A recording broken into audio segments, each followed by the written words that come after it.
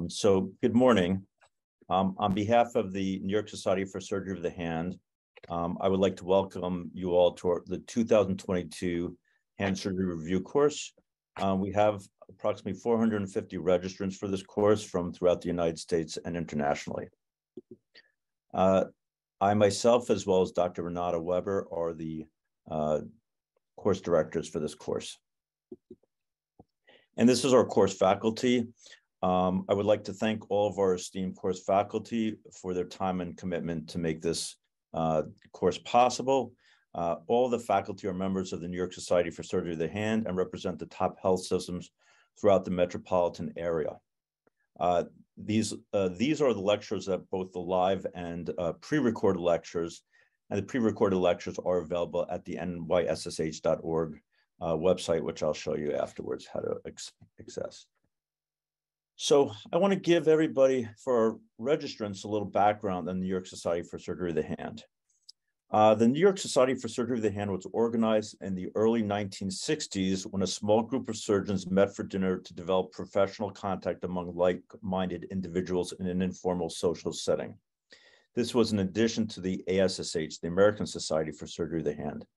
As such, it was the first regional hand surgery society of its kind and was the prototype for other similar groups throughout the country. It has grown to represent a present size of 120 members and it is the largest regional hand society in the United States. It still embodies the purpose of the founding members in promoting camaraderie and exchange of knowledge amongst hand surgeons. Article 2 of the Society's Constitution states that its mission is, quote, to promote and foster the highest standards of surgery of the hand, to promote education, training, and research related to surgery of the hand. And that is why we host this course every two years. Um, this course is a biannual course that the NYSSH runs to educate residents, fellows, physicians, physician assistants, OTs, CHTs, and other medical professionals who are involved in the care of the hand and upper extremity. Up until two years ago, this course was held at Columbia University. We usually had approximately 75 to 100 registrants. And to defray the cost of running the course, course in person, we had to charge registrants. Two years ago, because of COVID restrictions, Dr. Dan Polatsch, who was then the NYSSH president, made this a free Zoom webinar. The course was a resounding success with approximately 700 registrants from throughout the world. We received excellent feedback for the course.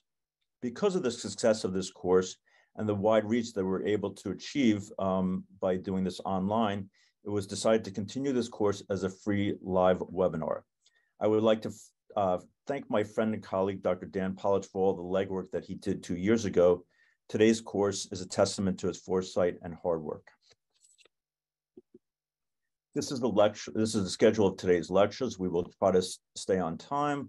After the first session, we'll have a Q&A session, uh, a break for 20 minutes if we stay on time, and the second uh, session will be uh, led by uh, Dr. Renata Weber, my um, co-host. As I said before, there are 10 pre-recorded lectures. These are the pre-recorded lectures and you can access these online. Essentially what you need to do is you need to go to the NYSSH website, nyssh.org, and then you find these lectures and you click on the play button to the right, and then the lecture will come up and you play it. Uh, please note that because the lectures are uploaded onto the YouTube channel, um, you may be directed to sign into YouTube because some of these lectures are age restricted because of the medical content. So all you need to do is sign into YouTube, either using your Gmail or YouTube account, and uh, you'll be able to access all the lectures. I think two or three of these are restricted. Um, finally, I would like to thank our sponsors, East River Imaging, Dr. Larry Hurst, Hand Surgery Resource um, online website, MedArtist, Skeletal Dynamics, and Stryker uh, each of these have each of these companies have donated funds to help the NYSSH defray the costs of uh, running this course and has allowed us to uh, keep it free to all registrants. Okay, that's it for my introduction. It's time to start. Our first lecture will be given by Dr. Kate Nellans, who is now the secretary of the NYSSH, and she's one of my colleagues and friends as well, And she works at Northwell, and she'll be lecturing on fractures of the hand. So Kate, I am going to stop sharing and turn it over to you. And I'm going to ask everybody to uh, mute themselves until you're lecturing. Thank you. All right.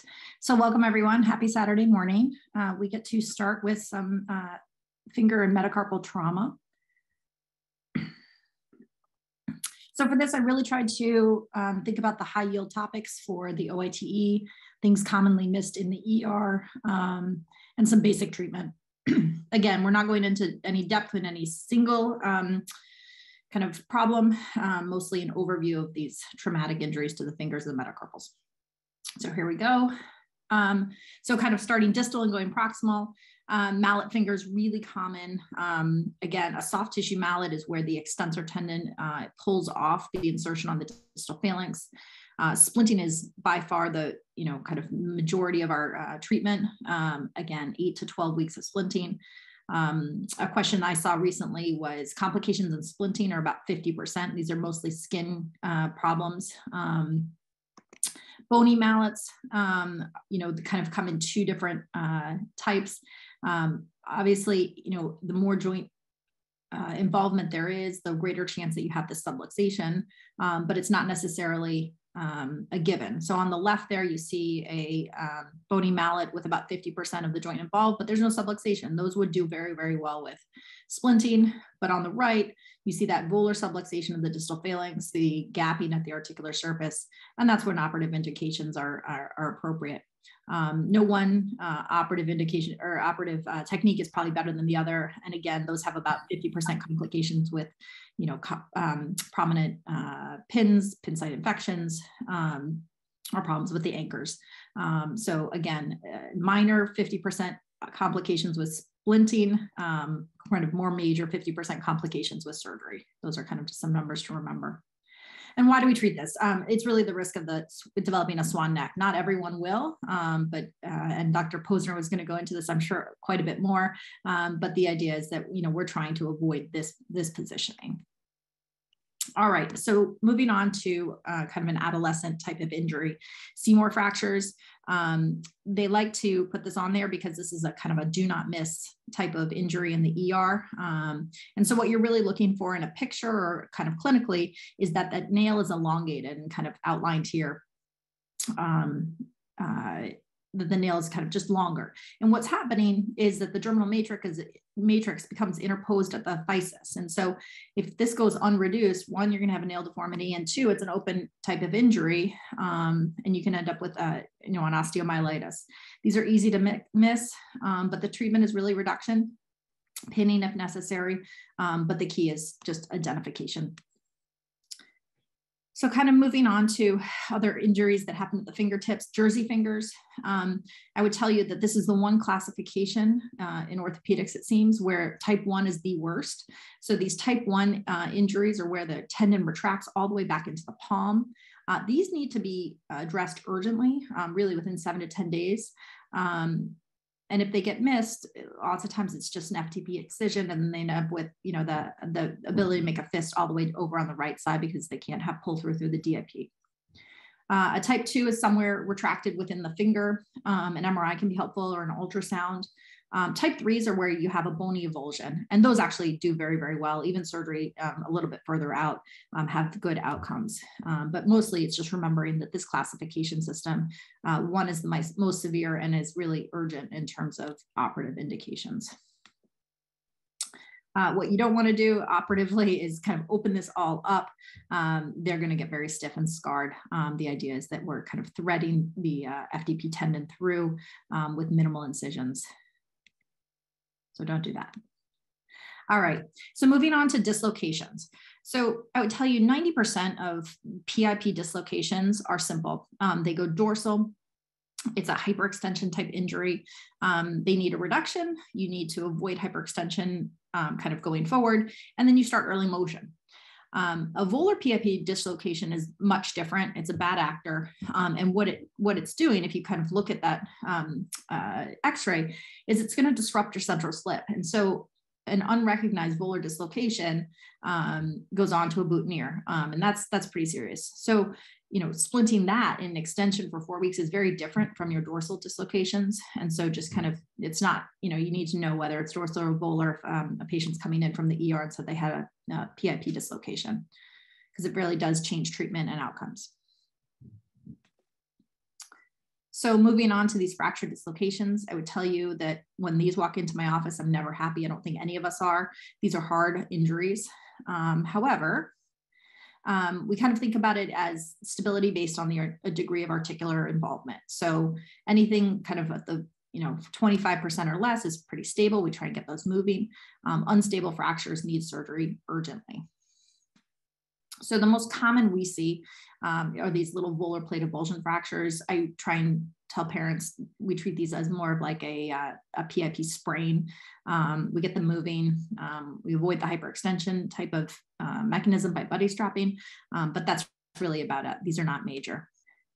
But injuries like this, if you catch it at three days, we've got options. And I'll thank Dr. Strauch for uh, this technique.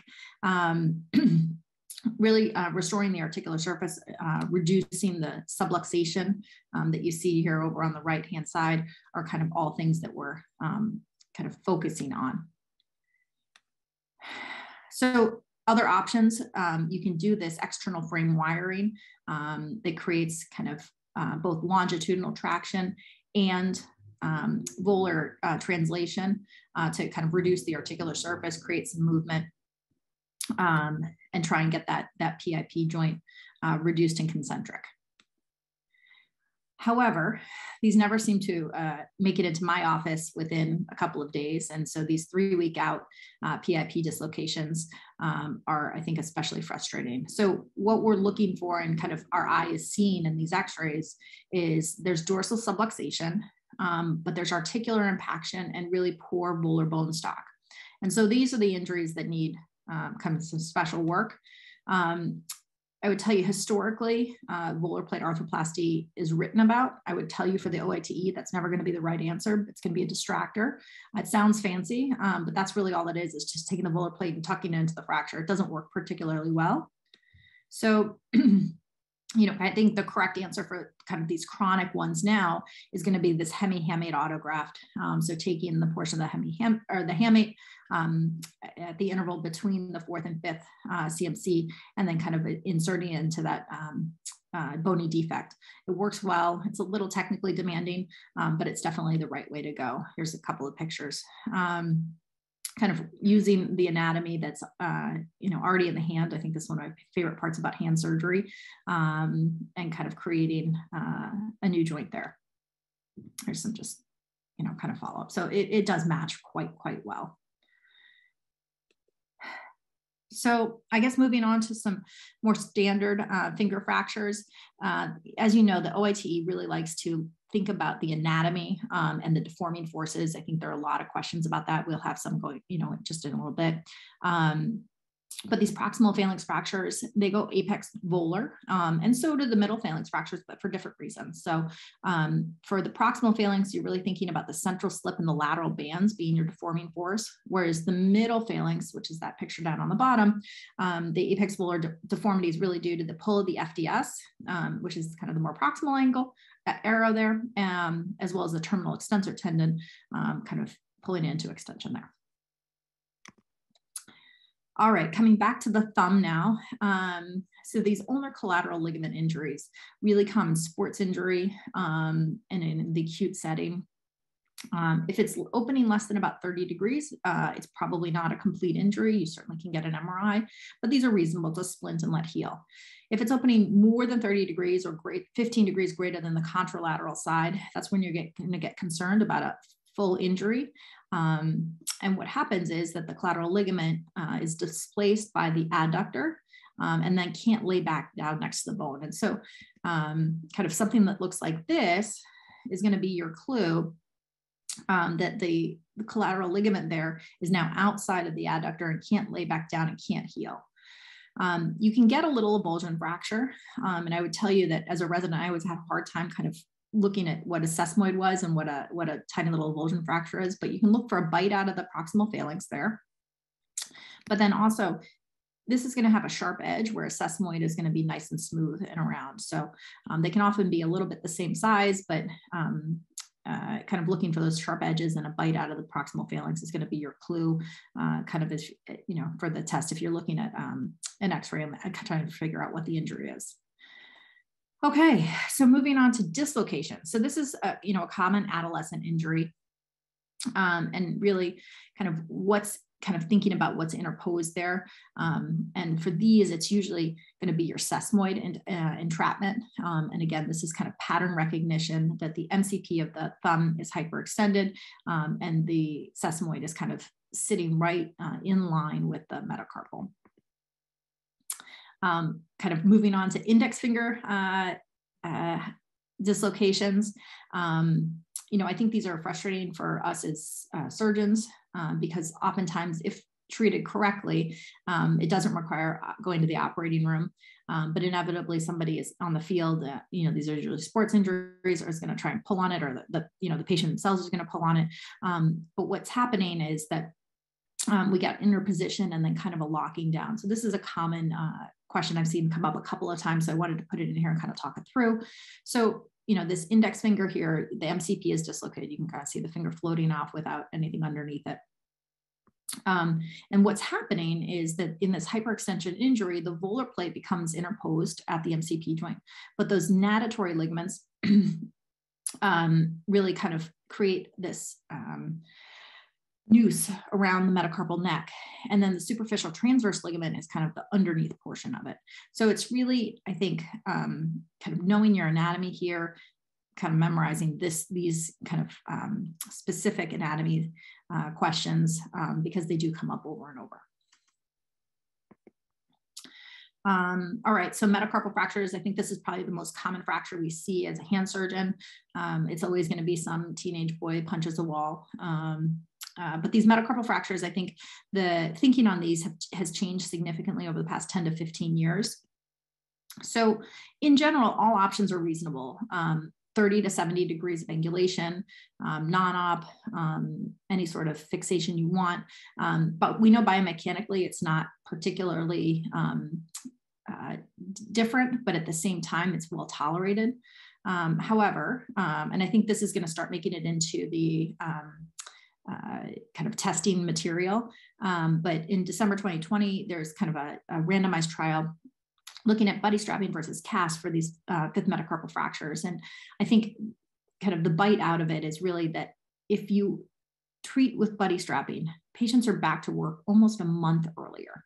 Um, and that that's like a very I think easy testable question, but it also kind of changes my management completely. Um, these rarely get casts anymore. We get them moving. We do know that greater than 70 degrees of angulation does biomechanically impair them, and, and they do have kind of prominence dorsally and, and difficulty with grip. Um, lots of different ways to treat it, but I think these intramedullary screws are becoming more and more common. Um, I'm a big fan, um, and I think at, at, this point they do have some of the lowest incidence of complications because of the limited incision um, going in and we've all gotten better at placing them. Um, so I think, uh, you know, this is my preferred uh, treatment for those really highly angulated neck fractures.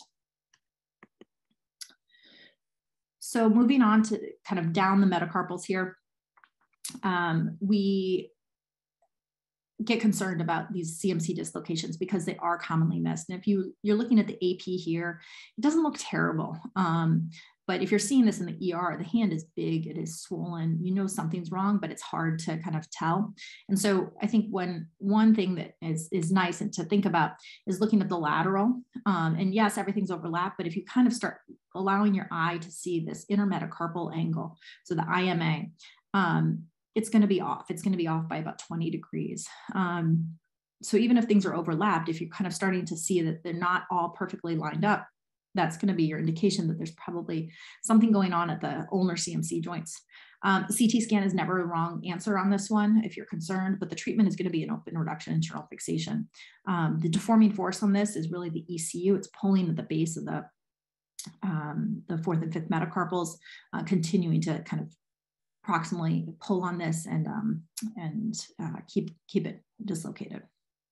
And these are, you know, even if you reduce them in the ER, they kind of can come back out. So that's why um, open reduction and is usually our, um, are kind of going to be our answer for the test at least. Okay, so I feel like these are metacarpal base fractures and um, CMC fractures of the thumb are really commonly tested, um, mostly because it's good anatomy um, in terms of the deforming forces. So um, I think, you know, this is an extra articular fracture. I think we need to recognize that. These are extremely well tolerated, um, but not if it's greater than 30 degrees. So that's kind of our um, threshold. there's not, you know, lots of different options, but really our deforming forces in terms of what the fracture ends up where it is, is that, you know, the um, it ends up being apex dorsal because of the pull of the APL there. And then the APB is pulling the distal fragment um, as well as the adductor, and then the thumb tends to supinate. So you're going to reverse all these for the reduction, and then usually K-wires will do it. So Bennett fractures are going to be the, uh, you know, the similar type of mechanism, um, but it's intra-articular fracture.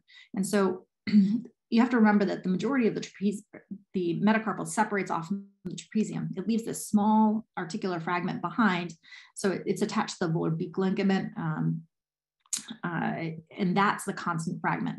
So your displacing forces for this one are your um, APL, EPL, um, EPB, and adductor. Um, so here's kind of a, you know, what they usually ask for is either the deforming forces or, you know, what's the reduction maneuver. maneuver. Um, so it's going to be your axial traction, your palmar abduction, again, trying to kind of um, counteract these deforming forces, pronation of the thumb, um, and then pressure kind of over top to reduce it. Um, so this is that beak ligament that we talk about right there. Okay, and kind of um, kind of thinking about treatment. Uh, K-wires are usually kind of the um, easiest, most straightforward way to do this, especially if you're cutting it early. I think mostly important is that you're not necessarily trying to um, capture this uh, small uh, constant fragment. You're reducing the metacarpal to that fragment to get a uh, concentric articular reduction. Okay, and that was a whirlwind through hand fractures. I'm going to finish up a little bit earlier. We um, can have plenty of questions at the end.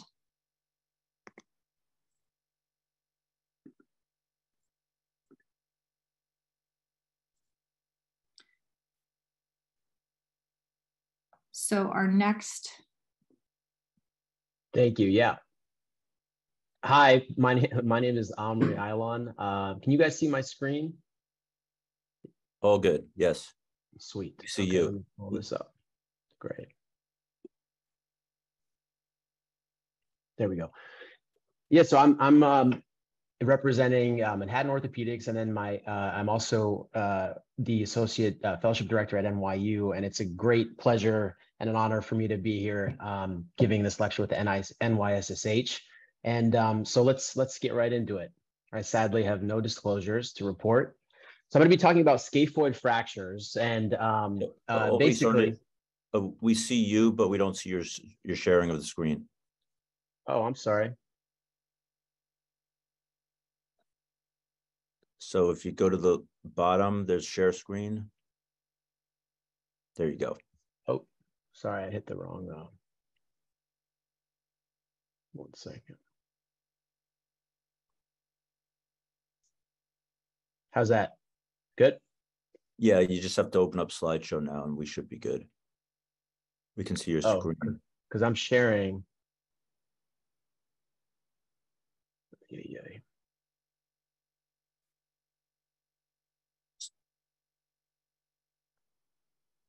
start your slideshow by going to this lower box here. Yeah. Can okay. you see that now? Yep. All right. Okay. All right, let's get started. So I'm going to be talking about um, scaphoid fractures, no disclosures. Um,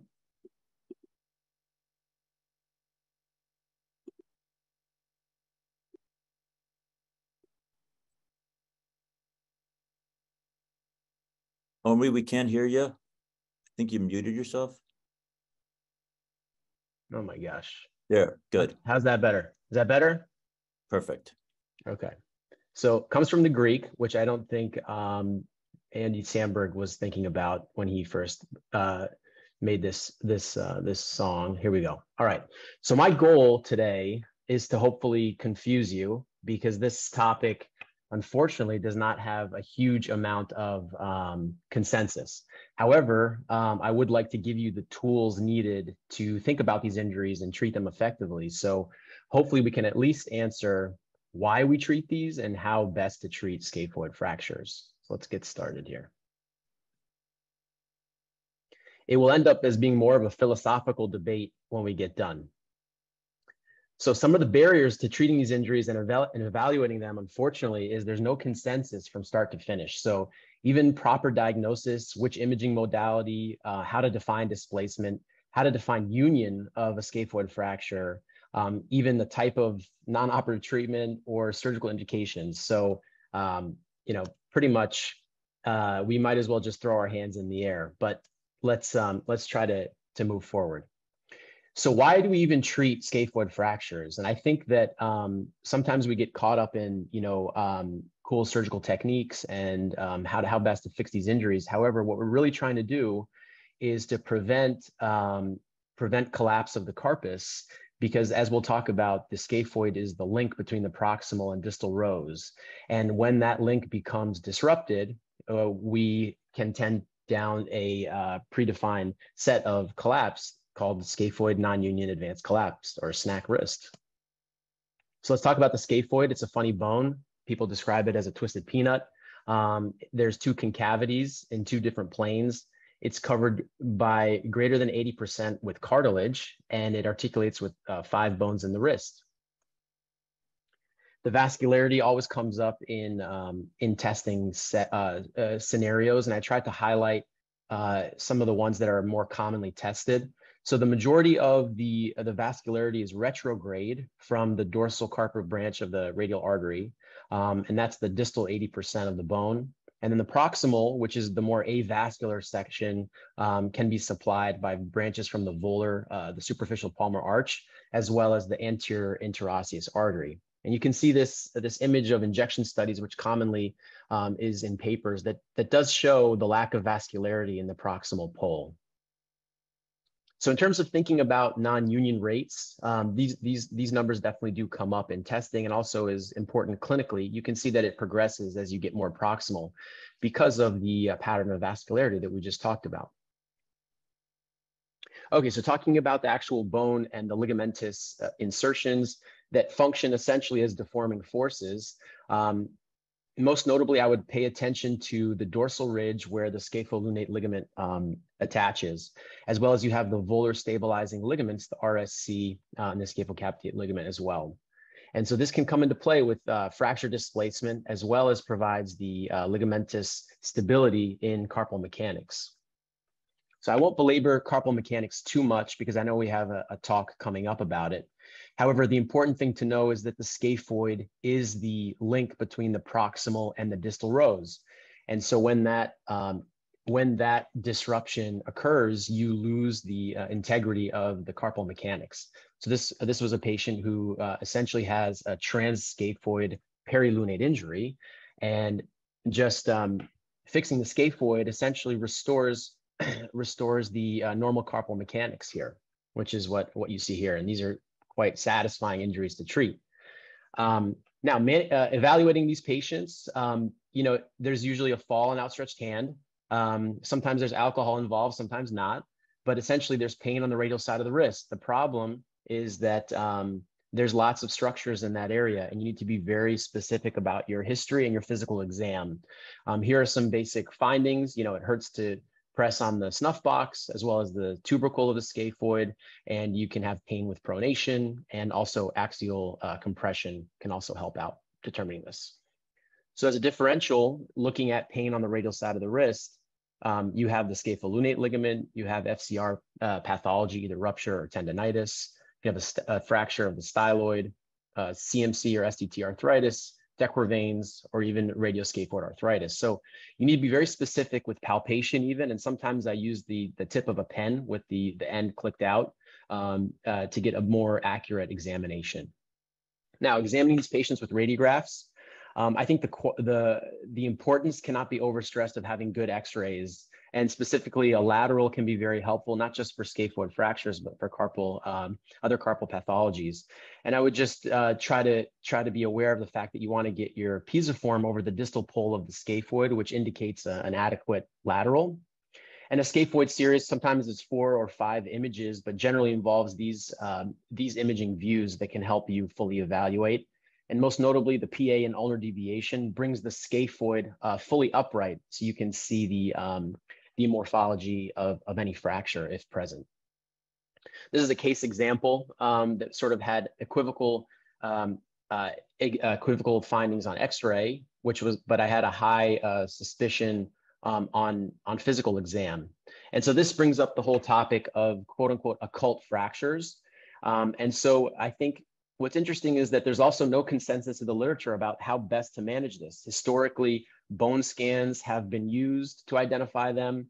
Um, I think that it's good practice to uh, to bring the patient back in a week or two for repeat X-rays, um, as well as if you're thinking about getting an MR, uh, a higher level imaging.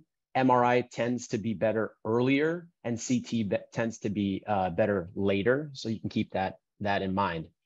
However, there is a true risk of uh, false positives. Oftentimes, um, vascular channels can be read as a fracture and you should also take into uh, consideration the cost to the medical system of uh, routinely ordering these higher level imaging. If you do order imaging uh, for the scaphoid, I would urge you to speak to your radiologist and make sure that you order it in the plane of the scaphoid um, with small cuts, generally one millimeters if you can, because that will give you better diagnostic accuracy. So a word about classification, which I think is generally more for research purposes. However, these are two of the more commonly uh, reported ones. I think that the most important thing when you're looking at classifications is how it relates to clinical uh, use. And I think that, uh, like we discussed, the more proximal the fracture, the higher suspicion you need to be and concern about non-union um, and greater trouble in the future. So speaking about union, you know, you think it would be easy just to say, well, when you know when the bone is healed, you're good to go. However, there's no real uh, consensus on how to define this, and so um, some of the ways you can uh, define it is clinically with tenderness and pain, uh, serial X-rays. Um, some people use the the definition of 50% of bridging bone on CT. Um, the question uh, then arises, though, how do you then correlate that to clinical um, clinical uh, situations? Um, okay, so treating these treating these patients, okay, uh, I want to be very clear that most of these patients, uh, most of these injuries heal without surgery. You know, 90 to 95% of union has been reported um, with casting. Then the topic often comes up uh, with, you know, what type of cast? Historically, long arm cast with a thumb spica, and now we've sort of cut it all the way back to a short arm cast with no spica. And there hasn't really been shown to be any appreciable difference. And I think that this is definitely in pre- in a testing environment. That's that's all well and good, but I think that you also have to keep in mind who you're treating, and um, if you need more stability, then I think that uh, that using a short arm cast with a thumb spica extension is reasonable. So now let's talk about surgery. This is the fun part. You know, um, there is definitely a trend towards fixing more of these and fixing these earlier um, with some data suggesting that there's earlier uh, return to work and even earlier union. However, as I discussed, the, the definition of union is not uh, widely agreed upon. And so I would just uh, look at these studies with a cautious eye. Um, there are some uh, suggestions that there's cost effectiveness of, of operating on these to get people back to work sooner, which I think may be true depending on the patient's um, occupation. So we're happy. However, um, you know, by the same token, you can find uh, studies that uh, report on the exact opposite. So this was a JBJS article in 2008 that essentially showed no difference when treating non-displaced um, scaphoid fractures. In fact, having slightly higher um, uh, complication rate in the operative in the operative group. Now, if you you'll notice that the STT arthritis can be uh, uh, a difference between clinical and radiographic arthrosis because of um, violating the STT joint to put the uh, the screw in. So speaking more about surgery, I think that um, indications wise, if there's significant displacement um, and there's a high likelihood of non-union, it makes uh, it makes sense to fix these. Specifically, you'll hear about humpback deformity, and that happens because of those deforming forces and the bony um, morphology that we spoke about. Uh, a couple of the angles that you may see in the literature and on testing scenarios is the radiolunate angle, which you can see here, as well as the intrascaphoid angle. And these are just ways to define and describe union. Um, clinically uh, and practically, it's very difficult because these angles change based on the cut you're looking at in the scaphoid. So you need to be very um, diligent with your uh, surgical indications here. In general, um, you're trying to get um, hardware, generally a screw, uh, center center, and you're trying to achieve abs absolute stability so we can get um, primary bone healing.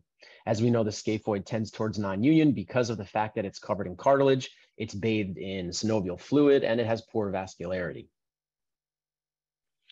So something that I, that, uh, a study that I think did contribute to how we think about um, these injuries and how we talk to our patients was this, um, this article showing that the biomechanical stability of a scaphoid fracture with a central screw and 50% uh, healing essentially has the same biomechanical uh, properties as an intact scaphoid.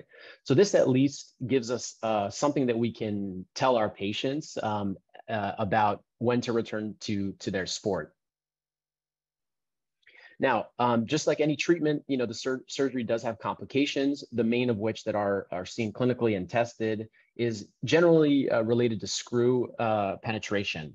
Um, obviously, you have risk of non-union, infection, um, and obviously this this screw on the bottom left um, wasn't ex didn't exactly achieve the goals of the surgery.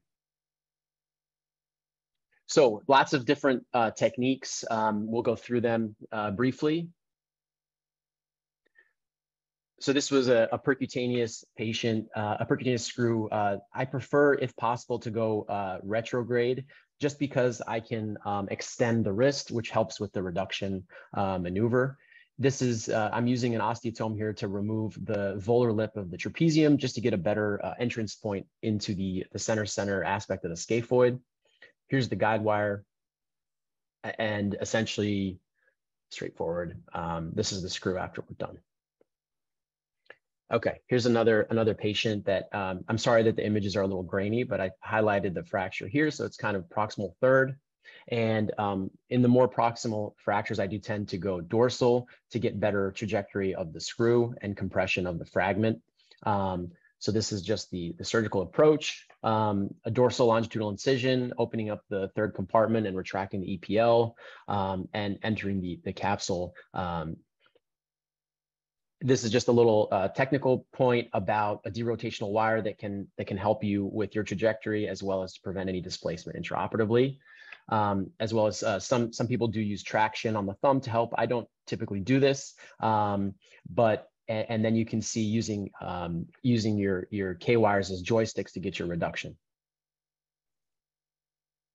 And now this image on the upper right is a semi-supinated view, and you can see um, that this, this image is good to see uh, dorsal screw penetration.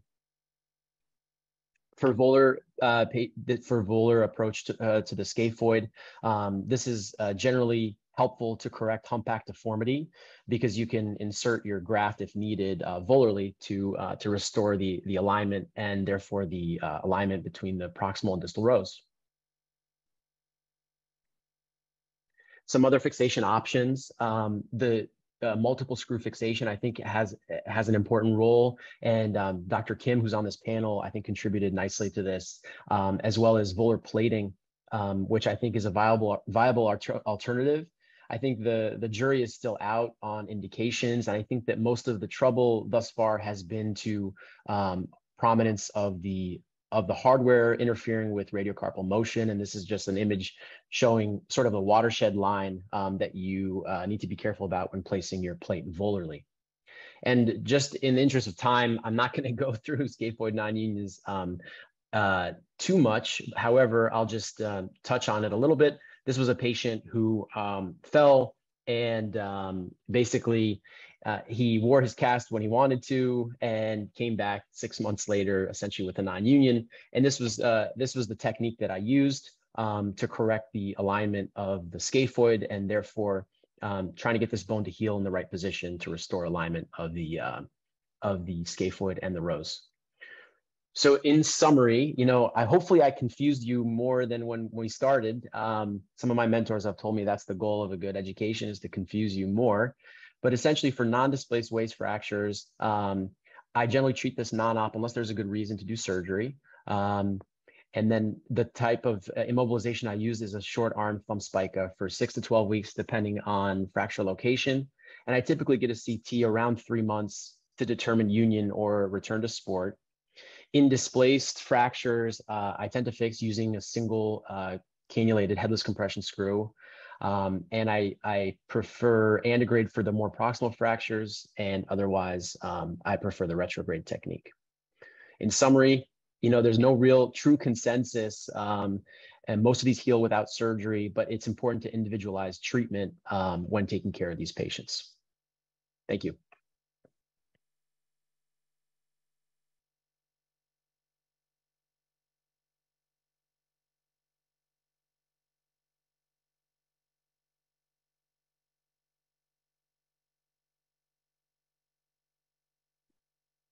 And I'll pass off to Dr. Strauch.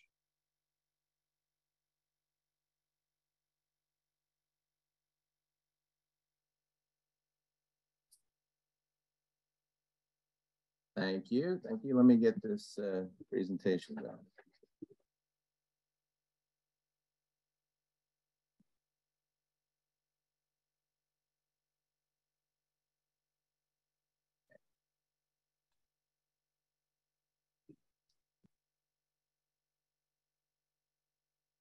There we go. Hopefully everybody can see that. We're going to talk about um, distal radius fractures. This was a true case. This was one of our senior residents in general surgery who was playing soccer. This was quite a while ago. He fell uh, down in Central Park and they he was with our ortho residents. So they brought him into the ER and he had this uh, Colles comminuted type of fracture. So question is, what do we do? You know, this is one of our senior residents at Columbia? Do we take him to the OR right away and fix it or do a closed reduction? So his fellow residents did a nice closed reduction and the right side is the broken side, left side is comparison. Looks, looks pretty similar, maybe a tiny bit short. Lateral film looks quite similar. So now the question is, what do we do? You know, he comes to see me in my office a few days later. Is the reduction adequate? I would say yes. Will it hold? Well, that's what we need to discuss. And does he need to be fixed? We'll discuss that as well. So he ended up non-operative treatment and uh, he did quite well. And uh, although he was a little bit short, no symptoms, and he's currently the chief of cardiothoracic surgery. So he did quite well. So when we talk about distal radius fractures, you can basically fix all of them, even minimally displaced ones, which, which um, is an option. Or if you get a good reduction with a non-Barton shear type fracture, you could watch it. And if it makes it three and a half, four weeks, usually it'll be okay. And then you fix the ones that don't stay. So distal radius fractures are about 10% of all fractures, the most common fracture of the upper extremity, most common in young and older people. The normal anatomy, the AP film shows a radial inclination angle of 23 degrees, an ulnar variance of about neutral, with some variation, of course. The lateral film normally shows a palmar tilt of about 10 to 12 degrees. But you always want to x-ray the opposite wrist for comparison because some people may be extremely ulnar negative or ulnar positive, and you, uh, in trying to match a normal uh, wrist, may be making their wrist abnormal for them.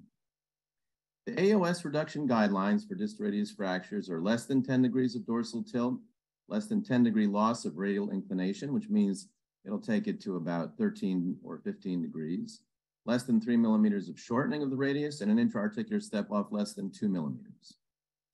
Now, the AOS, after reviewing many, many papers, could not recommend for or against operative fixation if you were much younger than I am, which is 55. There's also no need for early wrist motion, and that's key. You can lock up a wrist a long time, and at a year out, the results are basically the same in terms of wrist motion as if you had started it moving immediately. On the other hand, finger motion needs to start right away because if you don't get the fingers moving, that will be a permanent limitation if they get stiff. We've all seen patients come back to the clinic six months later and you ask them to make a fist and all they do is make a fist 50% of the way. Also, no type of fixation has proven superior. So they can't make a case for volar plates versus X-Fix versus anything else you might want to try. Now, what about older people in distal radius fractures? Well, yes, most of them have lower demands and comorbidities. And if they have arthritis, well, they may not have as long to suffer with it, right? But a lot of them are not accepting of a cosmetic deformity. We have a lot of 80 year olds that are still playing singles tennis, and they have friends that may have a crooked wrist. They don't want their wrist to look like that. They want a straight wrist. So you really need to talk to them that if you choose non operative treatment and it ends up with a malunion, that they're going to be okay with that. And sometimes they say they're going to be okay at the beginning and then they're actually not okay with it. Abraham Colles in 1814 said that yes, you're going to have some deformity of the wrist, but it's going to be painless. Uh, so you don't really have to worry about it. And we know that's really not the case for many patients. This is a typical distal radius deformity with shortening, prominence of the ulna, and radial deviation.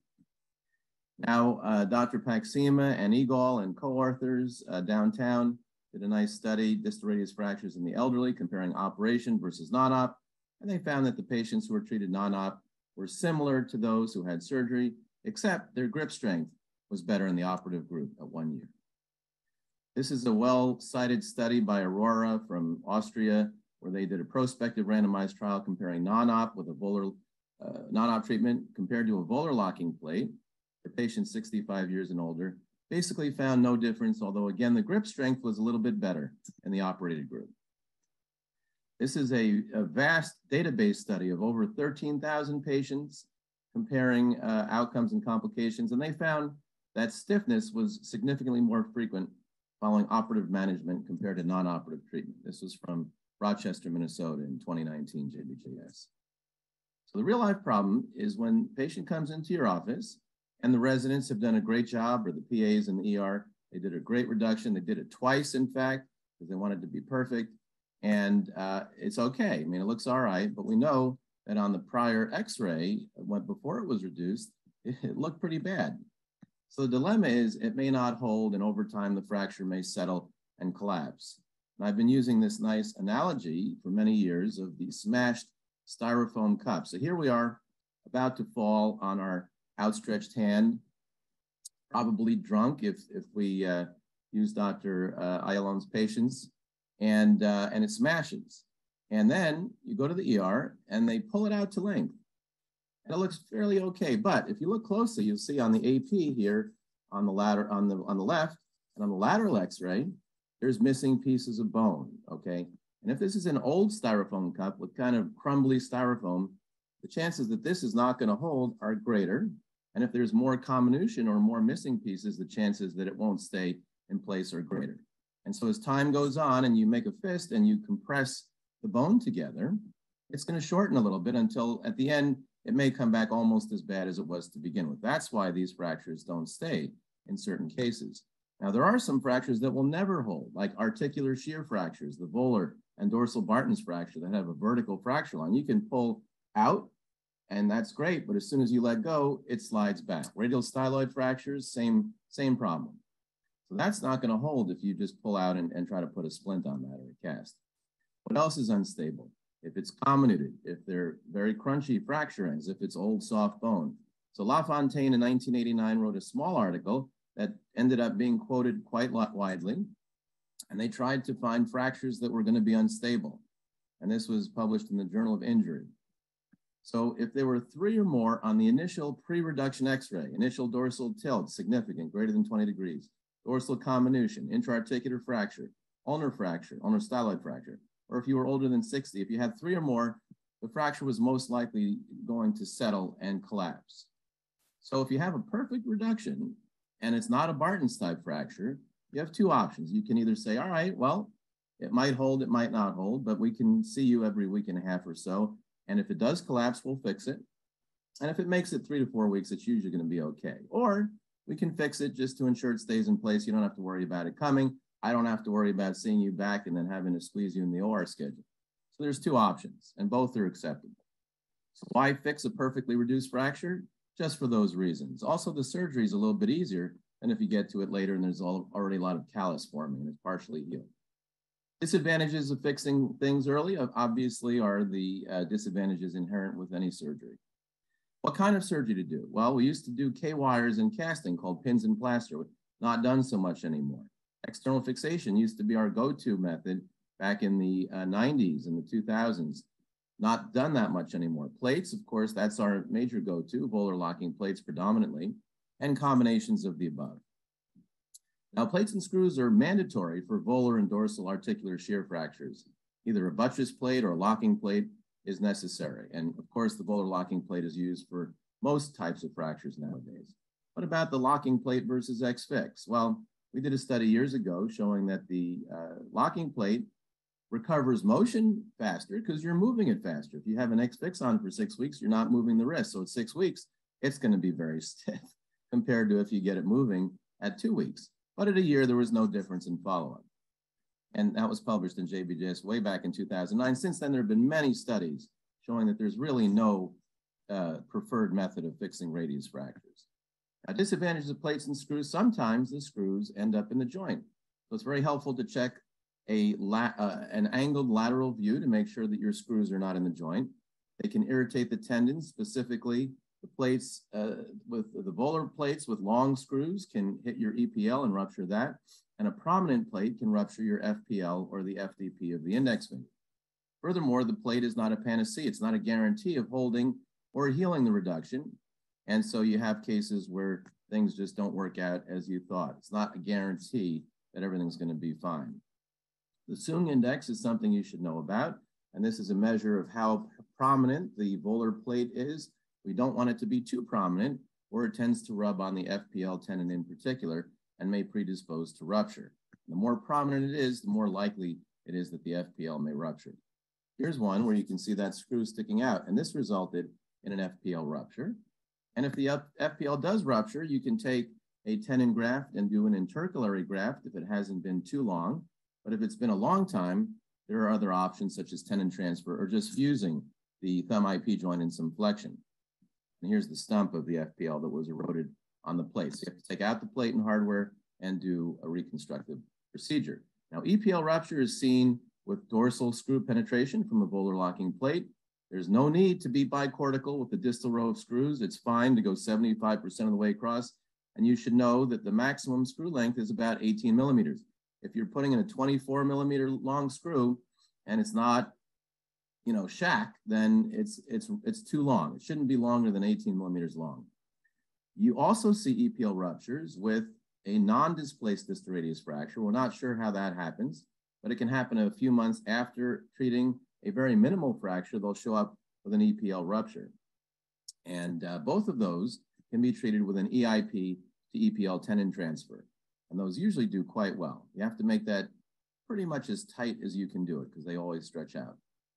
So they ask about EPL rupture on exams. It's seen either with non-displaced fractures or with prominent volar to dorsal screws. You treat with an EIP to EPL transfer. The FPL ruptures on prominent volar hardware, and you treat that with an intercalary tendon graft or tendon transfer, usually of the FDS of the ring finger to the FPL, although you can also fuse the IP joint. Now, external fixation still has a role. It can maintain the length of the fracture and neutralizes your finger flexion forces, but usually it's used as a supplemental technique these days. Now, if you just pull straight out on the on the hand, you're not going to restore your palmar tilt because your volar ligaments get tight before the dorsal ligaments. So as hard as you pull straight out, it's not going to restore palmar tilt. However, if you push the hand and including that with the lunate palmarly, that can actually translate the carpus and improve your palmar tilt of the radius. So here, no matter how much you distract it, you're only going to get to neutral tilt and maybe even not that. But if you push down on the hand and the carpus and translate the lunate palmarly, that will induce a force in the distal radius to try to make it a palmar tilt. Now, why do people's fingers get stiff with external fixation or any type of fixation or no fixation, just a, a splint? The reason is, is they didn't move their fingers. And that may be because the thing they had a splint on that was too long and they couldn't, or they didn't know to do it, or they were told over and over to do it and they didn't do it because it hurt them too much and they just didn't really want to hurt themselves. And that was me back in 1983 in medical school. I love to show this picture always in, in my distal radius talks because I actually had some hair back then. So anyway, it, I can tell you it is a little bit tricky to make a full fist with an external fixator on, but it's certainly doable and it's not that hard. And uh, so it is possible to make a full fist with that easily. Now, external fixation I usually use for salvage uh, procedures now, such as when the volar lunate facet escapes around the plate and you have to redo the surgery. You can put an X-Fix on to actually translate the hand dorsally, the opposite of what you would normally do for a fixate for a reduction and try to prevent resubluxation. So here was a case where the uh, volar lunate facet escaped around the plate and we redid the plate and put an X-Fix on so I could sleep at night. And here we've translated the hand and the capitate dorsally, trying to pull the lunate dorsal so it doesn't exert a force to re-back out and re retranslate. And you can see the capitate is riding a little bit dorsal here on the lunate, showing you that, that force that we put in before we locked in the X-Fix and that one stayed in place just fine. You can also put a dorsal spanning plate on, but the X-Fix is only needed for four to six weeks and then everything's healed up. So I, I, didn't think a spanning plate was necessary in this case. So dorsal spanning plate is really an internal external fixator. A lot of people use it for many different indications. Uh, and, um, but it does need to be removed and there's sometimes tendon ruptures that can happen with it. And so I'll usually use it in a situation where I need to keep fixation solid for three months or more, and then and then take it out. And so here's a, a nasty radiocarpal fracture dislocation that occurred. Uh, that's the kind of thing that I'll use it in. What about fractures of the ulnar styloid? So a fracture at the base of the ulnar styloid, a big piece, destabilizes the DRUJ because the TFCC attaches to the foveal area and is the main stabilizer of the DRUJ. So if you have this big chunk, the whole TFCC is attached to this piece. And yet after you fix the radius, most of these are still associated with a stable DRUJ, surprisingly. So what you need to do is when you fix the radius, then you assess the stability of the DRUJ by trying to shuck it in and out. Most of the time it's stable. You don't have to fix the ulna. But if it's unstable, then you can fix that ulnar styloid with a small incision. There's many ways to fix it. I usually use a uh, K-wire and then drill a hole through here and wrap a figure of eight uh, fiber wire type around that uh, pin, and, and, that works okay. And one of the reasons why the, the DRUJ may be stable even with no TFCC holding it, such as with that ulnar styloid base fracture, is that there's this thing called the distal oblique bundle of the interosseous membrane, and that is tension when the radius is brought out to normal length, and that may stabilize the distal ulna, even in the absence of a competent TFCC. A few other points. First of all, people, I don't care what kind of fracture you have, non-displaced, minimally displaced, major problem. It's very hard to do push-ups in the usual way or the yoga downward facing dog after a broken wrist. And so for a long time, if you like push-ups, do them on your knuckles, but I would recommend using a pad and not doing them directly on a hardwood floor like that. Second thing is it often, it took me six months to be able to get full supination back. And so I tell patients if they're, if they're struggling uh, at six weeks, not getting full supination, don't sweat it because eventually, if you keep working at it, assuming that the bony anatomy is relatively okay, it should come back, usually. And it always hurts pretty much on the ulnar side of the, ulnar side of the wrist when you're uh, deviating and maximum supination and pronation hurts for quite a long time because basically all these displaced fractures are associated with a TFCC tear, even if there is no ulnar styloid fracture. They also ask about vitamin C. There were some studies showing vitamin C 500 a day prevents CRPS. That's largely been debunked, but sometimes they ask about that. Routine hand therapy, meaning for like every person that has a wrist fracture, is not necessary, but it is mandatory if their fingers are not moving 100%, I think, right away. If they don't have 100% motion of their fingers right away, I send them to therapy for finger motion.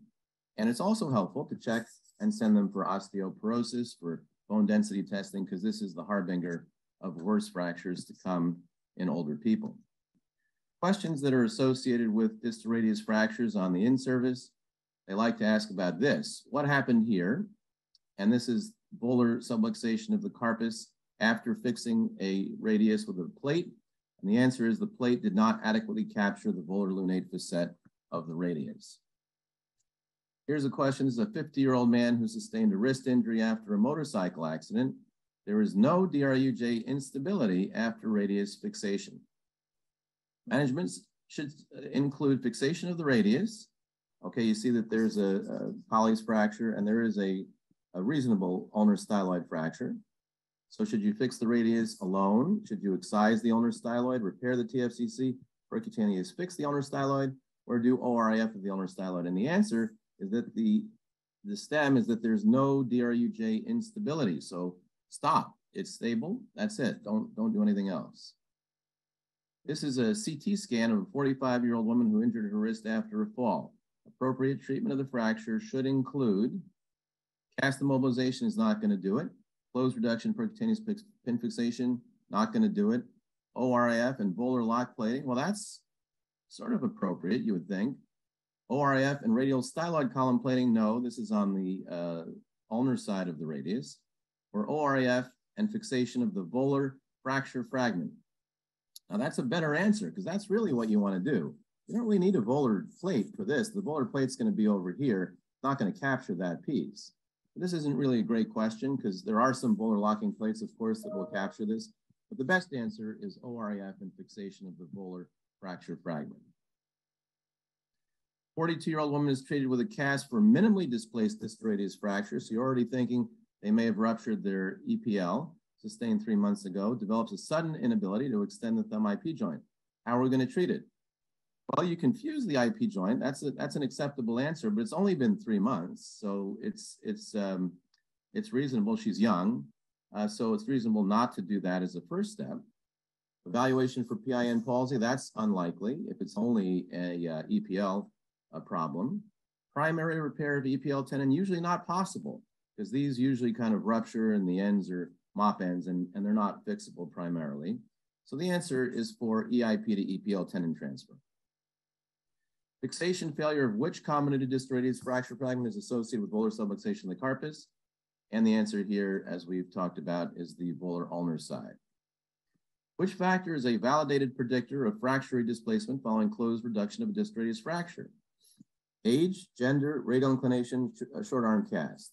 The answer is usually older people have worse bone and they tend to fall out of place. While attempting to recreate the inclination of a distal radius during volar fixation of an intra-articular fracture, use of fluoroimaging in this position would be helpful in showing, and they're showing you an angled view where you're going to be able to see down the slope of the radius. Remember, the AP film of the radius has a 23 degree angle, right? So if you bring it this way, you'll be able to see down the slope of the radius and you'll be able to better see any screws that might be intra-articular, which is the answer. 35-year-old man has a markedly displaced radius fracture, has closed reduction. It looks good in a sugar tongue splint with the wrist in five degrees, so not much flexion. You know, we don't want to put the wrist in a lot of flexion for our splints. 18 hours later, he comes back to the ER with pain and numbness. He can't feel anything and the forearm is soft, minimally swollen, and tender. So what's the next best step? So now he's got severe carpal tunnel syndrome pretty quickly after your reduction maneuver, which was not excessively flex. So you're not going to, an answer of just redoing the uh, fracture position is not going to be the correct answer. Do you want to admit and observe? That's not going to do anything. Fracture repair and carpal tunnel release, that makes sense. Fracture repair and fasciotomy doesn't make sense. His forearm compartments are soft but you want to change the sugar tongue and put them into extension, and that's not going to do anything either because he really wasn't flexed significantly. So the answer here is fracture repair and carpal tunnel release. For enclosed reduction of the Colles fracture, which maneuver in addition to traction will likely provide the best reduction? And we talked about this. This is volar translation of the lunate by trying to press down on the uh, metacarpals, basically, or the, or the dorsal carpus.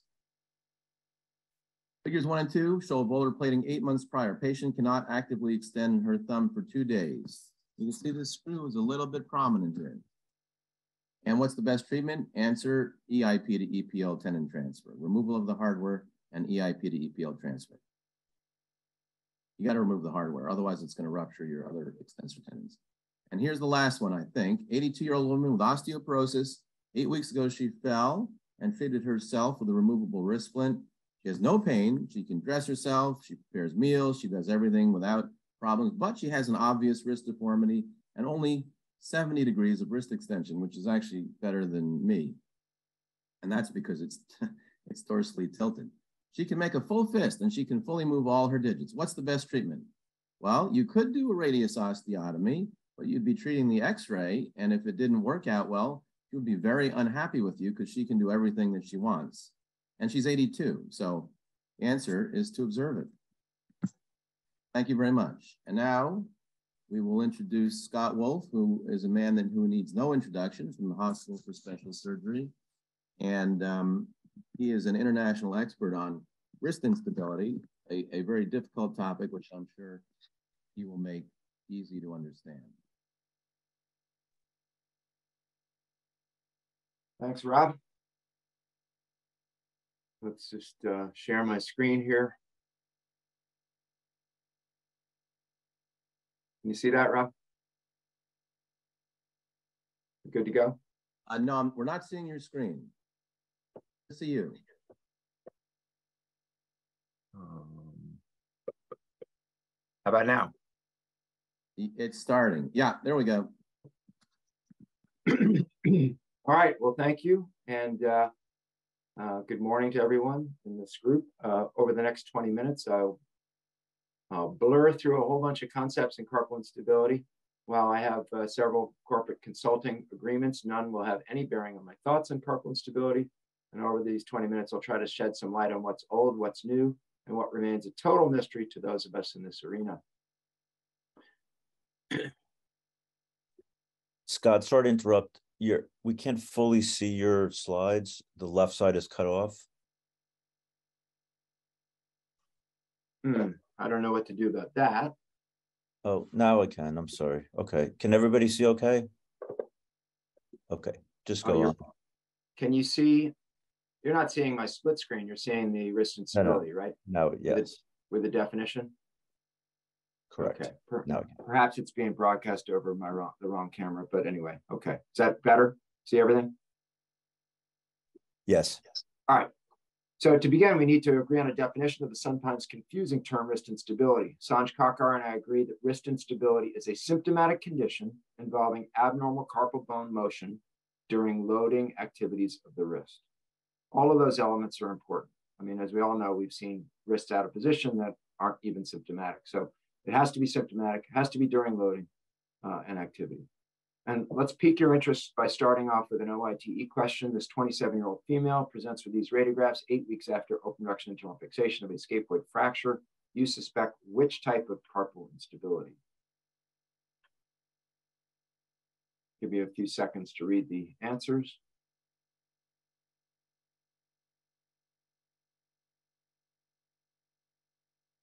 And think about this over the next uh, 15 minutes um, because the answer will be there.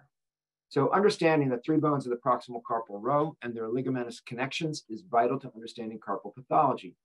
These three are the only truly mobile bones of the carpus, as the distal carpal row is rigidly fixed to the hand and the forearm is the remainder. They're inherently unstable and they're guided by their articulations proximally and distally and the ligamentous constraints within. Over the past hundred years, two main theories of carpal bone kinematics have evolved to describe the wrist as organized into proximal and distal rows or as three linear columns. Both of these theories arose predominantly from two-dimensional radiographic studies of planar motion, that is, flexion extension and radial ulnar deviation. Because of the complex three-dimensional motion of the carpus and the coupled or dart throwing motions required for most activities, many investigators have concluded that both theories are too simplistic to adequately describe carpal kinematics during wrist function and that functional wrist kinematics requires combinations of both. what is the intercalated segment? Landsmeer's eloquent 1961 paper furthered the idea of an inherently unstable link by describing the intercalated bone as one whose motions are entirely governed by its neighboring segments, like the segments of a wooden snake. His work was illustrated by the stacked phalanges of our digits and can equally well be visualized in the central column of the wrist. Linscheid and Dobyns expanded Landsmeer's concept of the intercalated bone in this 1972 landmark article by including the neighboring triquetrum as an intercalated segment rather than intercalated bone, at once rigidly connected but inherently unstable. This concept furthered the now widely accepted carpal row theory of kinematics that was actually proposed by Destot nearly half a century earlier. There are no tendon insertions on the intercalated segment, thus its motion is entirely dependent on mechanical signals from the distal carpal row. As the hand unit moves, it follows passively. All bones of the proximal carpal row move together, albeit to different degrees, and limited by a set of surrounding ligaments. The scaphoid coordinates its motions through the tight interosseous scapholunate ligament. Critical to an understanding of the kinematics of the carpus is an understanding of the ligaments of the proximal carpal row, as all instability patterns are manifested as abnormalities of proximal carpal row motion. As Dick Berger demonstrated 20 years ago, the scaphoid lunate are the key players of the proximal carpal row and are linked together by a complex scapholunate interosseous ligament made up of three component parts, of which the dorsal is the strongest. The ligament is vulnerable to injury with a fall in the outstretched wrist, which can tear all or part of this important structure. It should be thought of as the ACL of the wrist. The so-called secondary volar supporting ligaments of the scaphoid and proximal carpal row include the radioscaphocapitate, the long, radi long and short radiolunate ligaments, and the STT ligamentous complex. the tight envelope of the scaphoid's interosseous, volar intrinsic, and volar extrinsic ligament support system is demonstrated here. The dorsal intrinsic and extrinsic ligaments are equally important counterbalances to the volar ligament complex and include the important dorsal radiocarpal and the dorsal intercarpal ligaments. Steve Viegas emphasized the clever oblique orientation of these ligaments, which, like an accordion, expand and contract with rotations of the wrist. In addition, Berger and Doyle described the dorsal scaphotriquetral ligament, the exact location or function of which was never really clarified. In this drawing, the DST is incorrectly portrayed proximal to the DIC. We feel that this critically important structure has been largely overlooked during the past two decades. We refer to these three ligaments collectively as the dorsal ligament complex. This shotgun exposure of a human wrist demonstrates these relationships and the unique label-like arch that the dorsal scaphotriquetral ligament creates for the nearly acetabular receptacle of the midcarpal joint. In this inset, viewing the dorsal wrist axially, the DIC can be lifted to demonstrate the deeper and very stout dorsal scaphotriquetral ligament, inserting on the distal waist of the scaphoid. Lauren Wessel spent the better part of her residency characterizing the anatomic and histological attributes of this seemingly important ligament by doing dozens and dozens of cadaveric dissections. We'll now try to explain the maze of ligament instabilities with a somewhat simplified and logical classification system. Weber's work was instrumental in understanding how the mechanical signals from the distal row regulate the motion of the proximal row. With all ligaments intact, the lunate is delicately balanced by competing flexion extension forces on either side. In our first fully segmented video of, the live human, of a live human wrist in 1998, we can see the uninjured proximal carpal row moves as a unit in both flexion extension and radial deviation guided by the scaphoid. But Gilford had recognized decades earlier that detached from the scaphoid, the central column was stable only in traction. The scaphoid link was thus critical to prevent collapse under load. Fisk later illustrated that concept with the effect of waist fractures of the scaphoid. Intact, the proximal carpal row and the central column of the wrist are in kinematic balance. With disruption of the scapholunate ligament or the scaphoid waist, the scaphoid is separated from the proximal row, initiating the slide into the first major class of carpal instability, so-called dissociative carpal instability. And the inexorable slide into rotational instability, postural changes in the scaphoid, postural changes of the lunate and the attached triquetrum, or DISI, dorsal intercalated segment instability, and ultimately degeneration and SLAC arthritis.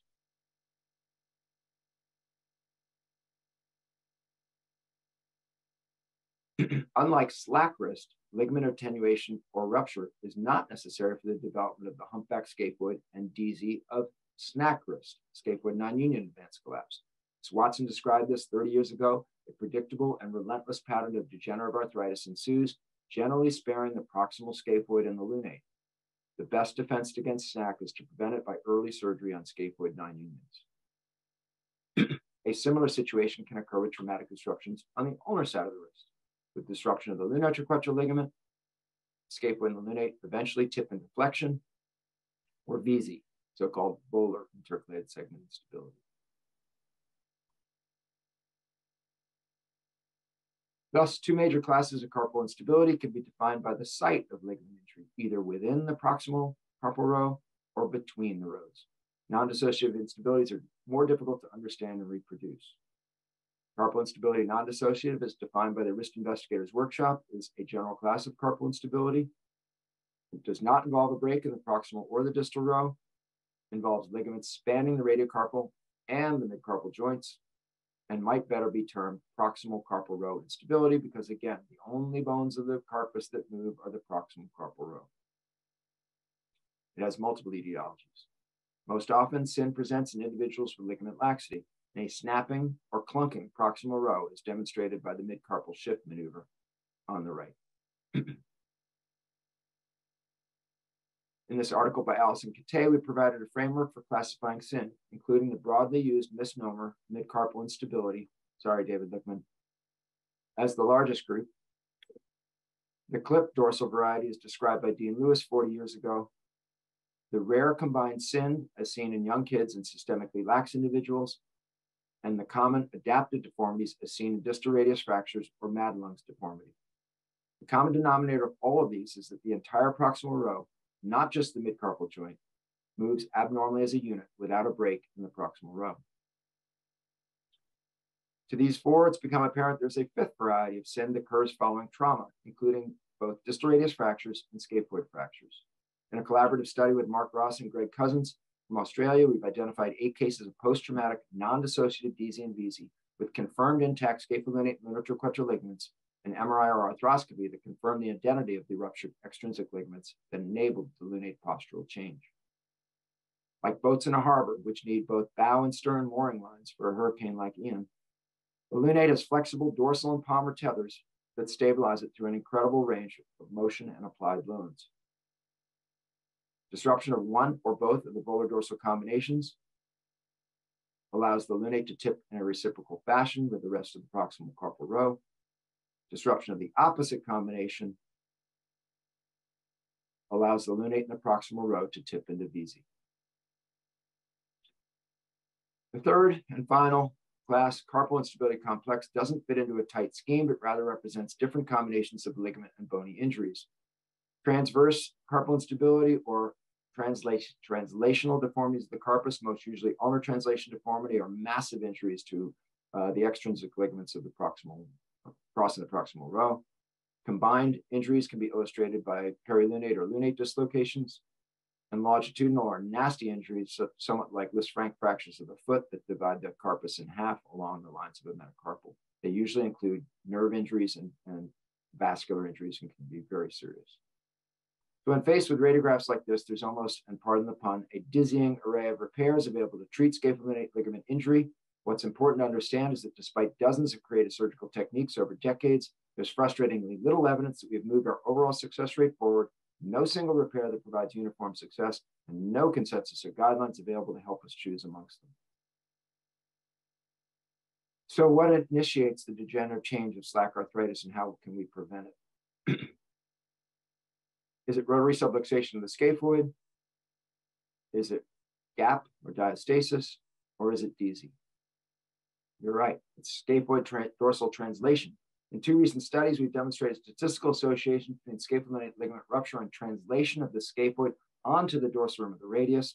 With that, the midcarpal joint is disrupted, breaking that acetabular container of the capitate and allowing it to drift dorsally. Its dorsal moment accentuates the tendency of the detached intercalated segment to just tilt dorsally, and the scaphoid's dorsal rim position leads to rapid cartilage loss.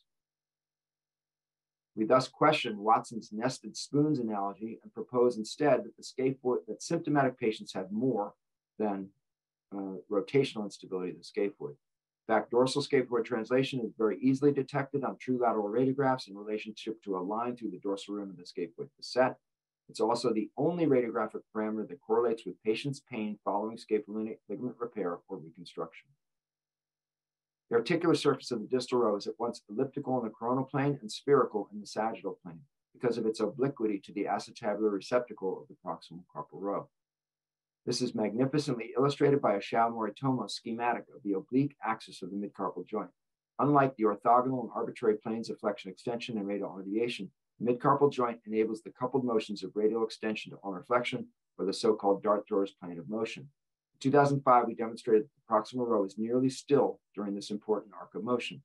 Work at our institution and many others demonstrated that nearly all complex motions of household, occupational, and recreational activities occur predominantly through the midcarpal joint. Through collaborative work with anthropologist Mary Marzke and colleagues at Arizona State University, we proposed that dart thrower's motion was unique to humans and may have conferred a survival advantage to early hominids during the transition from tree dwelling herbivores to ground dwelling omnivores. Further anatomic study on cadaveric wrist demonstrated that the physiologic axis of wrist motion lies not in the anatomic planes of flexion extension and radial innervation, but rather in an oblique plane from radial extension to ulnar flexion or dart throwing. So our primary goal of scapular ligament repair and reconstruction is to restore midcarpal architecture and function. And that's evidenced by the containment of the midcarpal joint by reuniting the proximal carpal row and most importantly, eliminating dorsal scaphoid translation. So why can't we get this right? We continue to struggle with our outcomes of scapular repair and reconstruction, as Julie Adams and colleagues illustrated in this review of 82 wrists followed uh, uh, retrospectively. They showed in this paper there was a 20% failure of ligament repairs and reconstructions at six months, and that at six weeks, a TLT or uh, a triligament adhesives was equally effective to a primary repair. That the primary repairs after six weeks, at least in their hands, did not work. So how can we improve the treatment of scapular instability? We need to understand its etiology. It's been taught to us by a Short, Palmer, and, and, many other investigators that the primary problem is the loss of the joint couple as evidenced by diastasis of the scapular joint failure of the scapular ligament, followed by secondary rupture attenuations of the secondary, so-called secondary restraints. But which ones? The ST, are they STT ligaments, the volar capsular ligaments, the dorsal ligament complex? We really didn't know. Um, a 2019 cadaveric study by Alfonso Perez from Chile and our lab demonstrated that scapular injuries alone do not cause DISI, that division of the long radial lunate, the SDT or the DIC lunate attachments cause statistical increases in radial lunate angle, but that DISI was created only when the SDT or the complete DIC were divided in addition to the scapular osseous ligament. We now refer to the SDT, the long radial lunate, and the dorsal intercarpal ligament as critical stabilizers of the carpus rather than secondary stabilizers. I don't have enough time to elaborate on the effects of ligament section on gap, scapular angle, and dorsal translation, but what seems to be becoming apparent is that the various postural abnormalities of the carpus may be dependent on injury to different critical stabilizers. As we continue the search for the ideal scapular repair, we should consider gaining a detailed inventory of injury to additional critical stabilizers using either MRI or arthroscopy and customizing our repairs accordingly with so many creative repairs from so many uh, in so many different institutions and different classes, we should start to consider an individualized approach rather than the traditional one-size-fits-all approach to dissociative carpal instability. Have we been concentrating on the wrong parameter of scapular dissociation all along? It's more than a gap. From Adelaide, Australia, Michael Sandow's novel reconstruction addresses not only the gap but reconstructions each of the critical ligaments of the carpus. The technique uses a three centimeter flexor carpi radialis tendon graft based distally and reinforces it with a two millimeter synthetic tape. Each pass is anchored after tensioning to avoid stress relaxation. I've now switched to this technique for most of my difficult reconstructions with DISI and, DST and have a successful cohort of 20 cases that we just reported on in Boston. Our video of the technique is available on VuMedi, HSS video, and the, video, and the ASSH video library and YouTube under uh, Anaphem. It may be time to retool our diagnosis and treatment of scapular instability. Diagnosis should include an inventory of all uh, injured structures using arthroscopy and or high resolution MRI, followed by staging and targeted treatments of the particular injured ligaments. So now it's time to test your recall. Which is it? Correct. This is non-dissociative VISI.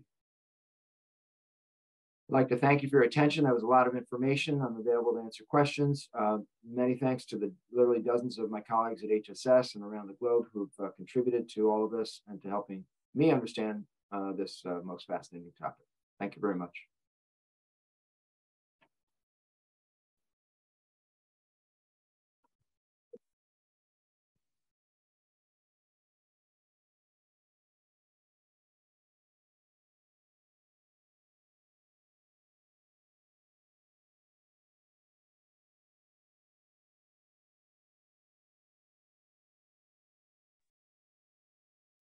Next, we have Dr. Martin Posner.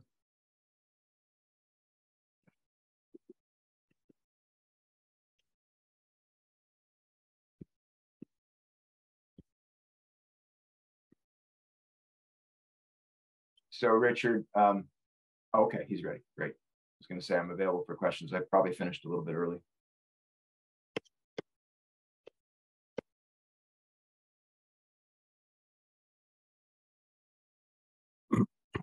Can you see my slide? We can see you, but we can't see your slide. Huh. Hmm. The The share screen on the lower bottom, the green. Um, let me go out of this then. Uh, let's see. You bring your pointer down to the lower column, you should be able to see share screen in green. No, I don't see it. What do you?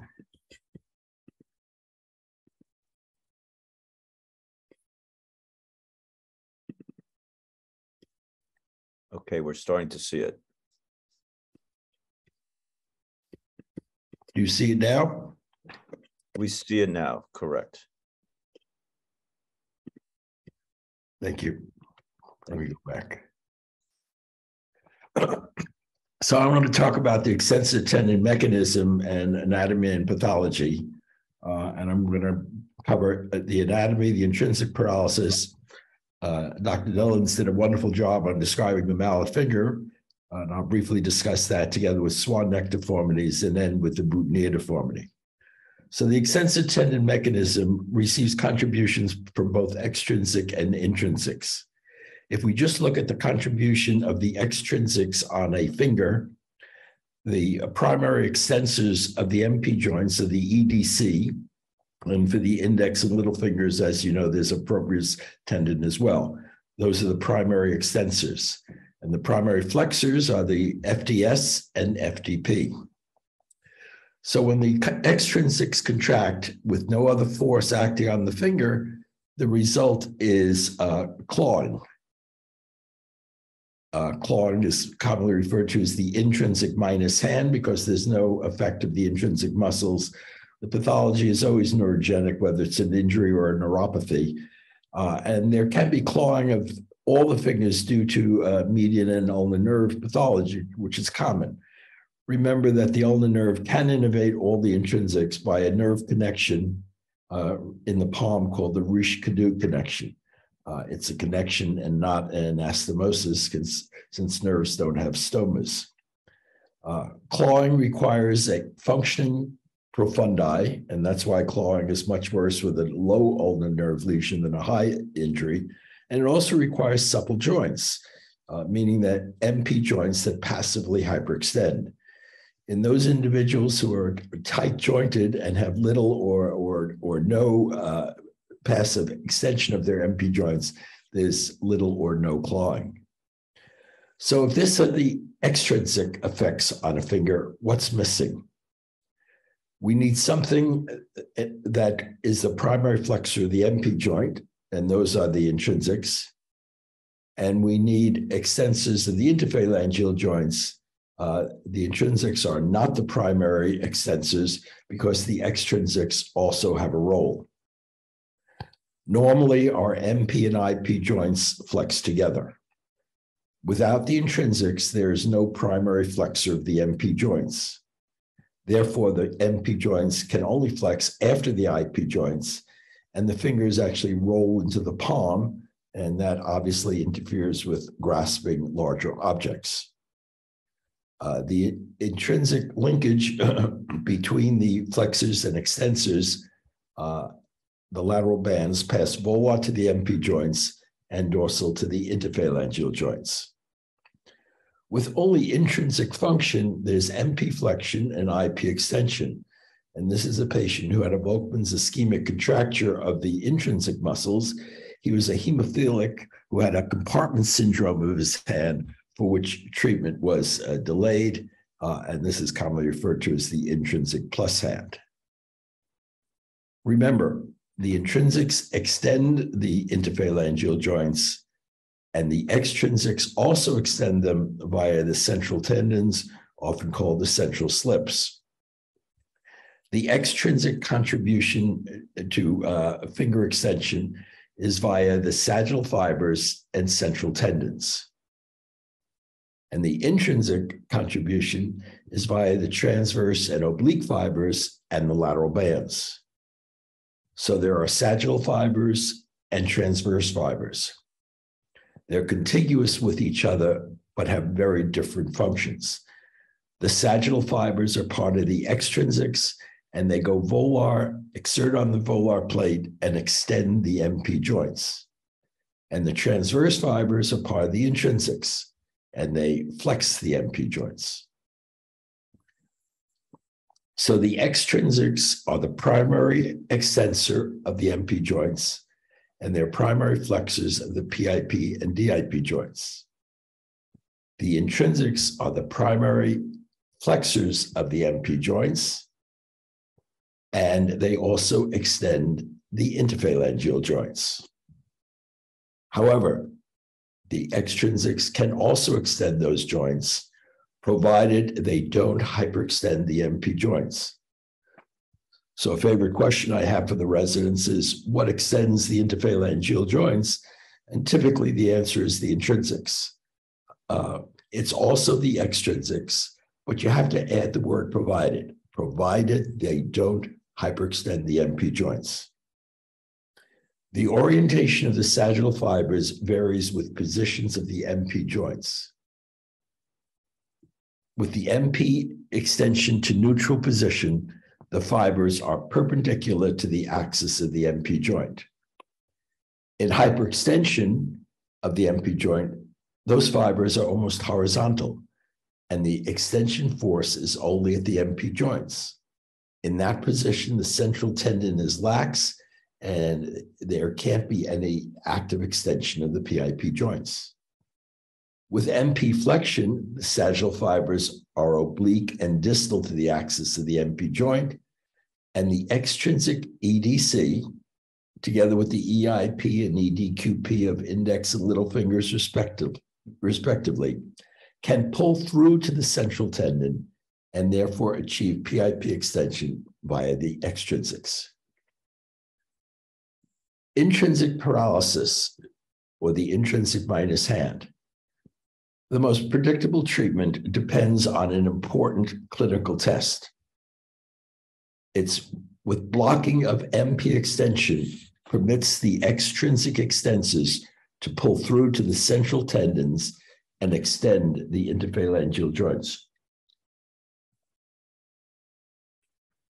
It's referred to as the Bouvier maneuver, named for a French orthopedic surgeon in 1851 who observed it in a patient with ulnar palsy.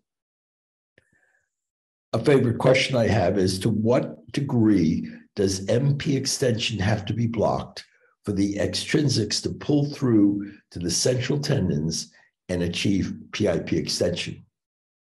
The answer is just enough. There is no specific degree. It could be as little as zero degrees or 10 degrees or it may be more. The Bouvier maneuver requires normal central tendons that are not attenuated. If they're slightly attenuated, MP extension has to be blocked to a greater degree. Now, blocking it up to 30 or 35 degrees is okay. But if the central tendons are severely attenuated and you have to block the MP joint to 45 degrees or more, to achieve extension, that's not okay. You're changing one problem for another problem, and now you're causing flexion contractures of the MP joints that could interfere with function. So chronic clawing leads to central tendon attenuation, and therefore, following an injury or a neuropathy, it's important not to ignore clawing.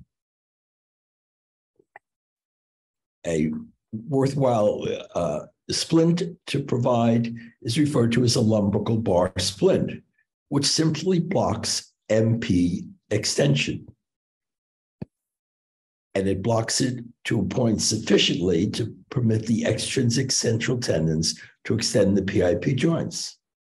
And the therapist makes this splint by just measuring with a goniometer at one point, MP extension has to be blocked.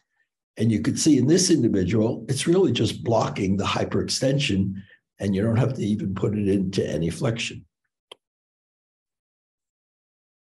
For surgery for chronic clawing, when it's too late for a nerve repair, or a nerve repair was unsuccessful in restoring intrinsic function, a very predictable operation is a volar capsulodesis of the MP joints, originally described by uh, Zancoli, which mimics a lumbrical bar splint.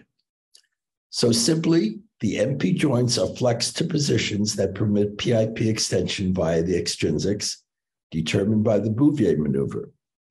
And at surgery, the volar plate is advanced approximately into the metacarpal head. So here's an 18 year old female with Charcot-Marie tooth disease who had severe clawing, and it only required blocking her MP extension slightly for her to actively extend her interphalangeal joints. Planning for a volar plate capsulodesis is not a difficult procedure. Based on the preoperative examination, we want to stabilize the MP joints, maybe a few degrees more than that test showed, uh, and with a goniometer during surgery, determine that degree and pin the MP joints in that flex position. The membranous portions of the plates are then elevated and sutured into necks, and suture anchors work just fine. So here's the preoperative picture and the postoperative picture, which looks pretty good. Remember, chronic clawing results in attenuation of central tendons. And when the when the Bouvier maneuver requires the MP joint have to be blocked more than 40 or 45 degrees or even more, then a Zancoli procedure is not effective. It can be effective, but you're producing a, a flexion contraction of the MP joints, which is another problem. Uh, th this talk is in a very extended uh, version on the uh, ASH uh, hand site and we'll discuss what you do if if a capsule a Zancoli procedure would not be indicated. And I discuss intrinsic transfers, but I don't have time in this morning's lecture to do that. Uh, Dr. Nellans covered this uh, procedure, this injury very well of a mallet finger. And there are two mechanisms of injury: an axial force on the tip of the finger where you get flexion and you get injury to the terminal extensor tendon with or without an avulsion fracture, or it could also be due to DIP hyperextension, where you get a, an impaction fracture at the base of the distal phalanx. There are a number of different classifications. Uh, I like the Tubiana classification of 1986 because it, it helps me in determining what to do. Uh, type 1 is a tendon rupture. Type 2 and 3 are fractures, avulsion fractures with or without subluxation. And as Dr. Nellans pointed out, it's not important to determine the size of the fracture fragment. Naturally, the bigger the fracture, the more likely the subluxation, but that's not always true. And type 4 is the epiphyseal plate fracture. For type 1 injuries, which are the most common, all you need to do is splint the DIP joint. It's unnecessary to split the PIP joint. Uh, and I would caution you to, not to use the froggy splints because they, they consist of, of uh, these aluminum tabs being pushed against the finger. And I've seen a number of patients with skin necrosis. The splint can be dorsal, volar, or a commercial splint like the stack splint, which is a combination of dorsal and volar. Uh, my preference, I like dorsal splits. They interfere less with use of the hand, and they're easy to change while maintaining extension of the joint. Naturally, when you want to change the splint or want to cleanse the dorsal of the skin, you can't allow the DIP joint to flex, otherwise you're starting from day one. With, the, with a bony avulsion fracture, the question is, is there subluxation or not? Uh, and if there is subluxation, then these should be treated, as Dr. Nellans pointed out. The swan neck deformity is a description, not a diagnosis, of PIP hyperextension and DIP flexion, which resembles the neck of a swan. It can be normal in some loose jointed individuals who are able to contract their intrinsics without contracting their extrinsics. There are many etiologies of swan neck deformities. It could be due to intrinsic muscle contractures, as in an inflammatory arthritis, a volar instability of a PIP joint, in Ehlers-Danlos syndrome, in CP spasticity in the stroke hand, and other diagnoses as well.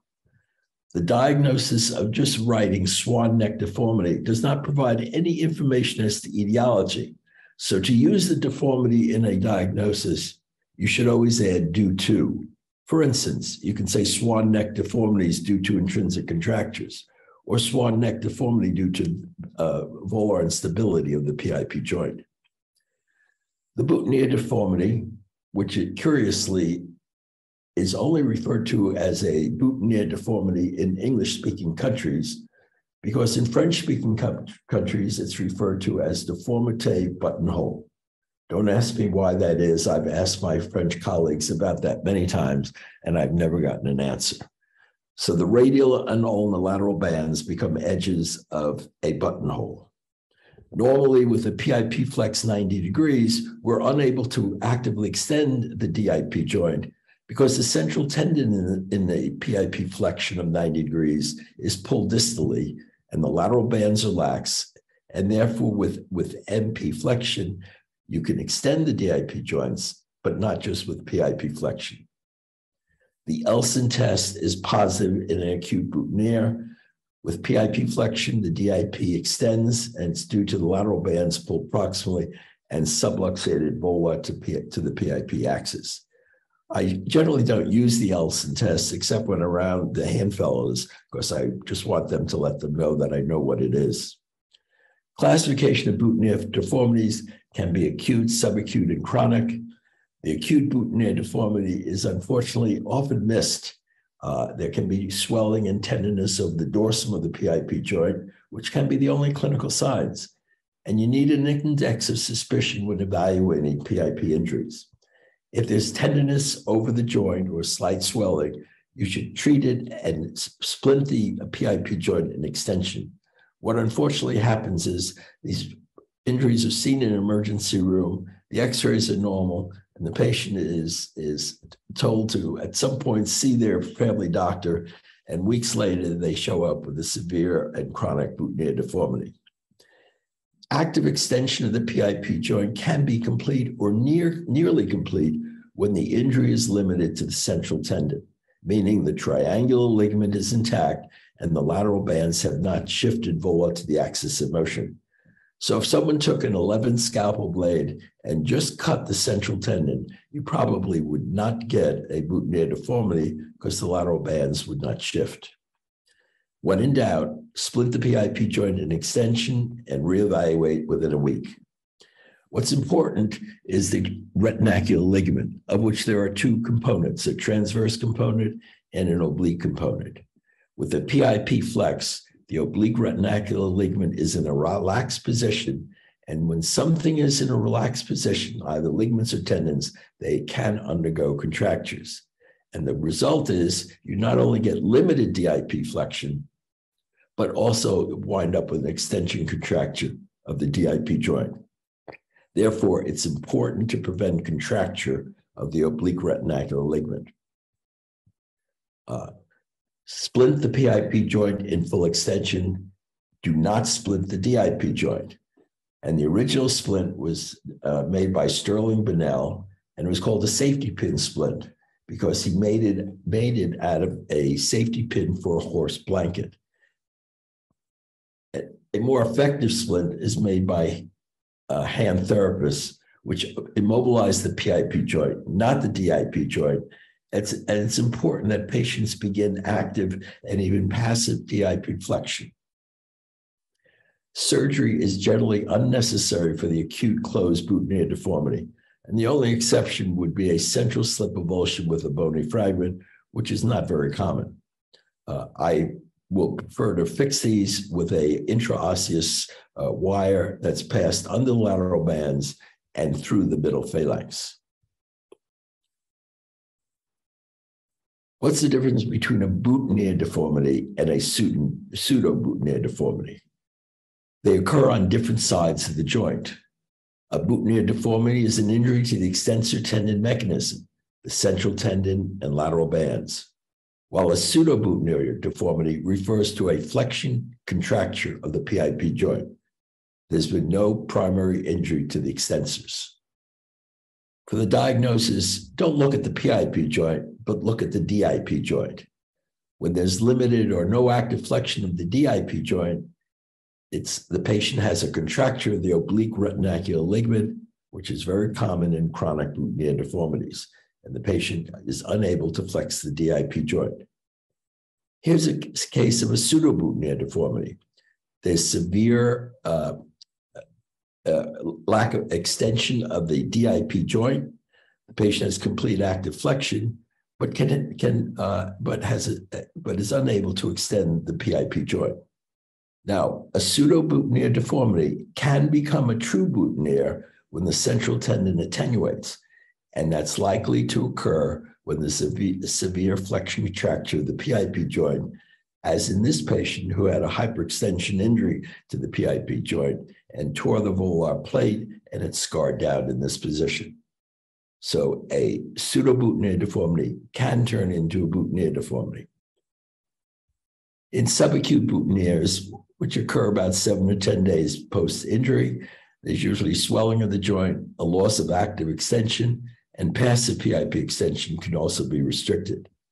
Use an extension splint for five or six weeks. Start them on exercising immediately for the DIP joint. And this patient did well, regained full PIP and DIP flexion, but had a slight loss of PIP extension, which wasn't severe enough to warrant surgery. When passive PIP uh, extension is restricted, you could use serial casts that are changed weekly similarly to what you would do with a child with a club foot. And this patient had a, a total of six serial casts uh, and then had therapy and got a very good return of motion with only a slight deficit in PIP extension. A chronic boutonniere deformity, uh, the indications for surgery are you need supple, soft tissues, excellent passive mobility, and critically important, you need a cooperative patient. There are numerous surgical techniques that uh, have been uh, published, and they all involve relocating the lateral bands dorsal to the axis of motion of the PIP joint. Uh, I'm a firm believer uh, in operations to keep it simple. Use a curved incision over the PIP joint, better than a bayonet incision, because generally you don't want to make incisions where tendons will glide. And the apex of the uh, incision is at the mid-axial point on either side of the joint. You want to bring the lateral bands dorsal to the axis of motion. You want to suture them together, reforming the triangular ligament using one or two five oh or six oh nylons.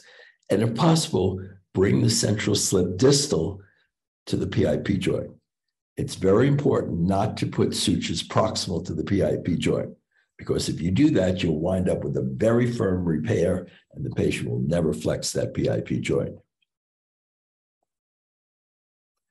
A chronic stiff boutonniere deformity is one of the most difficult problems in hand surgery. It's actually two problems. It begins with the incompetent extensor mechanism, and then you have secondary PIP and DIP joint and a contracture of the oblique retinacular ligament. Do not try to reconstruct the extensor tendon when PIP and DIP joints are stiff. Doing capsulectomies and an extended extensor tendon reconstruction at the same operation will change a stiff flex finger into a stiff extended finger. The first objective is to try to treat the PIP and DIP joints non-operatively. Try to reduce the problem to just the extensor tendon injury using non-operative methods for the joint contractures. Dynamic splints are generally not effective because there's an insufficient extension force. Static progression, progressive extension splints exert more force, but usually not sufficient to have, result in any improvement. And serial casts exert even greater force, and they can be effective if the joint stiffness is not rigid. When non-operative measures fail to restore passive joint motions, surgery can be considered but it requires a two-stage procedure. You have to do capsulectomies of the PIP and DIP joints. You got to release the oblique retinacular ligament. And then stage two is reconstruct the central tendon. This requires an incredibly well motivated patient who will exercise effectively to regain active flexion after stage one, and also to maintain passive PIP and DIP joints prior to stage two. And usually both flexion and extension dynamic and static progressive splints are required. Two stage reconstructions are rarely indicated and rarely successful. I've done it only twice in my career with not the greatest results because the interval between stage one and stage two is easily six months or more, and the overall recovery is generally more than a year. Alternative procedure to a two stage reconstruction is a PIP fusion. Thank you very much. I'd like to now introduce our next speaker, uh, Dr. Kim, who's going to talk about flexor tendon injuries. Thank you very much. Um, let me share the screen. And uh, I thank Dr. Gilbert for having me follow Dr. Posner after that talk. I don't know if you guys know, but that talk is very famous talk that he gives almost uh, every every uh, uh, every one of these uh, meetings. Can always learn something from it every year. Let me see. Do you guys see my um, slides? Yes. And uh, you guys hear me? Okay, great. So, hi everybody. Thank you very much for having me. Um, I was asked to do a presentation on flexor tendon injuries. Uh, this is a well discussed and well studied topic due to the fact that it's a high yield question on self assessment and OITE. But as you know, the ability to perform a flexor tendon repair is what one of the things that distinguishes a hand surgeon from other um, subspecialties. But I want to take a little bit different approach as, as opposed to coming from a student's perspective. I wanted to see uh, the surgeon's perspective on this. And and you know i want to see what i i want you guys to see what i see in the operating room and for residents and fellows you can kind of learn from that and then the the attendings that are more senior than i am you can kind of see what the junior guy is doing and maybe uh, help me out to become a better surgeon at repairing these. So let's just get uh, to the straight to the point. So this is a 25 year old female um, with a, a, a knife cut to the metal ring and small finger, complete loss of tenodesis effect, and both FDS and FDP are out. This is an acute injury um, and we're all surgeons and we can make this better. So we're gonna operate okay? And this is a good time to go into um, zone of injury. Let me just minimize this. Okay, great. So the zone one is distal to the FDS insertion. And this is the flexor tendon that has a, um, a separate classification, um, separate classification for FDP uh, injuries called the Leddy-Packer classification. It goes from one to five um, it's it's it's the type is a little bit weird. Type one is is is actually worse than type two and three, and then type four and type five are also very difficult to fix. Basically, type one is when it retracts to the palm, and that's the one that you have to repair very quickly, where it ruptures from all the vascular channels, and and goes through all this all the pulley sheath. Whereas type two and three are the ones that get stuck either at the uh, A4 pulley or at the at the level of the PIP joint because it has a bone fragment attached to it. Um, type, the zone two is what we're all familiar with, right? It goes from the proximal A1 to FDS insertion. And this is what's known as the no man's land because it's prone to adhesions and re-ruptures. And in the old days, they never used to fix these. Um, for the residents and fellows, please note that your A1 pulley is not at the digital palmar crease. It's actually at the at the level of the palm over your digital palmar crease. So it's much more proximal than you think. Zone three is distal transverse carpal ligament to proximal A1. This is where the, the lumbricals are. And if you read papers and textbooks and they say, hey, there's less scarring here, there's no sheath, it's an easier repair. Um, but I'm gonna I'm gonna kind of go through that with you. And then zone four, as you know, it's carpal tunnel. You know, you have to worry about the median nerve. And then zone five is typically what we consider the spaghetti wrist um, with a suicide attempts. So zone three, I just want to quickly go over. Um, as you can see, this is a zone three injury, which in my opinion is not easy. Here's why. Um, it's at the level of the palmar region, which we don't typically operate very often. And it houses the branching common digital nerves of the median and ulnar nerve. And it also has a um, superficial arch of the radial and ulnar um, arteries. These neurovascular structures are superficial to the to the to the tendon, so you have to dissect them out to get to where you need to go to repair these. So I think, in in my opinion, these are actually very difficult injuries to fix, and they do scar. I mean, you can see this big bulk of scar here on the palm. Um, so you can get significant amount of stiffness and adhesions. And when they move the finger, you can actually see the skin move with it. So this particular patient was very compliant and did well, but but it's not it's not as easy as uh, they make it sound. So um,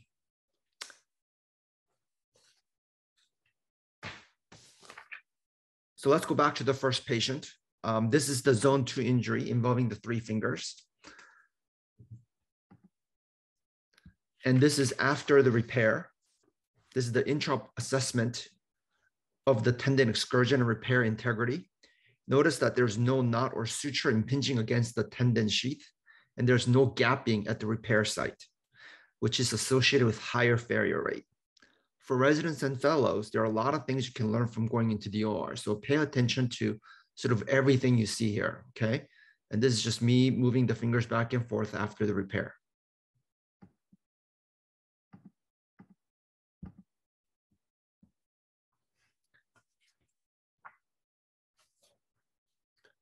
this is the still image of the same video.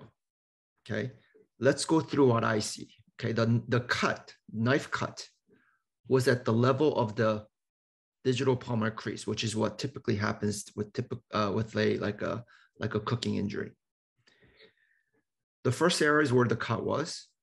The second uh, arrow is where the tendon is actually cut. Why is the tendon so much more distal than the site of trauma? Think about that for a second.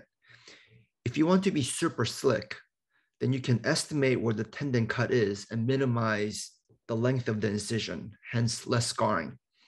In some cases, you don't have to reopen the healed site to identify the both ends of the, of the tendon. When you're designing your incision though, you have to make sure that you can incorporate the injured site if needed if you're not reopening the, the cut site.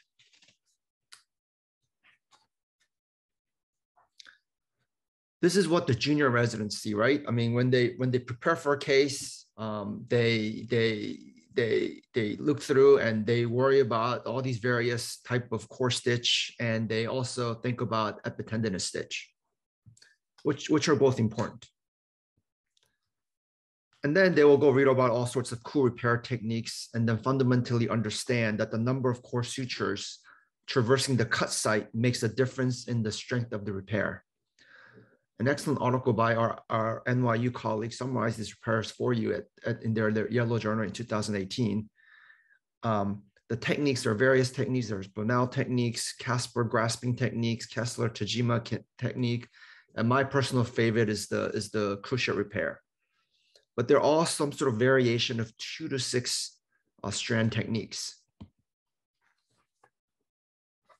So here's, these are some of the concepts that have been kind of beaten down to us, right? You have the number of suture strands crossing the site, suture material, um, in, in uh, incorporating the locking configuration, and then you add the epitendinous suture, which improves the strength by about 10 to 50%.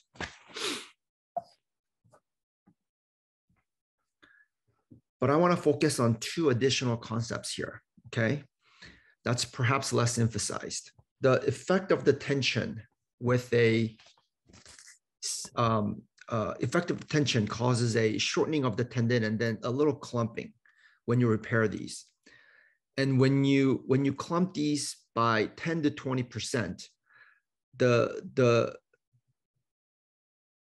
the amount of force that's required to gap the tendon when you start the range of motion goes by, goes up by about 100%.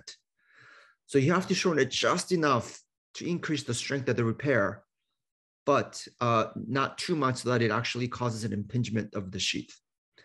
When I used to do these um, flexor tendon repairs when I was first starting out, I clumped them and I never had any uh, re-ruptures. And then I thought I was getting really good. And then I started making them without any uh, clumping and made it like perfectly straight. You could barely see the, uh, the repair site. You could barely see the sutures. And I actually ended up starting to get ruptures on my flexor tendons. So then I went back to clumping and then um, uh, uh, I went back to clumping and, and, and the ruptures have not happened again. So this is one of those things, one of the biggest advantages of WALANT procedure is that you can actually see the gapping as they actively flex the fingers. I also want to briefly mention that's perhaps less emphasized in this paper is that, and I think it's equally important, is that all mechanism of failure happens at the knot. And I emphasize this to the residents. Um, and most of them still ignore me anyway, but your knot has to be cinched down. You can put seven or eight knots there, but if it's loose knots, they will unwind over time, and that's the side of failure. Um, and it is the weakest point of your repair. So don't blame the patient. You know, don't blame the tendon. It's not the suture material. It's your knot that's actually causing it to rupture. So let's go back to the um, our our repair here, as you can see. So we talked about the locking cruciate and epitendinous stitch the slight clumping of the tendon, which, which helps with the strength of the repair and prevents that two millimeter gapping, which is known to uh, cause higher failure rate. We also got to talk about um, the purchase length of the tendon, which one side here, I think it's about one centimeter. This side is probably about half of that. But it, you really want to grab that healthy tendon away from the repair site. Based on this particular study, if you if you um,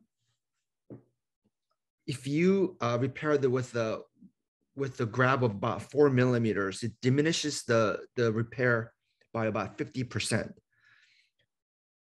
Sometimes this is somewhat limited by the curvature of your needle, but with practice, you can definitely grab it farther away from the from the from the cut site, which I think helps uh, dramatically with your strength of the repair. And then when you're thinking about where to place the knot, you want to go away from the pulley sheath, whether it's distal or proximal. As you move the finger, you have to kind of think, estimate where it's going to get caught, and you want that knot away from the from that particular pulley. So these are all the additional things that you have to think about repairing these.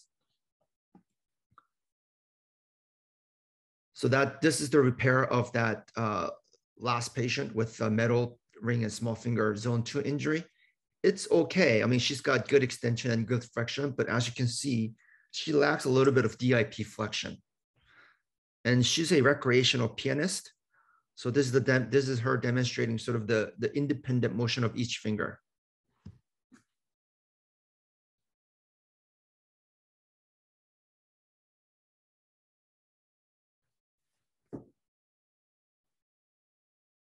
So pretty good, but I think I think we could probably do a little bit better job with this.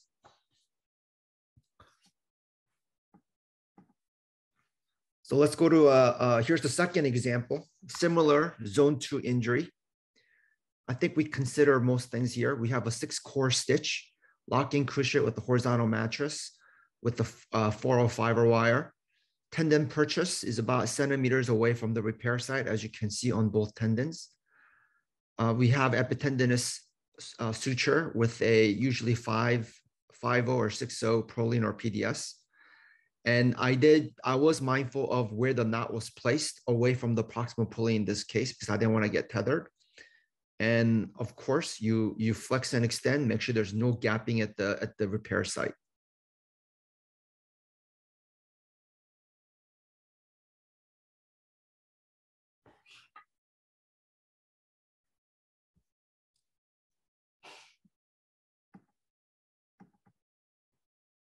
Okay. And this is that same patient.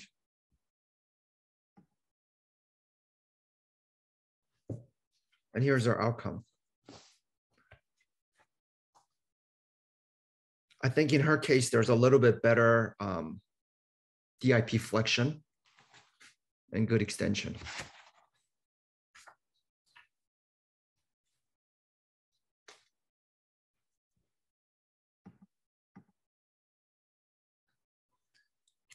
So we talked about a lot of things. So what did we not talk about so far?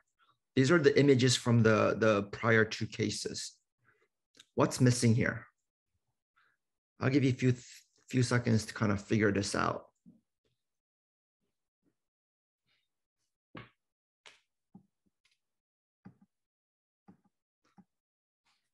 What's missing?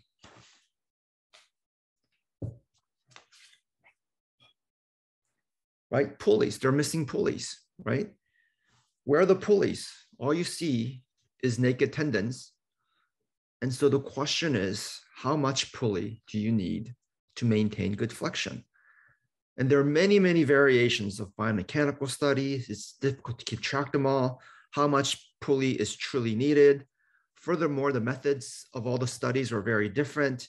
So it's really impossible to compare the two and understand what is actually clinically relevant.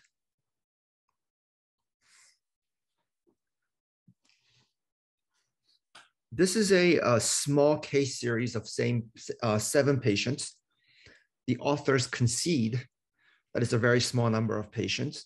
However, a lot of reviewers commended this paper on the detailed documentation of how much was cut and how well that they documented the post-operative evaluation. And they released the entire A2 pulley, right? A2 pulley is the most important pulley that we talk about. And the results of in, the releasing them all after tendon repair, the patients actually ended up getting mostly good to excellent outcome. There were two tenolysis that was performed, and um, and that's a little bit higher than than than than what's traditionally thought for these uh, acute repairs. But nonetheless, everybody, most of the patients ended up having good outcome here. Let's consider this example. Right, this is a brand new patient. FDP has been already repaired, as you can see here distally. Which pulley do you think are vented here? And I'll give you a few seconds to kind of think about that.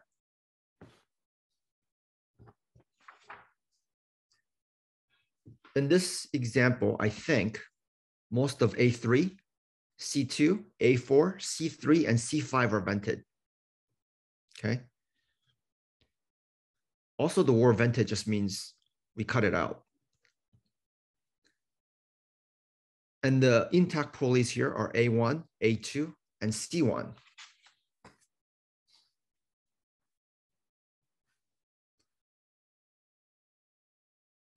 For the, for the junior residents, this will be a nice time to review the, the, the pulley order, right? You have the A1, A2, C1, and then you have A3, C2, A4, C3, and A5. Remember, don't trust everything you read pulleys are important, but you can cut them and still be okay. And by the way, this is the figure from Netter's anatomy. I always like to point this out, but as you can see, it has an incorrect information. And if for those of you guys who have the book, you guys should open this chase and figure out what, what's kind of wrong with this picture. So this study investigated um, biomechanics of FDP tendon in a cadaver. So we talked about A2 pulley, potentially okay to release. And then now we're going to talk about the A4 pulley, right? They cut the tendon, they repaired it. And then they sequentially cut, you know, either half of A, A4, all of A4, and then A4 plus additional sheath. And they found that the work of flexion compared to a baseline condition changed about 3% by rele releasing the A4 pulley. So not much. In fact, intact pulley actually had increased work of flexion due to the bulkiness of the repair. And if you look at the numbers in biomechanical studies, A4 pulley release does very little to the overall excursion.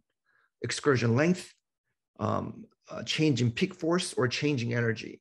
So in normal sort of setting, you have the FDP, which generates about 45 units of peak force. Tendon excursion is about three centimeters, and then the muscle generates about 1.3 joule of energy. Once you release the pulley completely, changing peak force is about one to two newtons out of 45 newtons, so very minimal. Change in excursion is about one to two millimeters, which is also much, which is also minimal compared to three centimeters. And then the amount of energy to flex that finger changes by about two to 18 millijoules. Again, once again, pretty negligible compared to uh, uh, based on a normal condition. So this is that same patient where I showed you uh, where we cut the pulley, and this is this is range of motion.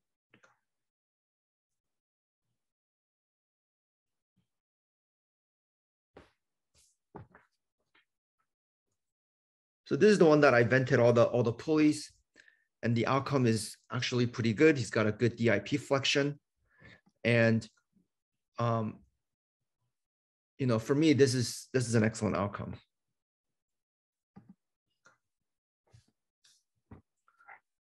In 2014, they had this flexor uh, tendon um, injury committee, uh, committee, and it's kind of a it's kind of a paper where it's like a more interview and response where the experts kind of gather together and they kind of tell them what they do. And almost everybody, except for one, and I won't say who, but except for one, everybody is very comfortable releasing up to two thirds of both A2 and A4 pulley, or all of A4 pulley if necessary. And none of them actually went back and repaired the pulleys after the tendon repair. So for me, after all that, my rule is vent the pulley when you have to and don't vent when you don't. So when it gets into the, the knot and it gets in the way of your good repair or impinges on the uh, uh, against the flexor sheath, then I have no problem cutting them out to get good excursion of the tendon and get a good repair of the flexor tendon. I want to just briefly talk about um, zone one injury because I think this is personally very difficult for me trying to get bone tendon interface to heal, I think is challenging. The pull-out suture um, with external button is one of the most popular ones. Um, and in many US, uh, many places in US still prefer this. I prefer the pull-out suture with the bone tunnel technique. Um, it doesn't require buttons, but you do get knots and you can get nail plate deformity. And it's kind of funny that this, this is the letter that uh, European fellows who were training in United States wrote to Journal of Hand Surgery, the European version of it, kind of making fun of United States for still using buttons to repair these. And they prefer this sort of transverse interosseous loop technique, or known as TILT. It's basically you put a 21 gauge uh, wire and then you put a suture through it and you weave the tendon repair and therefore you don't have to go through the, the dorsal side of the finger. And basically our, our, our friends from Rochester kind of compare all the techniques, including suture anchors, and found that uh, um, that there's really no difference in the ultimate load and work to failure in all techniques. So I haven't personally done that technique, but I'm certainly interested in doing it. I'm gonna stop there. I was gonna talk about two-stage reconstruction, but I think I'm out of time.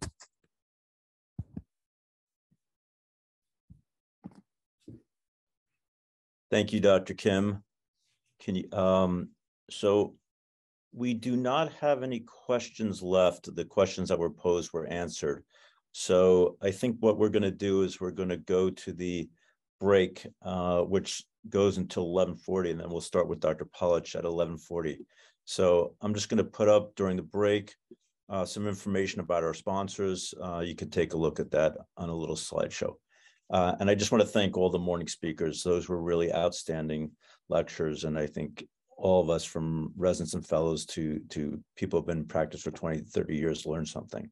So thank you.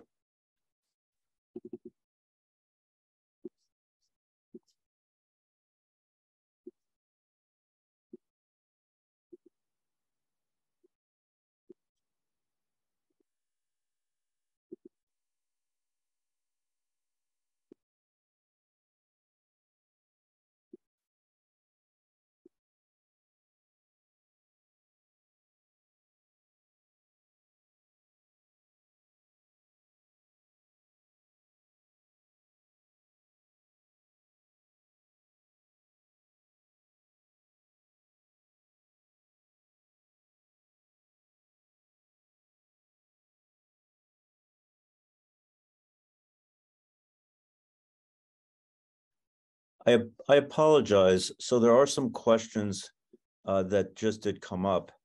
Uh, so I'm going to read them. Hopefully our, our panelists are still there. Uh, we have a lecture, a question for Dr. Kim. In zone two flexor tendons injuries, do you repair both the FDS and FDP tendon or only the FDP tendon?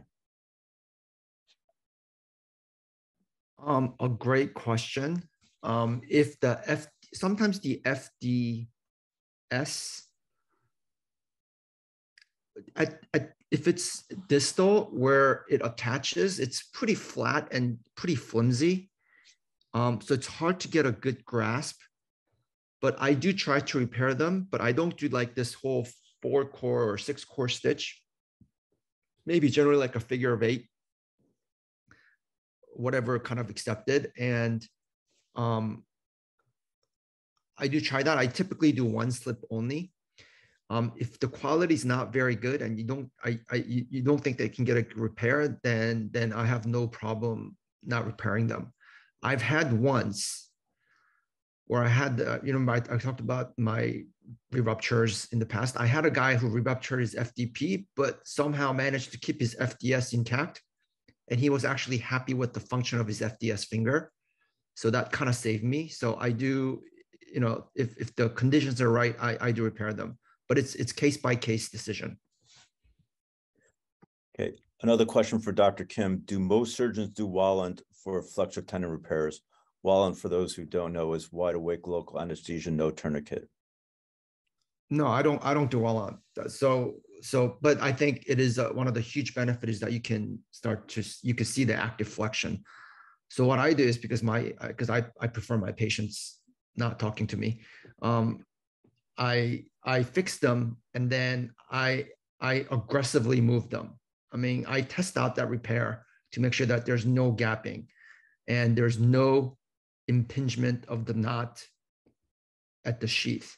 Um, and I then so I, I, I really do a very careful intraoperative assessment with the passive motion, and and for you know until now at least it's been my I think the the the outcome has been satisfactory. I'll just answer that for myself. It, it really depends upon what you're repairing, and obviously if you have multiple nerves and a vessel, but but for most flexor tendons now, if if the patient is if you think the patient could tolerate it, I do them under WALANT um, with a little sedation. That way you can see actively whether anything impinges and the gapping. Um, certainly you can evaluate that better with them actively pulling, but you have to have the right patient, obviously.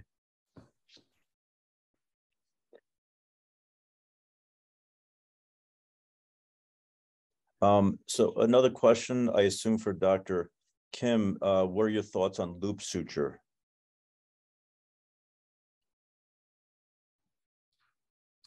What do you mean like loop sutures? You mean like a Supramid? I guess is what they're talking about. So I, am going to assume that's the case. So. Yeah. Yeah. So Supramid, yeah, I love them. Um, so I use four fiber wire. Um, loop sutures are totally fine to use. Um, and I think they're designed for flexor tendon repair. Um, I think it's I don't I don't think the suture material actually matters more so than not any more than your technique. So I personally like cruciate repair, but I lock each throw at the edge. So it's a lock, it's a completely locking construct. So then the problem, and then the question comes, well, then how do you sort of get that nice little that little clumping to prevent gapping?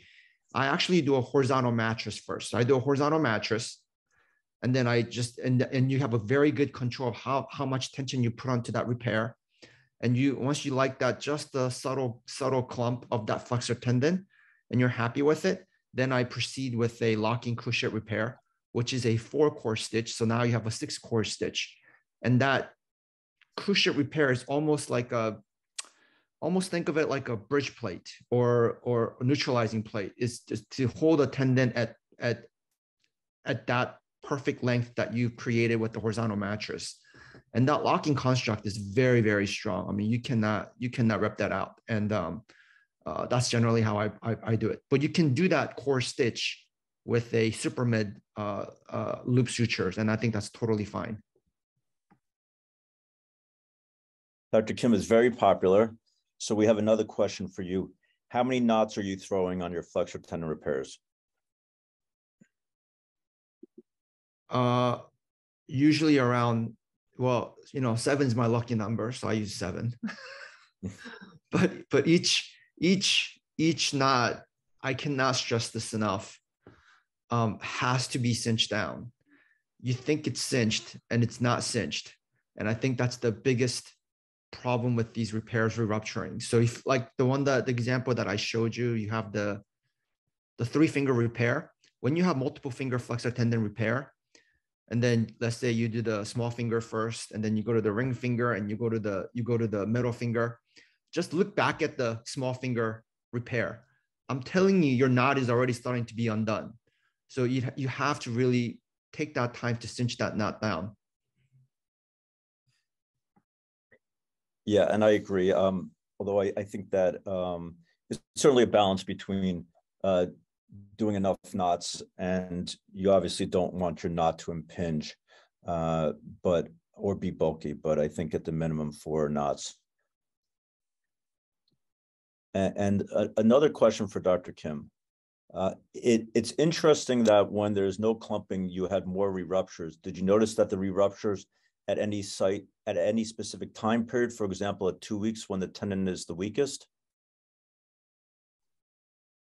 Uh, yeah, it's usually within two to four weeks.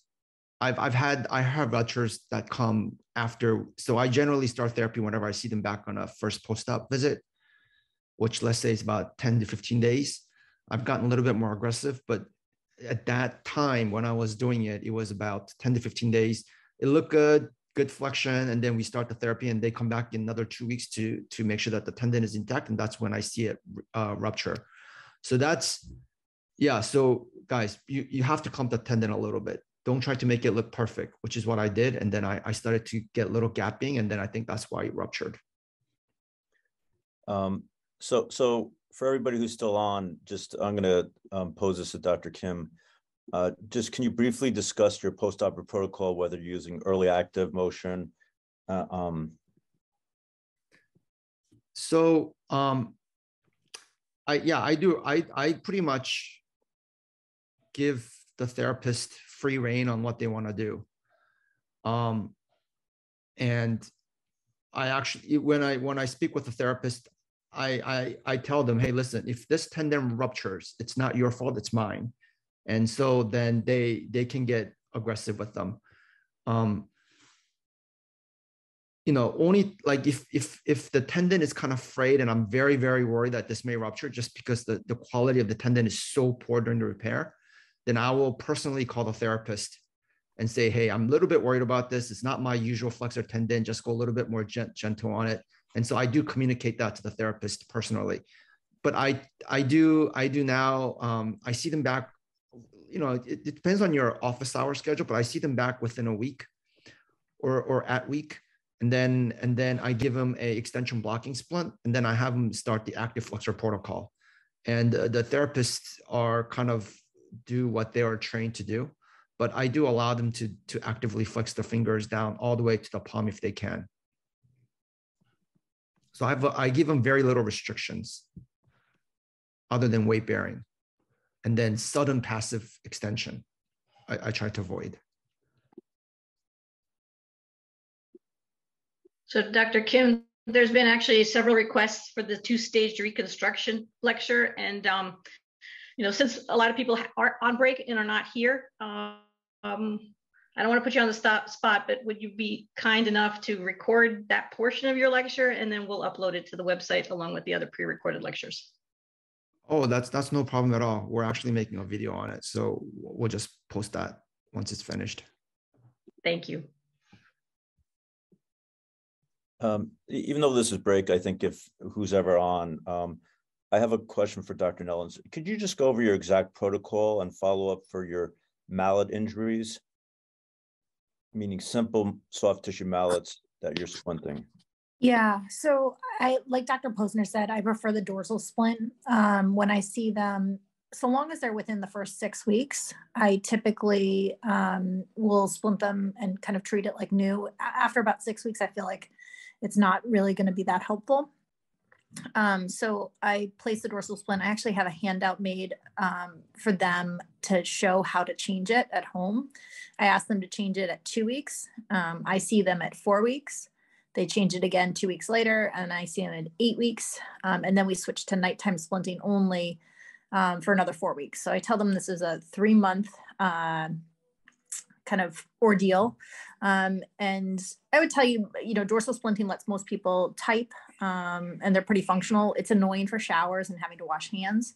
So I think my one kind of exception for the splinting is for healthcare workers or my orthopedic trauma partner who gave himself a mallet finger. Um, I'll put a 6'2 K longitudinal K wire in um, and leave that for eight weeks. I assume you cut the pin beneath the skin for those, correct?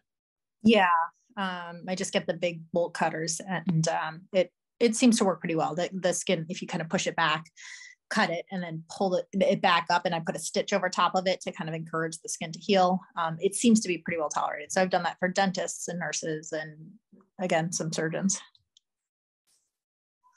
Six weeks versus eight weeks. Any thoughts from the panel? I go eight.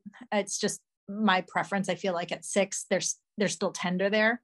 Maybe some kids, like if if it's just not how I see them back. So I usually don't see them at that six week mark. Whether they self DC their splint and start kind of using a little bit, I don't know.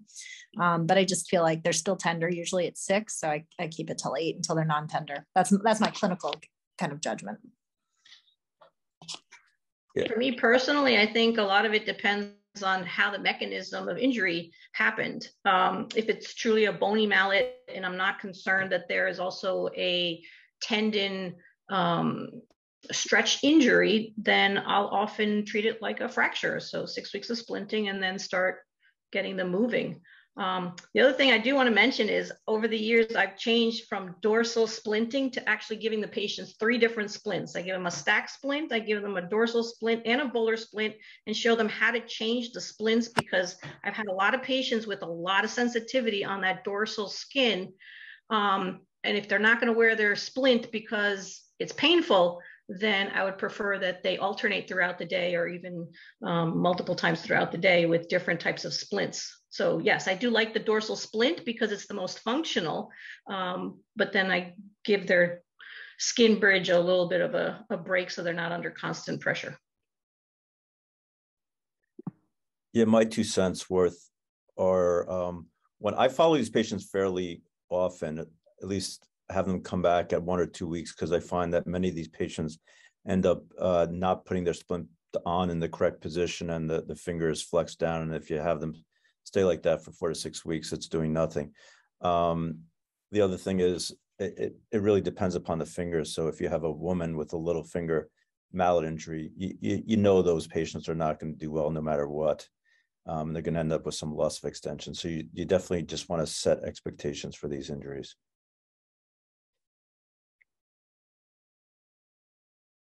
There's a question from the audience. Uh, how do you treat a soft tissue mallet that presents after six weeks? Maybe Dr. Posner can answer that. If he's still on.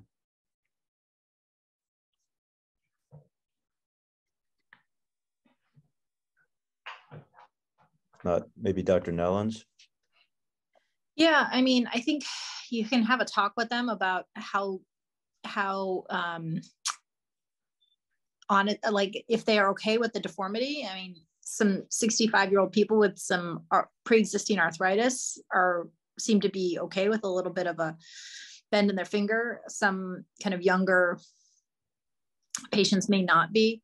Um, I think I explained what a dermatotenodesis might look like. Um, and it's very, it's doable.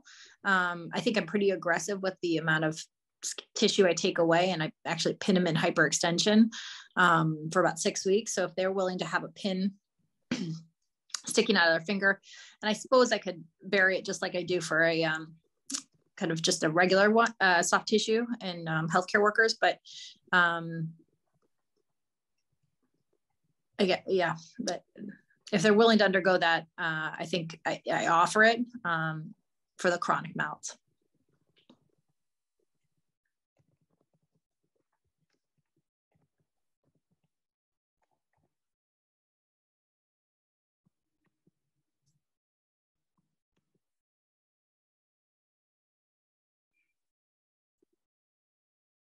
Okay, so I think um, the questions are done and we have about five minutes and then we'll restart um, uh, with Dr. Polatsch. Thank you, everybody. Thanks, Rich.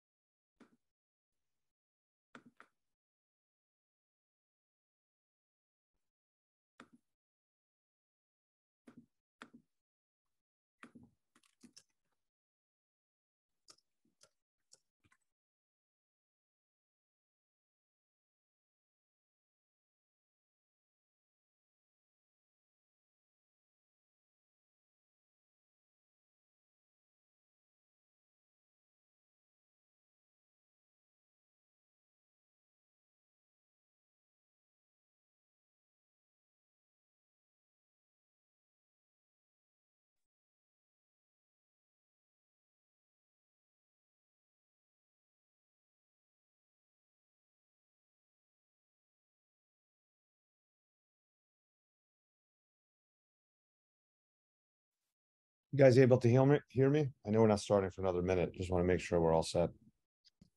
Yep. can hear you. And you can see my slide deck, Yep. although I don't think we call that anymore, slide deck. You can see your intro s- slide. Thank you. How you doing, Larry? I had Good, an how are you? intro slide to go before you, but that's okay. Feel free to jump in. No, because you have to then unshare, but then reshare again. It's, it's fine.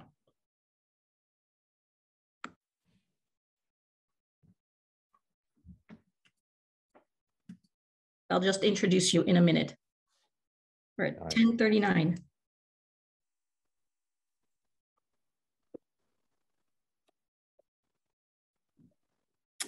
Okay, 10:40 a.m. Welcome back, everyone, again. Um, Thank you again to our sponsors for uh, supplementing our ability to offer this course uh, free for everyone online and- and uh, pre-recorded lectures. And um, we'll go straight to the next lecture. The esteemed Dr. Polatsch, our former president, who will be discussing fingertip injuries. Thank you, Renata. Uh, my name is Dan Polatsch. I'm the co-director of the New York Hand and Wrist Center of Lenox Hill. And uh, I'm going to be talking today about fingertip injuries. I have no relevant disclosures, except that I will be on time so I don't miss that much of the Michigan-Indiana football game.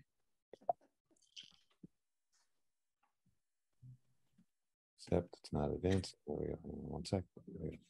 So fingertip injuries are the uh, one of the most common injuries of the hand typically in older children and young adults, men much more than women, with the middle finger most commonly affected. Over 30,000 injuries per year seen in the emergency room, with half of these involving um, a finger fracture.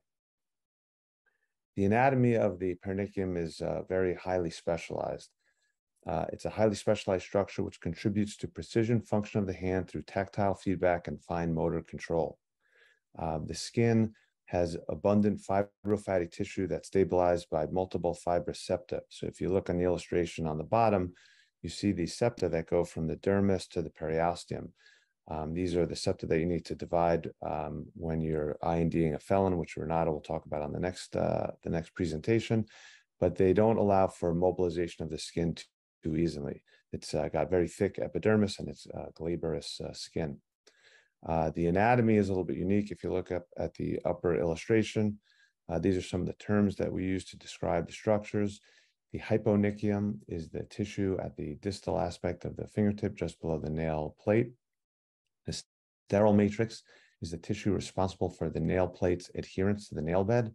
The germinal matrix is responsible for the nail plate's growth and where the nail comes from. The eponychial fold is the skin tissue that um, comes out distally over the dorsum of the fingertip that rests on the proximal aspect of the nail plate. The lunula is the moon-shaped uh, white structure at the base of the nail plate.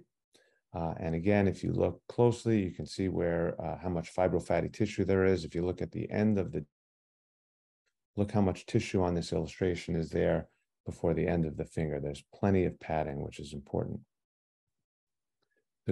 Goals of treatment are to have a painless fingertip, durable sensate skin. You want a well padded fingertip. You want to maintain length whenever possible, in particular on the thumb. You want to preserve the nail bed and the nail plate, and ideally early range of motion and a good cosmetic result is ideal.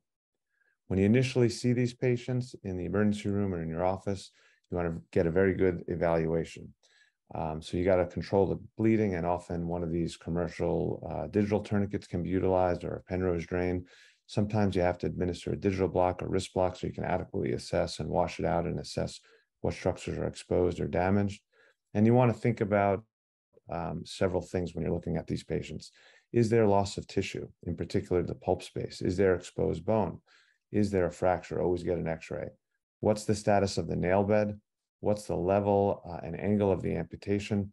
And then the thumb has uh, certain uh, factors that are uh, most important to treat. And then what about the patient-specific factors, their age, any comorbidities, what's their uh, work status, uh, do they need to get back to work right away, things like this.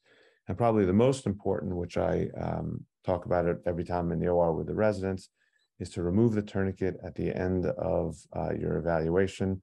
This is from 2019, a teenager uh, cricket player who had a thumb distal phalanx injury uh, under a long-lasting digital block, went home that weekend complaining of pain, called, they gave pain medicine, said come in on, on Monday, and when she came in, uh, she had a dead finger. Um, so that should never happen. Always, always, always remove the tourniquet. The classic uh, classification for fingertip injuries by Rosenthal describes it whether there is exposed bone. Zone one, no exposed bone. Zone two, there is exposed bone, but there's enough distal phalanx that you could preserve length and you wouldn't have a hook nail. Zone three, it's at the level of the lunula or more proximal. And in general, those more typical of doing a shortening or revision amputation. And then we have a descriptive classification. The descriptive classification is just where the soft tissue loss is. So on the top illustration, that's a dorsal oblique amputation with more dorsal loss than volar loss. Uh, the bottom one is a volar oblique amputation. And you can have a combination, volar ulnar oblique, and it's very good for um, uh, describing these over the phone or to whoever's on call. So if there's no exposed bone, uh, obviously you can just suture the wound if it's something that's suturable, uh, but often uh, there's not a lot, lot, of mobile dermis, so it's uh, very hard to advance the tissue. And uh, I always see these patients come in where someone hogged it together with 2O nylon, not really the great, great way to do it. Um, if there is a wound that's less than a centimeter by a centimeter, um, no exposed bone, you can let this heal by secondary intention multiple different ways to treat it with dressing changes, but in general, universally, patients have an excellent result. Uh, if it's more than a centimeter by a centimeter, you can also do it with dressing changes. It just takes uh, longer, um, but also has an excellent result. Um, some people feel that skin grafting these or using acellular dermal matrix uh, is better because you get um, prompt coverage. Uh, the grafts can be used from the hypothenar eminence, the palm, the amputated part, the wrist, uh, and we'll see some example of, that in the, uh, later on in the talk. Uh, the benefit of uh, covering it is you get immediate coverage, but you do need to immobilize it to prevent shearing. Uh, people are often left with cold intolerance and diminished sensation. When there is uh, bone exposed, exposed the best treatment is always controversial. And it depends on who you talk to and how they, what their training level is. So obviously you can do a revision amputation if it's shortened. Um, if you can try uh, reattaching the amputated part, uh, not a microvascular reattachment, but someone who's got bone, uh, soft tissue, fat, skin. You can try a non-vascular composite graft, and surprisingly, a large percent of these can take, or at least partially take, uh, and if, if nothing else, it can be a biologic dressing. And the typical factors that make it more likely um, to take are uh, younger age, non-smokers, non-diabetics, et cetera.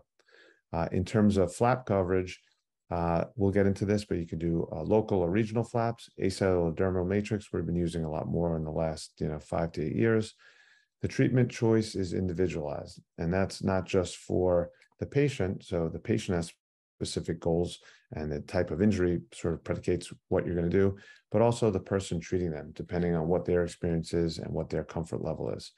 And then what about the timing of these? So uh, 20 years ago, when we were first in practice, uh, some people were doing this in the middle of the night. Uh, we've clearly proven that you don't need to do this uh, in the middle of the night. Having a little bit of bone exposed, you can wash it out, put a little Xeroform on it, and see it in the clinic and put it on the next uh, OR day. Uh, we looked at this and presented it in 2012 with 32 digits, all with exposed bone, various flaps. The average time from injury to uh, flap coverage was eight days. None of them got infected. Um, so this is something that you can easily send out. So in general, if there's sufficient nail matrix that remains to provide a stable and adherent nail plate, then consider a local advancement flap. Um, so that's the simplest and most easy one uh, to do. If the angle of the amputation does not permit a local advancement flap, so that's a volar oblique soft tissue loss, then consider a regional flap. That's sort of the next complicated procedure. And if the amputation is more proximal, or the patient is a poor candidate or needs to get back to work very quickly, consider uh, revision, amputation, and shortening.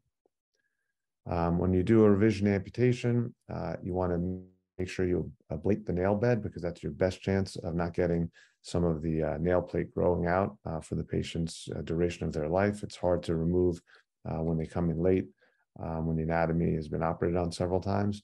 You want to shorten and bury the digital nerves so they don't get a neuroma. If there's uh, abundant skin, you'd like to advance the volar skin over the tip of the finger because that's glabrous and it has more padding than the dorsal skin, and never advance the profundus uh, over the bone because you can end up with a quadriga effect. When I was in high school, Ronnie Lott was a super well-known uh, receiver for the 49ers, and he had an amputation of his small finger. And they said, we can reattach it, but you'll be out for the remainder of the season, or we can throw it in the bucket and you can get back there uh, and play. And obviously that's why that's what he did. Now let's talk about uh, local flaps. So these are uh, ideal when you can perform them. They preserve length. Skin grafting is not necessary. It's similar tissue that you're covering the defect with. And typically you can end up with normal uh, sensory uh, end uh, organs. So you have normal sensation. And the classic one is the Atasoy, which is a volar uh, advancement flap, the Kutler, less commonly used, which is a lateral, and the Moberg, which is for the thumb. If we look at the illustration on the left, that's the Atasoy. It's a uh, triangular shaped flap based at the DIP flexion crease. You want to divide those fibrous septa that we spoke about in the second or third slide and you're basically uh, hinging this on the neurovascular bundles radially and ulnarly, and you can advance it, sew it to the uh, nail plate or nail bed, and convert the V to a Y. Here's a clinical example of a transverse amputation with exposed bone, uh, V converted to Y, and here's the uh, clinical result, which is uh, quite good. If you can't do a local advancement flap, now you have to start thinking about regional flaps. So these are derived from tissue not immediately adjacent to the defect or the amputation part. Uh, these are primarily for volar oblique amputations. These are ideal because they preserve length. However, they do often require two stages. And so older patients, you get worried about stiffness and they're in general a insensate graft, but yet for some reason, people do get pretty good sensation for them. The cross finger flap uh, is a random pattern flap based uh, over the dorsal aspect of the middle phalanx of an adjacent digit. You can skin graft the donor side or use the dermal matrix. Um, and this works quite well. However, often there is a color mismatch, in particular with patients with dark skin. So here's an example of someone with a volar oblique amputation of the middle finger. A uh, cross finger flap was uh, placed with skin grafting uh, over the donor site. The skin was taken from the uh, dorsal aspect of the index finger. And here, patient has an excellent uh, functional result, but you can see cosmetically uh, the discoloration in the skin, which is typical of the cross finger flap. The reverse cross finger flap uh, is similar, typically was used for dorsal uh, exposure of tendon or bone, where you would sort of open book the skin and then secondly, open book the uh, subcutaneous tissue and then skin graft it. But this has largely been replaced with uh, the acellular dermal matrix. You don't need to do that anymore. Um, the thenar flap I love. It's a random pattern flap. You got to be careful of the radial digital nerve. Much, uh, much more difficult to do this on the ring and the small finger. Uh, again, you have to worry about PIP joint stiffness. There's generally not a donor defect because most of us do this H flap, which you can see illustrated on the right. When you divide it, you can advance the proximal flap distally and the distal flap proximally to cover the, the donor site.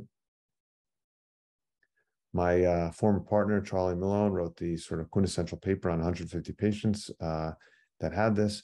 The three guiding principles were designing the flap near the MP uh, flexion crease of the thumb, fully flex the MP and the DIP joint of the affected finger so you minimize maximum flexion of the PIP joint um, during the immobilization period, and then divide at uh, about two weeks. And surprisingly, had an excellent uh, uh, clinical result and actually their sensation in that study was seven millimeters, which has been actually proven by one of our studies, in addition to multiple other additional studies, which doesn't make a lot of sense how they get such good two point, uh, but they do. Here's an example, sorry, of a transverse amputation with exposed bone. This is prior to dividing the graft two weeks later. Here's the patient at around five or six weeks with an excellent cosmetic result um, with uh, minimal stiffness. On the donor side, you can see the H graft at the base of the thumb about six years ago, this uh, young woman came into my office with two volar oblique amputations with exposed bone. Um, and so this requires a little bit of, you know, talk to the patient, see what's best for her. Do you do one thenar flap, one cross finger flap, two cross finger flaps? Um, I decided to do a double thenar flap. Um, had never uh, heard of doing one of these, but I know how vascular they are. The, the skin, I wasn't really worried about the skin not surviving. Uh, this is prior to division. Um, I actually had to take uh, some skin from the palm to uh, skin graft proximal to the middle finger because there was uh, more tissue loss there. And here she is at a year with an outstanding uh, clinical result, uh, which we published in 2017 Journal Hand Surgery. Uh, the next sort of complicated uh, flap is a reverse homodigital island flap. I don't really do these. This is based on the fact that digits have built-in arterial redundancy. The flap is derived by dividing the proper digital artery proximally. You leave the nerve alone. It pivots around the transverse arch. And uh, the, the boards and the in-training and self-assessments love asking what the most common complication of this is. And it's a flap loss because you're pivoting the flap, um, the pivot point about 180 degrees. Here's a flap being uh, mobilized before it's rotated in. And here's a, an example now, or an old example of one being rotated into place. Most people now would do um, cellular dermal matrix for this. Um, let's talk about the thumb. Similar principles, but even more important to preserve length and sensibility. Uh, small tissue loss can be treated similar to the other digits with local advancement flaps, uh, dressing changes, skin grafting. Uh, however, uh, the thumb has a unique dorsal skin arterial supply, uh, which allows us to do this Moberg flap. So the, the dorsal skin is provided by its own blood supply. However, in the index through little finger, the dorsal skin gets its blood supply from the proper digital artery. So if you were to do these bilateral mid-axial incisions, uh, you could necrose the dorsal skin. So you can't do this in those digits. Um, basically, you advance the flap with the neurovascular pedicles. You can advance it about two and a half centimeters by flexing the IP joint. You can even make a cutback at the uh, volar aspect of the MP flexion crease. Uh, and this is ideal because it's a thumb, you need sensation, and this is sensate skin. Here's one from a few years ago, amputated transverse thumb with uh, exposed bone. Um, this is after flexing the IP joint. This was a little bit of an older woman. Here she is at nine weeks. Excellent cosmetic result. Had a little bit of IP arthritis, uh, which required a fair amount of therapy to get back, uh, you know, close to full extension of her IP joint. Um, if the wound is bigger than that and you don't think you can cover it with a Moberg, you can do a first dorsal metacarpal artery island flap. Uh, this is a pedicle flap based on the dorsal uh, radial artery branch and one of the radial sensory nerve branches. Uh, again, you can uh, skin graft or uh, dermal matrix the donor site, um, and it, it works quite well, but it does uh, require cortical reintegration. Um, so not as good for older patients uh, because it's uh, their sensation is it's it's their they do get sensation, but it's it's not the same. And uh, finally, for the thumb and neurovascular island pedicle flap, uh, similar. It's based on the ulnar neurovascular bundle, the artery and the nerve to either the middle or the um, ring finger, and you can tunnel it either under the sort of thenar area or make an incision. Um, here's an example of one harvested from the ulnar aspect of the middle finger, uh, sewn in place, and the donor site uh, uh, skin grafted. Um, a special uh, two slides for kids with amputations. Um, every every time I give this talk, there's always another uh, stroller that gets recalled. This one was actually just from a month ago. 14,000 baby strollers um, uh, recalled because um, one or two kids put their fingers in one of the locking mechanisms and had uh, had an amputation. Um, if it's uh, less, if the child is less than three, definitely reattach the composite um, uh, amputated part, they have a very high chance of um, it taking uh, because of their age. Three to eight, you can uh, also use composite graft or defat and use as a graft. Older than eight, treat it similar to an adult. And in very small kids, even a small amount of um, exposed bone actually do quite well. A recent study also in the last few years want us to be alert that um, these injuries could be a sign of abuse and neglect, especially if it's been repeated uh, fingertip injuries in kids less than 12. So be aware of this. Uh, they found a higher incidence of this in patients with Medicaid, uh, white race, and behavioral disorders such as ADHD, autism, depression, and aggressive behavior. So be alert for that. Uh, we discussed dermal substitutes, uh, which have very promising results. Um, these are glycosaminoglycan uh, uh, matrix with a silicone sort of bilayer on top. Uh, it was initially utilized for burn and tumor patients. Um, it can be applied directly to exposed bone, uh, tendon, and joint, and it basically functions as an artificial scaffolding for new dermis that grows in and new epidermis. So smaller wounds, you don't even need to skin graft, they can grow in from the side.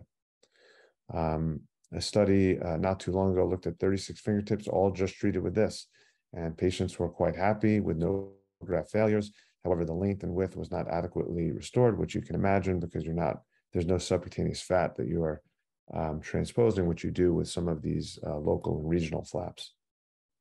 Uh, people are using this for things such as syndactyly. Chuck Goldfarb is doing this with excellent results. underneath the skin graft.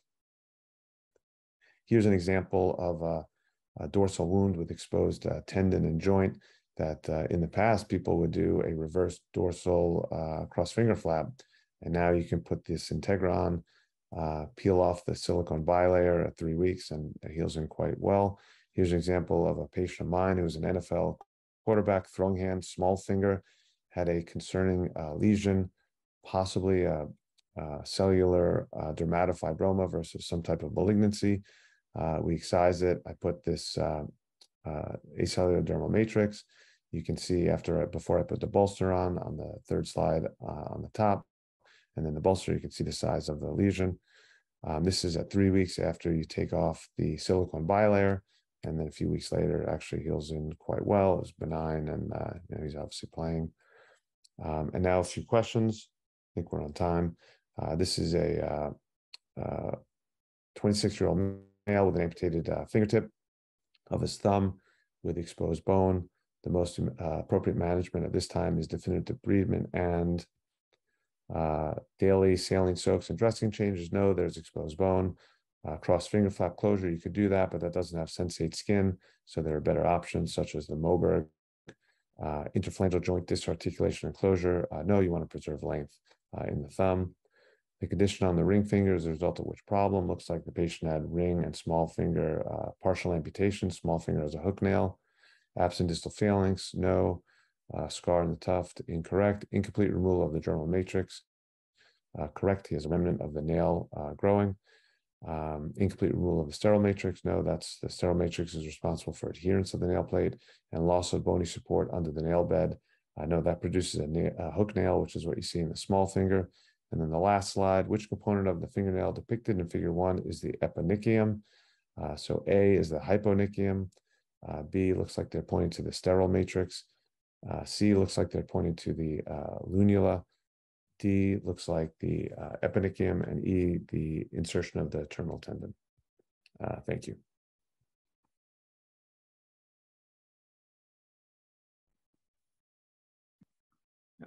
Okay, so now that Dan has logged off, I'll be logging on.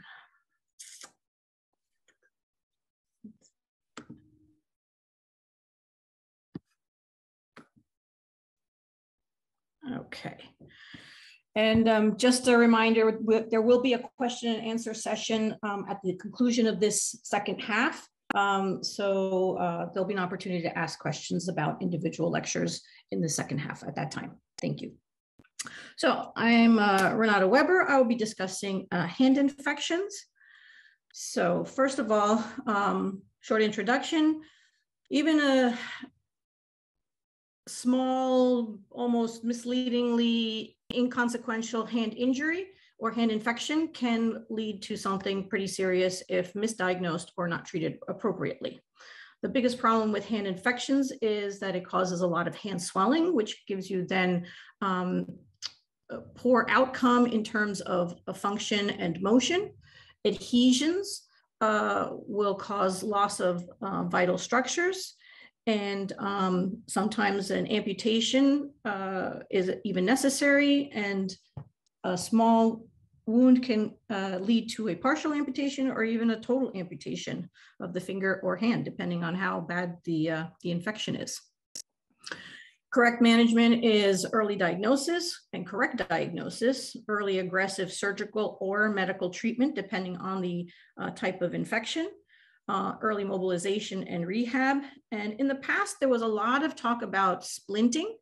Um, however, this is um, not as commonly used anymore as it was in the past. Although there may be some uh, occasions where you do need to splint, at least temporarily. The pathophysiology of hand infections, uh, it's usually a direct penetration, a direct penetration of the skin, although you can have hematogenous spread um, in somebody who is uh, septic and bacteria is circulating in the bloodstream and then it seeds the uh, skin or um, joints. Um, the most common hematogenous spread I've seen is from people with previous MRSA infections, which then develop spontaneous abscesses in their soft tissue, or uh, as mentioned before, um, septic joints. Uh, the local tissue becomes edematous, which then impair, impairs the circulation, and you can get microvascular thrombosis and ischemia, and um, abscesses can form. The most typical bacteria is going to be your staph, and there is a lot of MRSA now in the community, which uh, was not the case 15, 20 years ago. Streptococcus is another common bacteria, but you also have to be mindful of less common bacterias uh, from the GI, uh, TB, anaerobics, Pasteurella specifically from uh, animal bites, and Eikenella from uh, human bites. And um, additional unusual presentations can be from viral, fungal, and spirochetes. Pre-treatment evaluation, sometimes uh, x-ray is always uh, necessary. However, MRI, CT scan, ultrasound may add some additional information depending on the type of uh, infection you have. Uh, lab tests, CBC for sure is useful. Uh, I personally don't use the ESR and CRP that much unless I'm dealing with a chronic infection or something that's just not following a typical uh, bacterial infection straightforward case. Uh, as mentioned before, principles of treatment are going to be early decompression if you have an abscess, warm soaks, either with betadine or with liquid soap.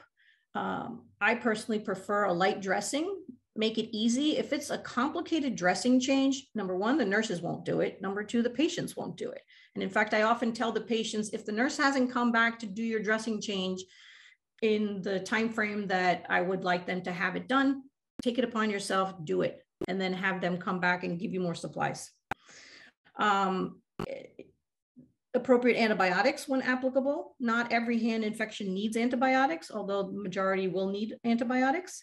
And then again, splinting in some occasions when you have a lot of swelling to the hand or a lot of pain, splinting may be useful. Um, however, early mobilization and getting them into OT is probably more important than splinting. Uh, there's different types of hand infections from a most superficial cellulitis, a skin infection to deeper infections and uh, tenosynovitis specifically will be discussed later as it's uh, by Dr. Grossman. Um, and I'm going to mostly focus on the first three, cellulitis, paronychia, eponychia, and uh, felon.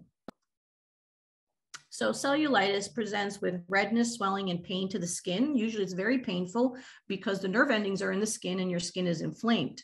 Uh, it's usually associated with a break in the skin and patients will need either PO antibiotics. And usually when that fails, they end up back in the emergency room, in which case you admit them for IV antibiotics. And again, elevation to help with the edema and with the swelling and warm compresses and um, hand soaks. So here's an example of a patient who comes in. They come to the ER because two days ago they were scratched by their cat. So looking at this, doesn't look that, that terrible, but should you admit or not? So this is cellulitis. In this case, because of the fact that it was a cat bite or cat scratch, I would admit this patient. Unless they really adamantly don't want to be admitted, in which case I would have them come back in a day or two to make sure that the PO antibiotics are actually working. But because the cat, um, both nails and their teeth are very sharp, you can have bacteria that's pushed deeper into the skin um, as opposed to a dog bite or human bite, which generally do more trauma to the skin and to the soft tissue, but leave open uh, larger gaping wounds that don't close uh, quickly, uh, in which case those can sometimes be treated as outpatient, depending again on the situation. An abscess is basically a collection of pus. Um, depending on where it's uh, located in the fingertip, uh, paronychia and eponychia uh, can be drained um, with a 15 blade in order to uh, remove the, the purulence. When the uh, pus is in the fingertip, as in a felon, uh, you want to make sure that uh, all the septa are divided, not just a superficial incision to release the pus, because you may um, miss half or a portion of the, um, the purulence. Um, and deep space abscesses in the hand, especially, there's a lot of uh, deep spaces with their own little eponyms and, and names. Um, but anything that is going to be deep under the fascia is going to need surgical uh, IND just because it's difficult to reach and you will have an incomplete or um, incomplete drainage if you try to do this uh, at the bedside or in your office. So for paronychia, usually the infection is around the cuticle and most people develop this because they bite their nails. Um, so you have to be cognizant of the fact that there probably is going to be skin flora in there and uh, treatment is IND. You may have to remove a portion of the nail. Sometimes the nail will actually begin to grow into the paronychium and uh, removing a portion of the nail allows not only drainage, but also prevents the ingrown nail, which can lead to subsequent or repetitive paronychias. And if untreated, this will lead or may lead to a felon. Uh, this is just an example showing how a paronychia can be drained. You can either drain it from the top or drain it between the nail and the, um, the cuticle. And again, warm soaks, IND, and when these are not treated or when there's repetitive infection, um, you may have to do what's called a marsupialization. I personally, in 25 years, have never done one, but we always talk about the fact that it may be necessary. And so what marsupialization is, is removing a portion of the paronychium while still leading, leaving that leading edge of cuticle uh, on the nail. You want to leave the cuticle on the nail because that helps to actually um, mature your nail when it goes from the germinal matrix to the sterile matrix. And then I throw this in there because sometimes you'll get a call from the ER and, and the story is, oh, I have a patient, 20 year old dental hygienist, three days of pain and swelling to the finger. And you have to be very careful to make sure that they're not, uh, that it is actually an infection versus a herpetic whitlow, which is a herpes simplex infection. Uh, the herpes simplex virus will get into the skin and cause vesicles. So it's very similar to your cold sores or uh, varicella, so chickenpox, and you have that typical vesicular lesion. And these are also usually painful for about two to three days before the vessels show up. So also similar to shingles where you get vesicular um, lesions on the skin. These you do not want to IND because then you will spread additional vesicles to neighboring fingers or along that same finger. So these you want to treat with a antiviral like ganciclovir, famciclovir. There's various different types on the market now and um, just keeping it covered and letting it recover on its own. Uh, a felon is going to be an infection on the volar pulp of your distal fingertip. These are also excruciatingly painful because there's so many septa on the volar side of the fingertip and it's essentially a compartment syndrome of your fingertip because of the infection. And so these you want to uh, IND. Uh, if it's not treated, it can lead to a felon, uh, sorry, it can lead to tenosynovitis and it can lead to osteomyelitis of the distal fingertip.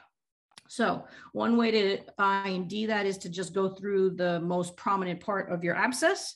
If the whole entire fingertip is pretty equally um, swollen, I prefer to make the incision on the non-critical surface. So for key pinch uh, of your fingers, I try to avoid the radial side of the fingertip and make my incision on the ulnar side.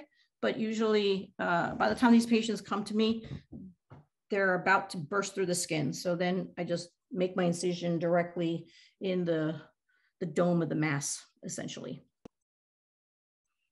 But if you do have a choice going either ulnar or radial of the finger, you want to go in the mid-axial plane, stay below the phalanx, and make sure that all the septa are divided. So superficial abscesses of the fingers. Um, anytime you have an incision, uh, an infection on the finger, it can always extend to the volar side. This is a patient that the residents in the ER uh, I indeed, and this is not exactly the choice of where I would make my incision. Um, whenever you have any infections on the volar side, even if it's not tenosynovitis just yet, but it's a superficial abscess, you still want to plan ahead what if I need to go in to do a tendon reconstruction, where do I want to place my incisions? So then I make my incisions in the same direction as I would for um, a flexor tendon repair or flexor tendon uh, tenosynovitis debridement, um, not making necessarily all the incisions, but pre-planning so that in the event I have to connect the dots, I'm not making incisions that are now going to be a problem later on when I need to go to reconstruct. So this is a patient that came in, 45 year old male with two to three days history of worsening pain and swelling. Initially, you look at the finger, ring finger's a little swollen, you think, okay, not too bad. If they don't give you the whole entire story, it could be misleading and you might see this picture and say, okay, the patient doesn't look that bad, give him some PO antibiotics, send him home. However, he tried to inject cocaine into a dorsal vein in his finger and he missed. And he knew right away that he missed because he said he had excruciating pain after that happened. So this particular gentleman was admitted. And after a couple of days of, after a day of IV antibiotics, some of the swelling went down, some of the cellulitis went down, but the finger is not looking so good. And this actually ended up progressing. I took him to the OR to debride uh, IND the abscess. He even had an osteo, acute osteomyelitis of the PIP joint. And then this continued to necrose further. Uh, luckily, he still had peritenon. So this has been, I've been treating and he's actually still in active treatment right now. I just ended up putting some of those skin substitute products that Dr. Polatsch mentioned on the previous presentation. And uh, he is slowly, slowly healing. Uh, deep space infections. Uh, I'm going to kind of skip through this because there's a lot of information online that you can look up in order to figure out where exactly should you make your incisions and how quickly should you uh, open up these deep space infections. But essentially, the treatment is IND because your um, deep space and like I mentioned before, there are several deep space, uh, deep spaces with their own personal names. But the take home point is that if it's below the fascia, it's not going to be easy to IND. And it's also going to be difficult to IND in your office or in the, uh, at the bedside, even when the patient has a really good wrist block. So these are just, just easier to do in the operating room. The three most common spaces in the hand is the thenar, your mid palm, and Parona's, which is going to be closer to the wrist.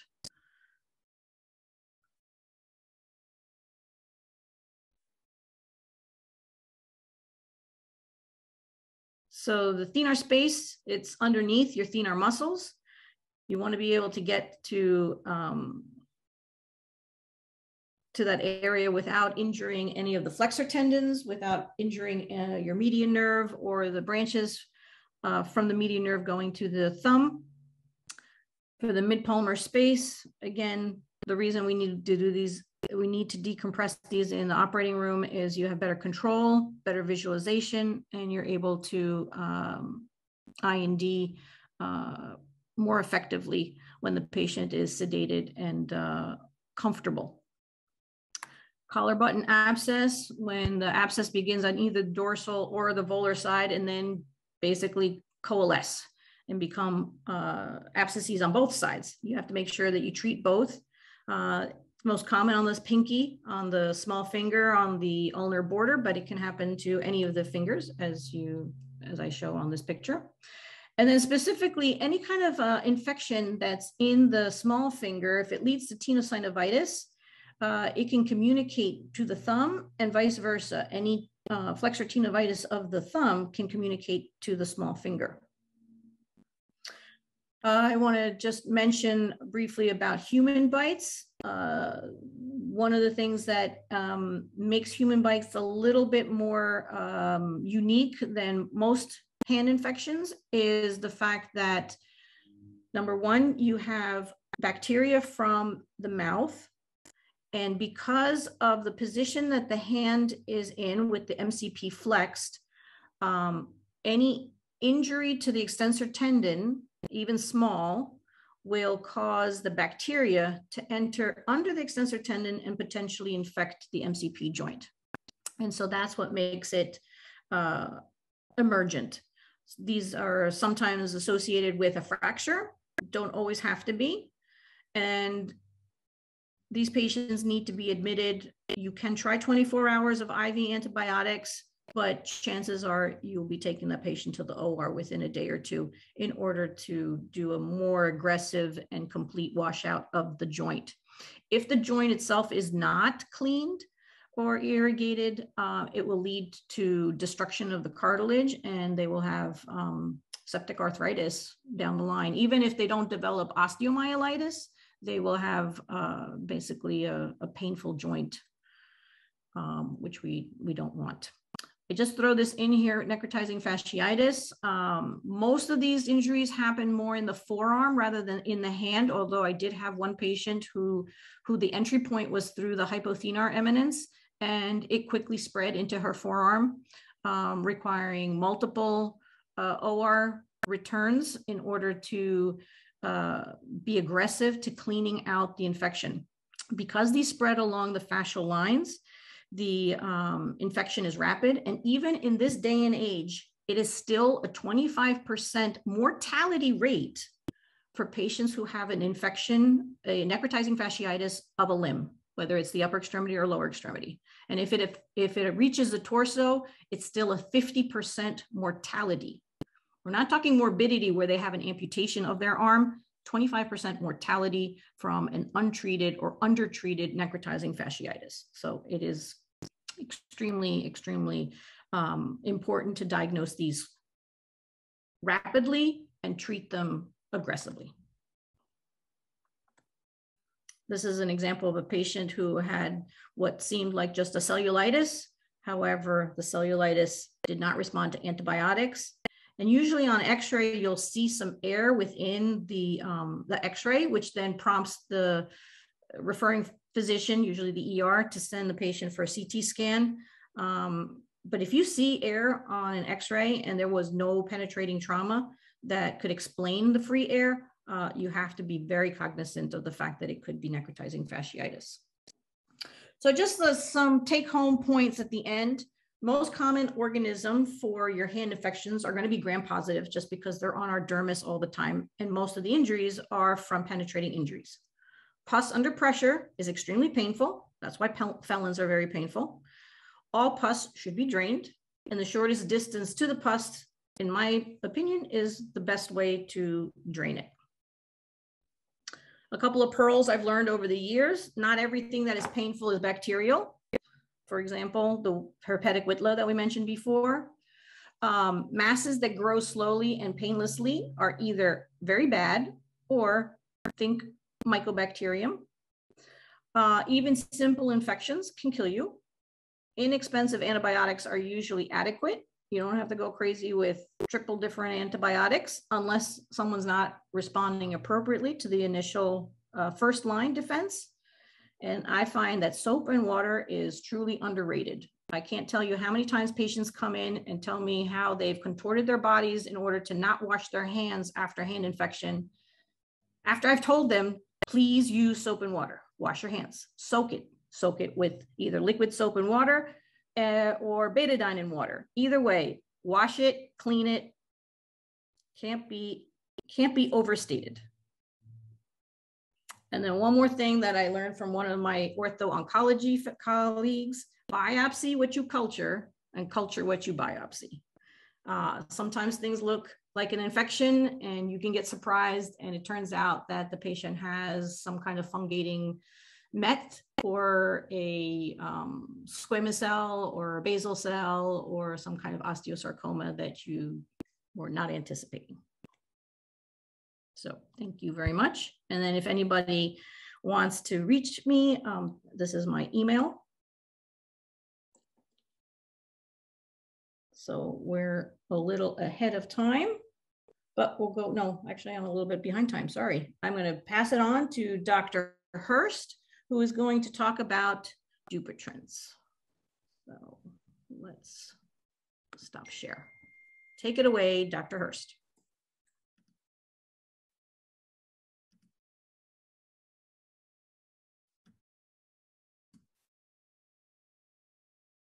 Uh, I'm here. I'm just making sure I get this thing going properly. One second.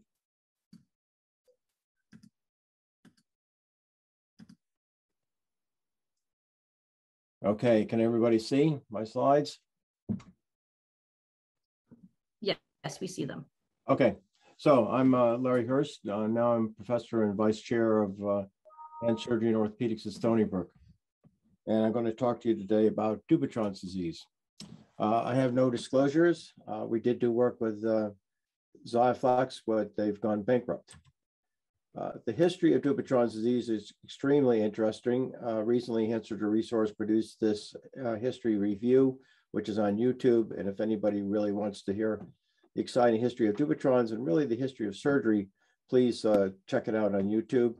Dupuytren's did the first surgery in 1831 and got his name on the disease. He wasn't the first to operate on it. He certainly wasn't the first to visualize it. Uh, when we think about Dupuytren's, it's important to understand the dorsal skin is loose and pliable, and the volar skin is firmly attached because of retention ligaments.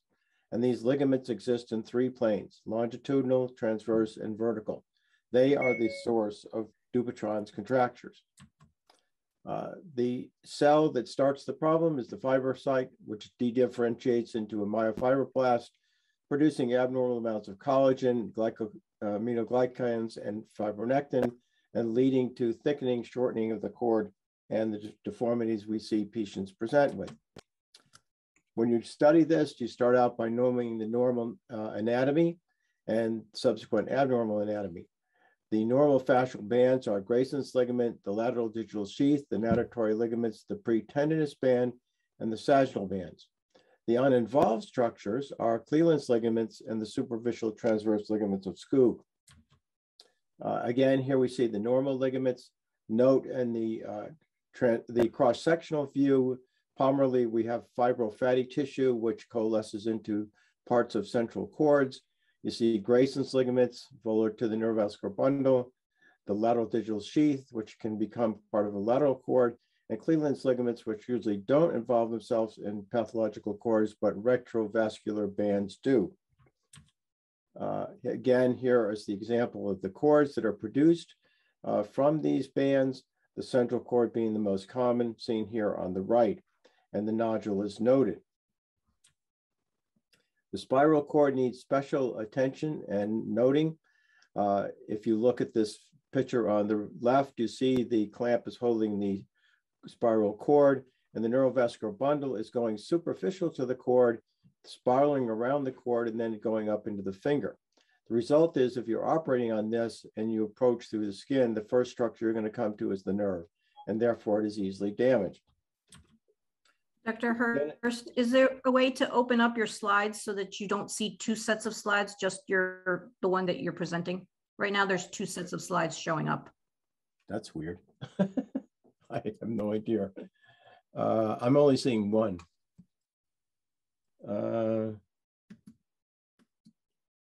well, let's see.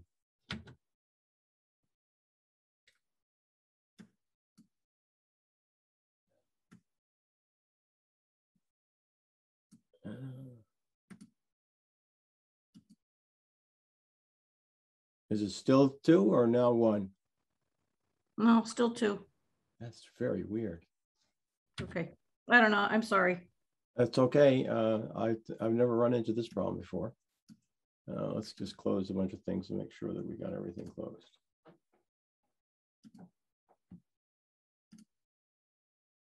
It's like it's showing your next slide in addition to your current slide. Uh, all right. Well, maybe we got the wrong. Let's make sure we do this.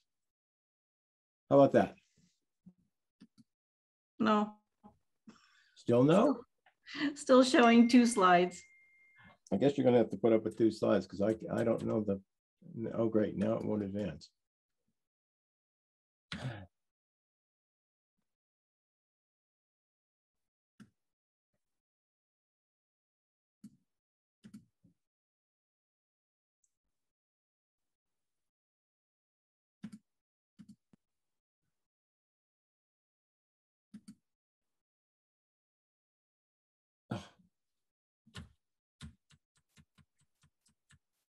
Are you still seeing two?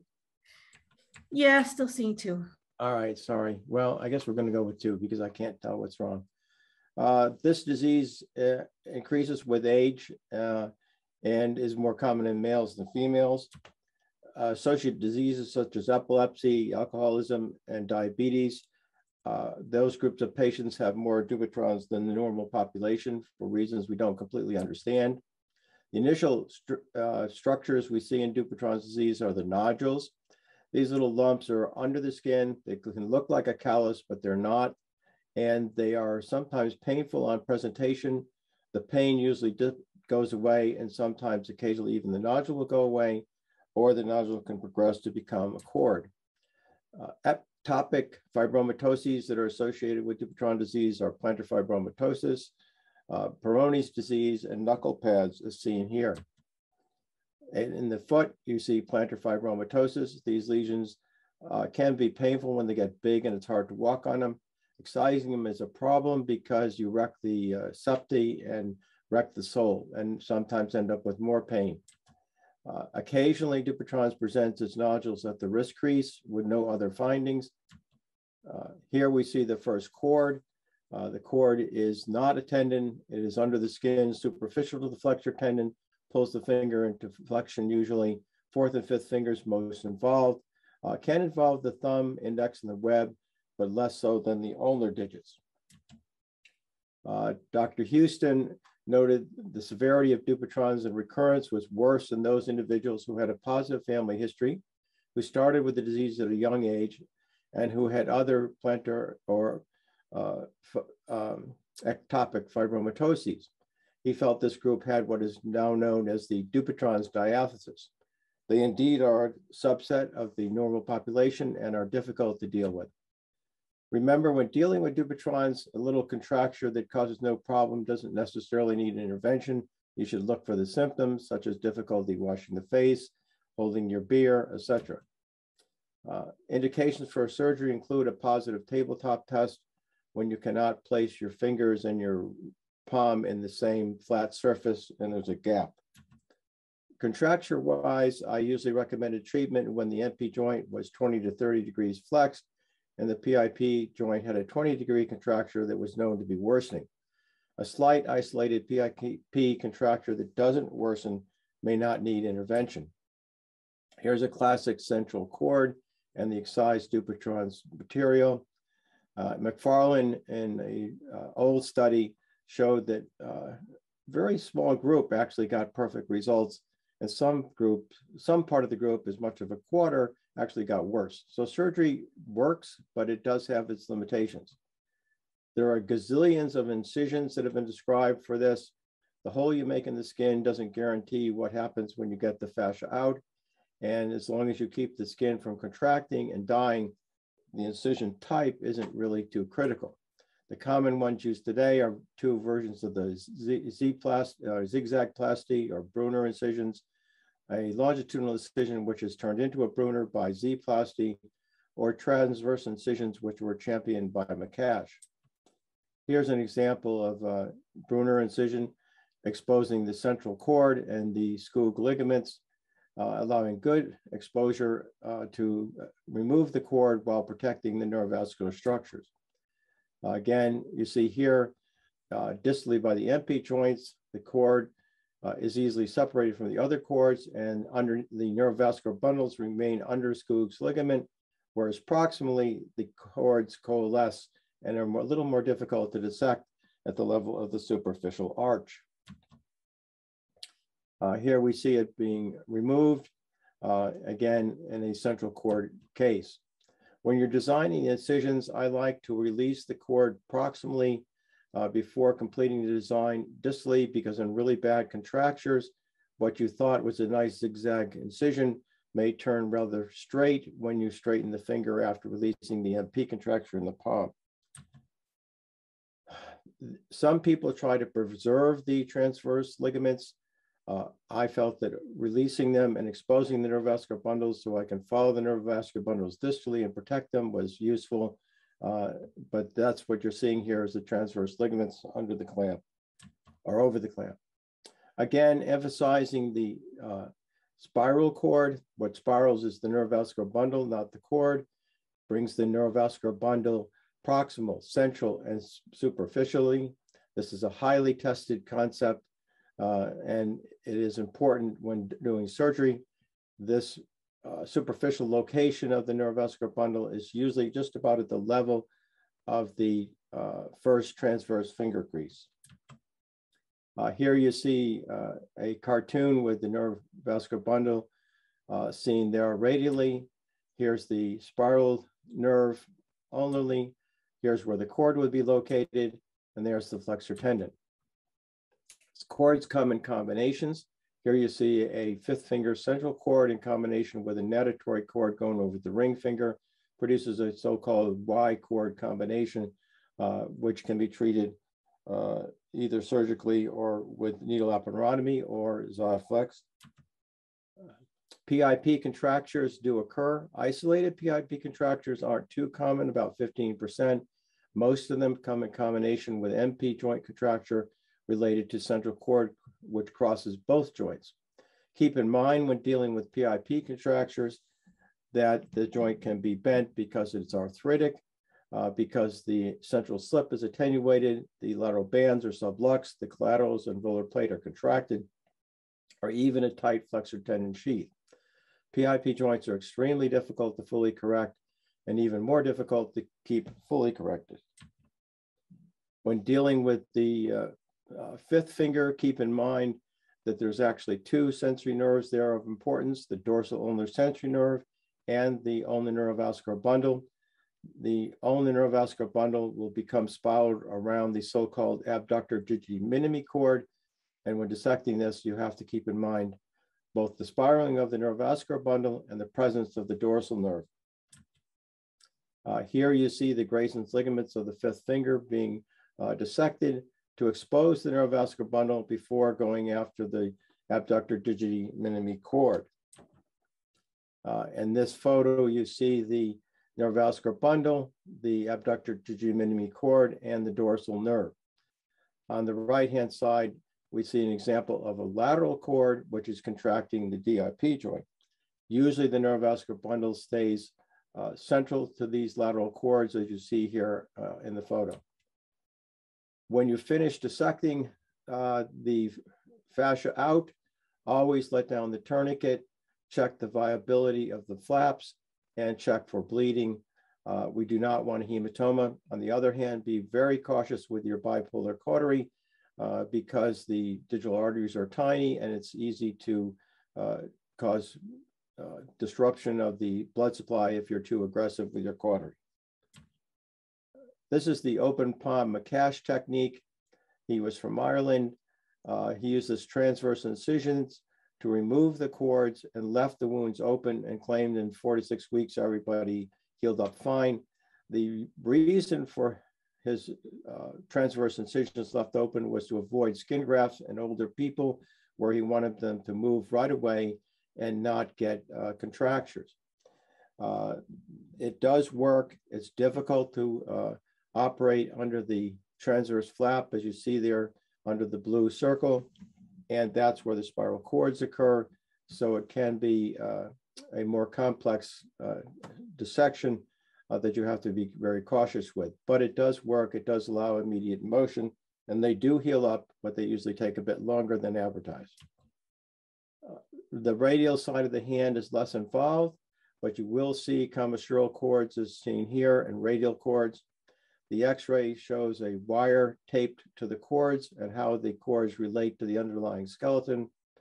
And the view with the green dots shows where to place your Xiaflex if you're going to treat this with uh, that type of uh, injection. Here's a surgical case. Uh, the, the commissural cord is uh, demonstrated, radial cord is demonstrated. Understand that the nerve to the radial side of the index finger is at risk here. The ulnar and radial nerve to the thumb is at risk, and they're uh, all three are quite superficial. So cautious dissection, trying to identify the neurovascular structures uh, before you uh, aggressively remove the cord material. And often the uh, the web will have to be Z-plastied in order to prevent the contracture of the web from the surgical incision.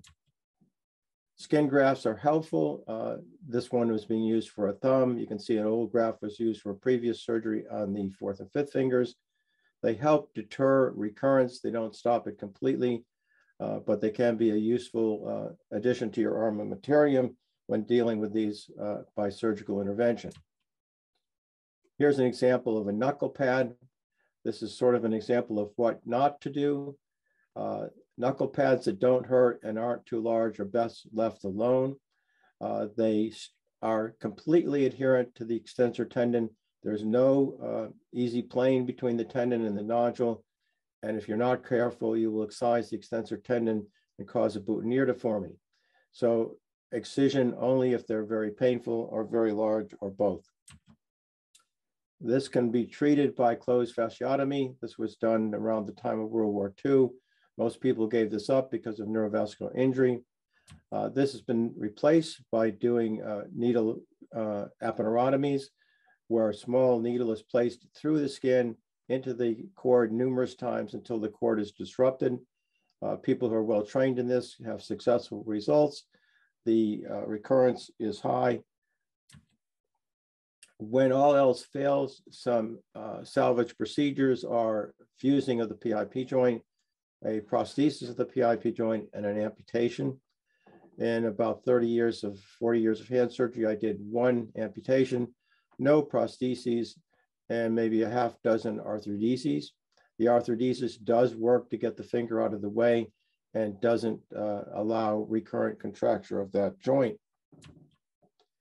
Uh, complications include hematoma, infection, skin loss, nerve injury, vascular damage, and uh, complex regional pain syndrome. And outcomes are variable. Collagenase came in after our articles in uh, uh, 2010. Here you see a cartoon of an injection of a central cord and manipulation. Dr. Hurst is going to break the cord. There you go. Uh, it does work. Recurrence is clearly a problem.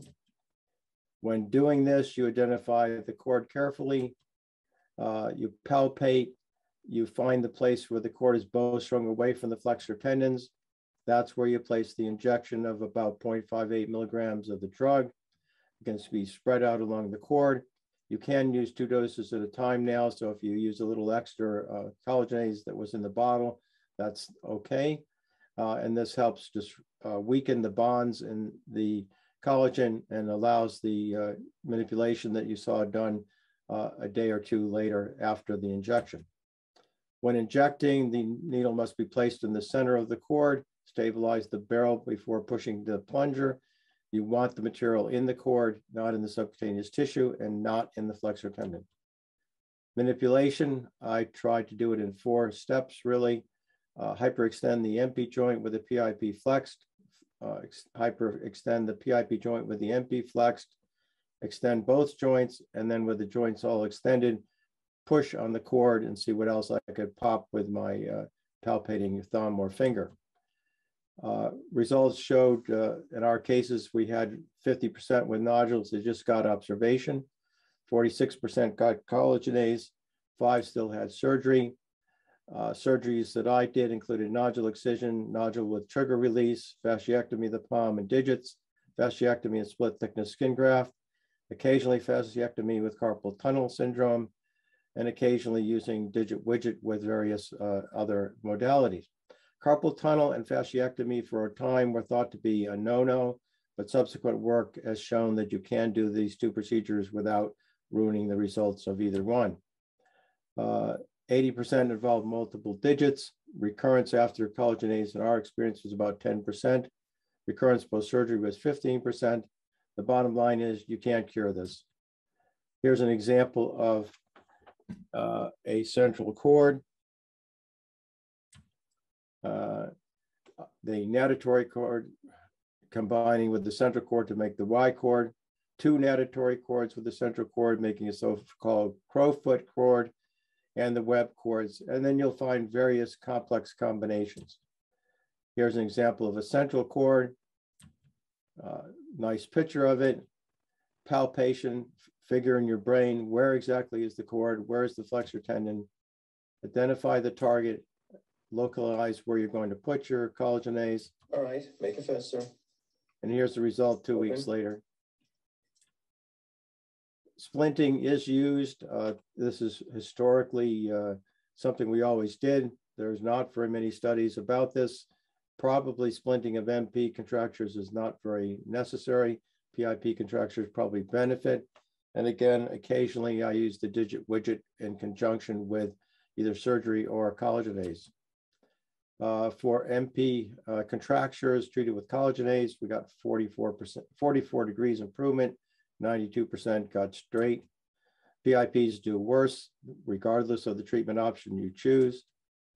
Uh, skin tears occur in about 15% with collagenase, but heal quickly. They're not really a problem. Other side effects of collagenase include itching, ecchymosis, no severe allergic reaction, no nerve injuries. Tendon injuries do occur. Fortunately, they're very rare. It has now been shown that you can safely give collagenase when people on Coumadin. Uh, however, the ecchymosis you see there on the left is extremely scary to you and the patient. However, three weeks later, it does resolve. Uh, recurrence, recurrence, recurrence, no matter what choose you choose, Xiaflex or surgery or needle, that's the problem that's not uh, resolved. Some of the rules of Dupuytren's disease to keep in mind are it can't be cured. It's not a fatal disease. Remember, if there's really no symptoms and minimal functional problems, it may be appropriate to just observe. Recurrence happens, it's not predictable. Patients generally like to avoid surgery, but sometimes that's the best alternative. Remember that the patient who can't make a fist is more unhappy than those who can't straighten their fingers. Uh, before needle and before Xiaflex, aggressive surgery sometimes resulted in people who had straight fingers but no capacity to grip. Also remember the rusty hinge theory, stiff PIP joints that cannot flex uh, because of trouble with the joint are not going to be flexing just because you remove the Dupuytren's cord.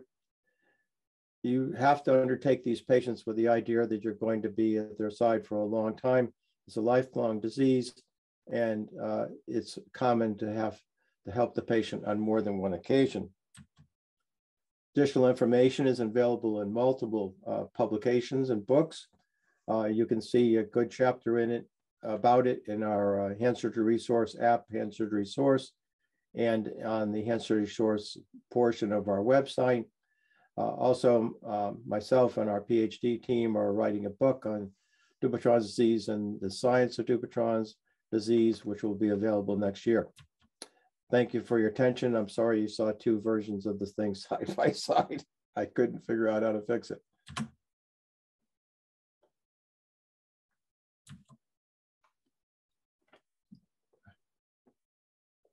Dr. Weber, are we still there? Yes, thank you, Dr. Hurst. Um, yes, so next will be Lauren, uh, Dr. Lauren Grossman, uh, discussing tenosynovitis. And Dr. Hurst, sorry to put you on the spot, but someone asked whether your lecture could be recorded. And if you can provide that to us, we'll add it to our, our list of pre-recorded slides. Uh, I will do that. Um, just so, for information, uh, again, there's lots of information on hand surgery resource. Uh, the Hand Society's uh, uh, series of 50 lectures. My lecture is one of those 50, so you can see it on the hand surgery site already. And I'll try to get it to you to put up on the New York site. Thank you so much.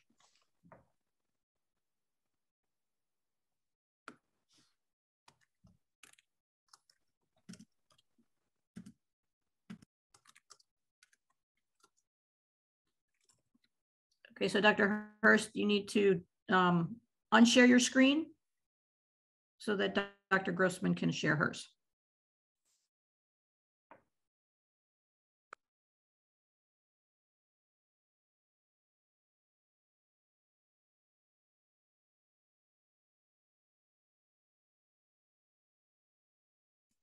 Did I get it, Dr. Weber?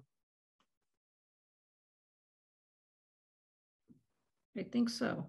Okay. Yes. Now Dr. Grossman's logging on. Perfect. Take it away, Lauren.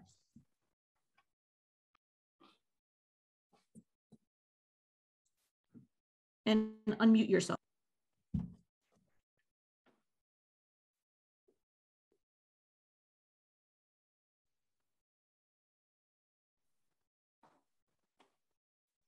Hi, um, I'm going to be speaking to you about tenosynovitis of the upper extremity. Um, because it's a review course, I'm going to go through some questions that pertain to these tenosynovitis, um, in order for the testing purposes.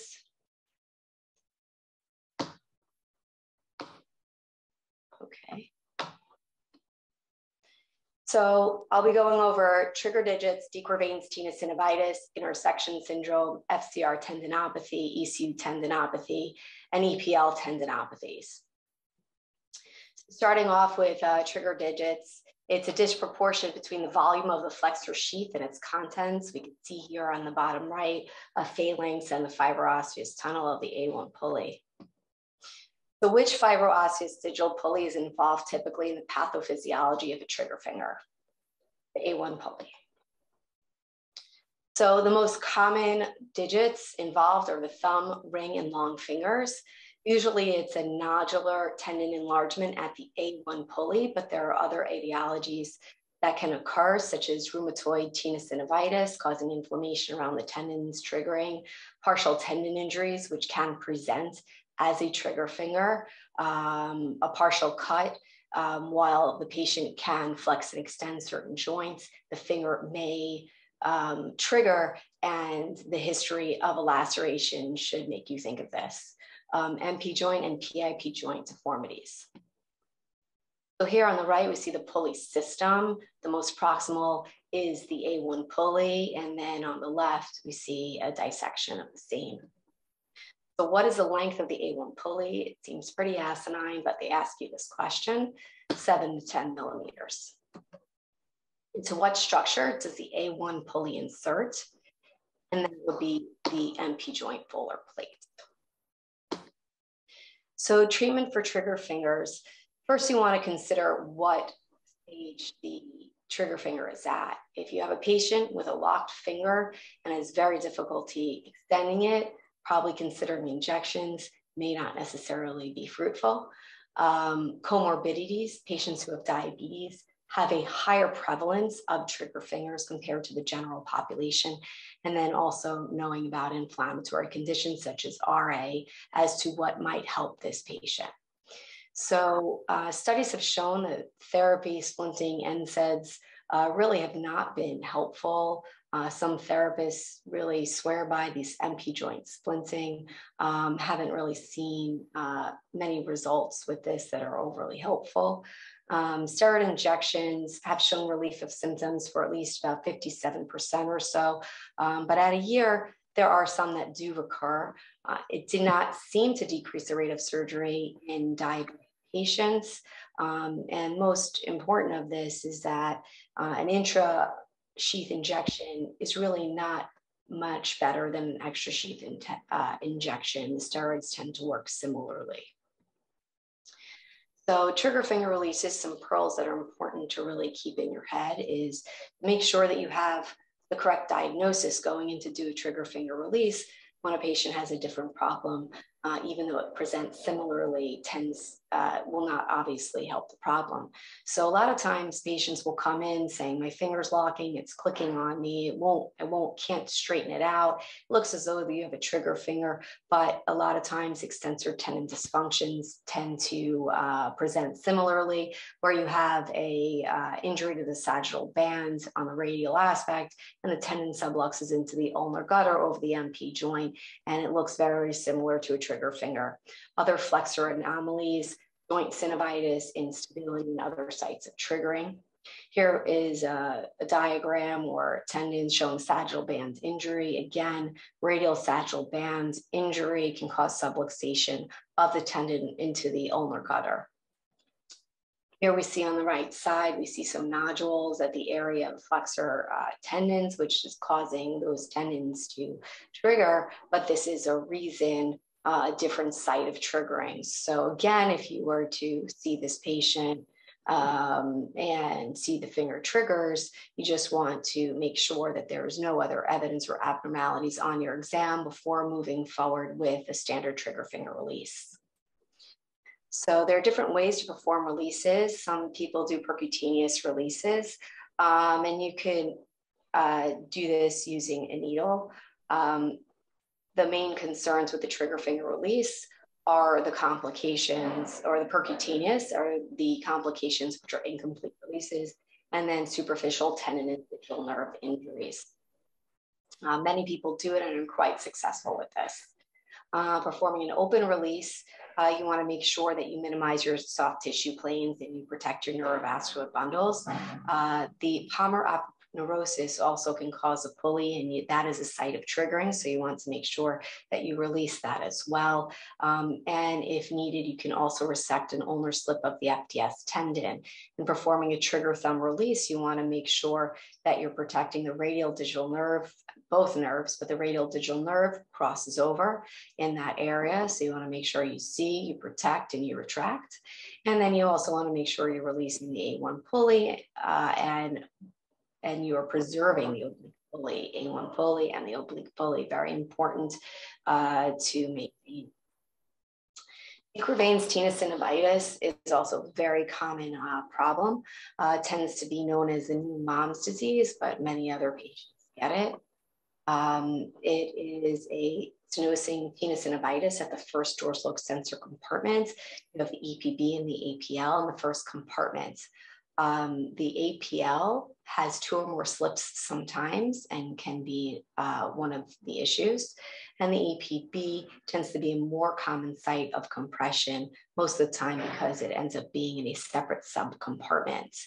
Uh, the sheath becomes stenotic or narrowed and causes pain and inflammation. So typically, how many EPB tendon slips would you expect to find at surgical exploration during a de Quervain's release? Again, as we went over, the APL is the one that tends to have two or more slips. The EPB only has one.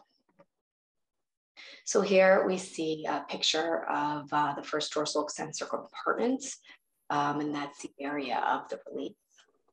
So pertinent anatomy for de Quervain's is, again, the APL is more palmar and radial to the EPB. It has one or more slips, and then their accessory insertion. The EPB typically has one slip, but 30% has its own subcompartment. But in de Quervain's, 70% of patients end up having a separate subcompartment. Here is a picture of the release, and the release is on the dorsal aspect of the first compartment. And here is a picture showing a subsheath for the EPB tendon. So it's important to uh, have an appropriate history. It tends to really help make your diagnosis. You check your point of maximal tenderness, which is at the first compartment, doing a Finkelstein's test. Here we have an Eichhoff's test, which most people are calling the Finkelstein's test, where the thumb is held in the palm. The examiner radially deviates the wrist. The Finkelstein's test is holding on the thumb and then radially deviating the wrist, all, both causing similar areas of pain. The Finkelstein test tends to be a little bit gentler, not as painful. Brunelli test is also radial abducting the thumb. A lot of patients might say have difficulty doing this, and performing this test is also quite helpful. Differential diagnosis includes intersection syndrome, which tends to be more proximal and dorsal to uh, the first dorsal extensor compartments. Other differential diagnoses are uh, cervical radiculopathy, uh, radial nerve injury, and here we can see a nice picture that the radial nerve basically directly overlies the first dorsal extensor compartment. Um, important anatomy question, the superficial branch of the radial nerve emerges at what interval? ECRL, ECRB. Here we see uh, a brachioradialis on top and the ECRL on the bottom. And there's the branch of the nerve that comes in between. Important to make sure that you protect it. This is a little bit more proximal, but again, it can be an area of compression.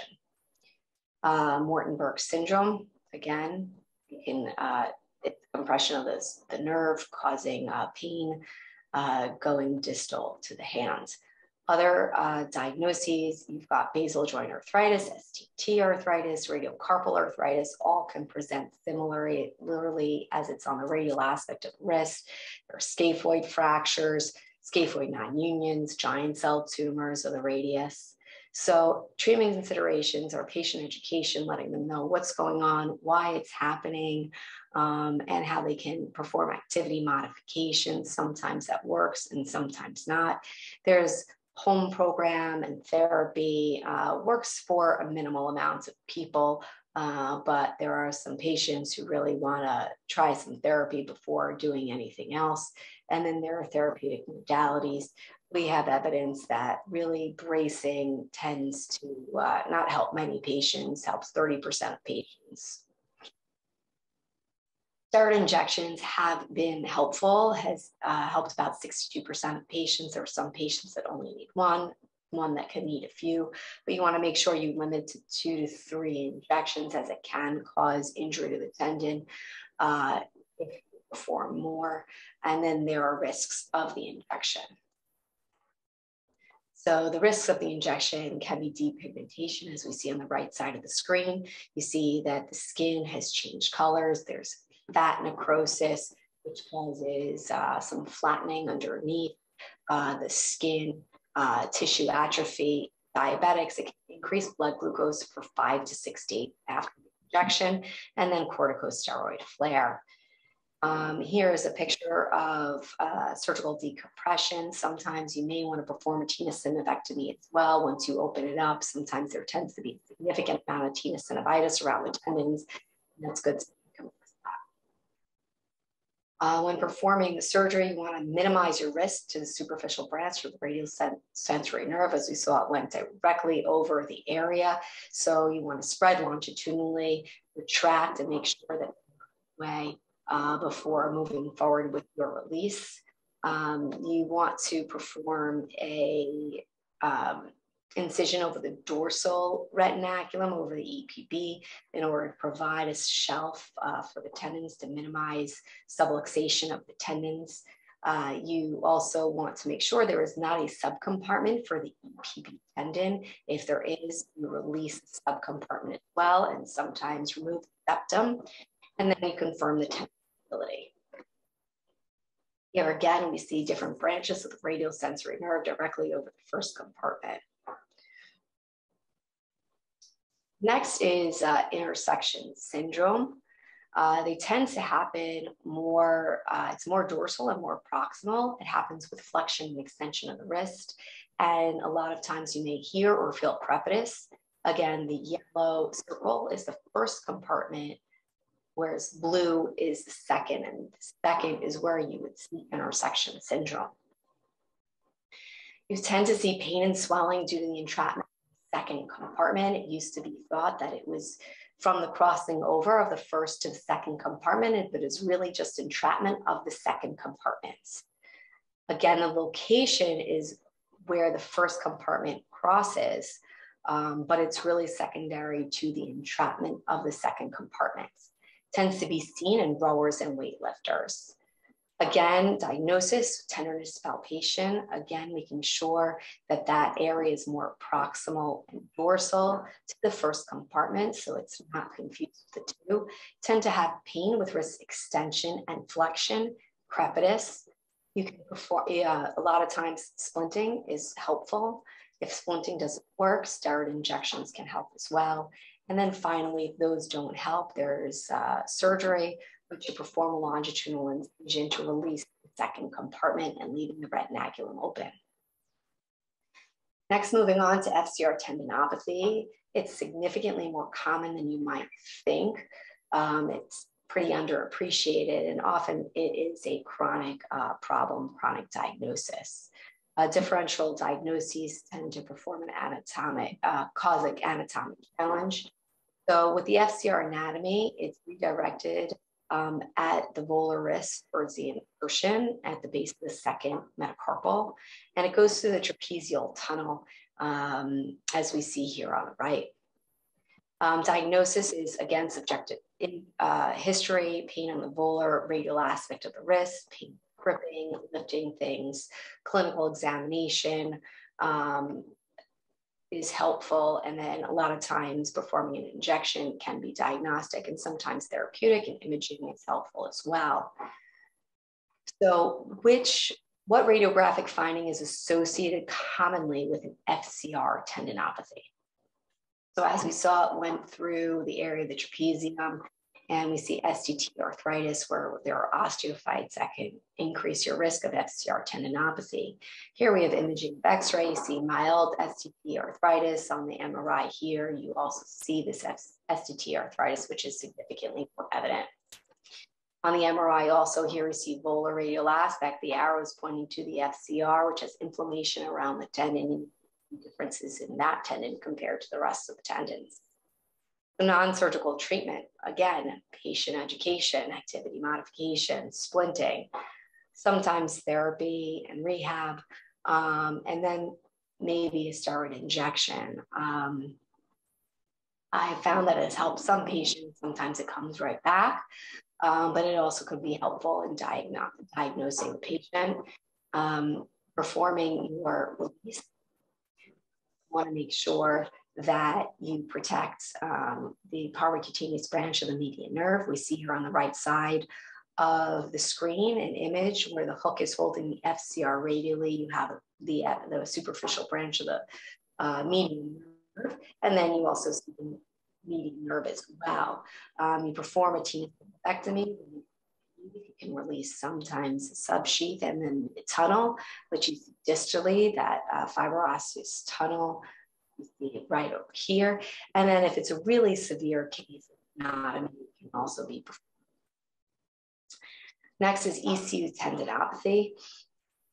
ECU tendinopathy can uh, be um, sometimes difficult to diagnose as it's undersided wrist pain, which is a whole uh, black box of some diagnoses. Um, it's a sixth dorsal compartment and it goes through a fibroosseous tunnel. Um, and again, ulnar sided wrist pain, TFCC problems, J problems, and so forth. In the diagnosis, you have localized tenderness on the ulnar aspect of the wrist, a lot of times at the base of the fifth metacarpal where it attaches. Sometimes it uh, causes pain that goes more proximally by the head of the ulna and even more proximally. An ECU synergy test, um, which is testing uh, the strain in that area that causes pain directly at the ECU. Check for tendon stability. Sometimes the ECU sublux uh, over the ECU, uh, excuse me, over the ulnar head, and then imaging is also helpful. So with the synergy test, okay, that video doesn't work, sorry. So um, imagine in your head, you, uh, the examiner uh, places the patient's table on uh, the hand on the table. You flex the elbow at 90 degrees, so the hand is in the air. Your forearm is in full supination, and then the examiner will resist the thumb abduction with a counterforce on the long finger of the patient, which then produces pain at the ECU. Again, differential diagnosis, TFCC pathology, which they're intertwined, a lot of them both the time they come together, DRUJ pathology, um, LT, metacarpal uh, problems, and sometimes pisotriquetral OA, which sometimes is a bit more volar. And here we see an MRI, you see inflammation again around the ECU tendon, um, and that is indicative.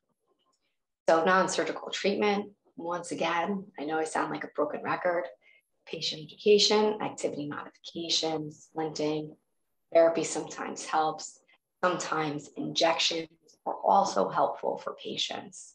Um, when performing surgery, you make an incision along the radial aspect of the compartment to minimize subluxation of the tendon. Um, afterwards, you perform a tendon debridement, uh, a retinacular repair, and if we tendon stabilization, minimize subluxation or dislocation of the tendon ulnarly. Um, and finally, we have EPL tendonitis. This tendon entrapment usually is rarely seen. The majority of the time, we see these patients after the EPL is already ruptured.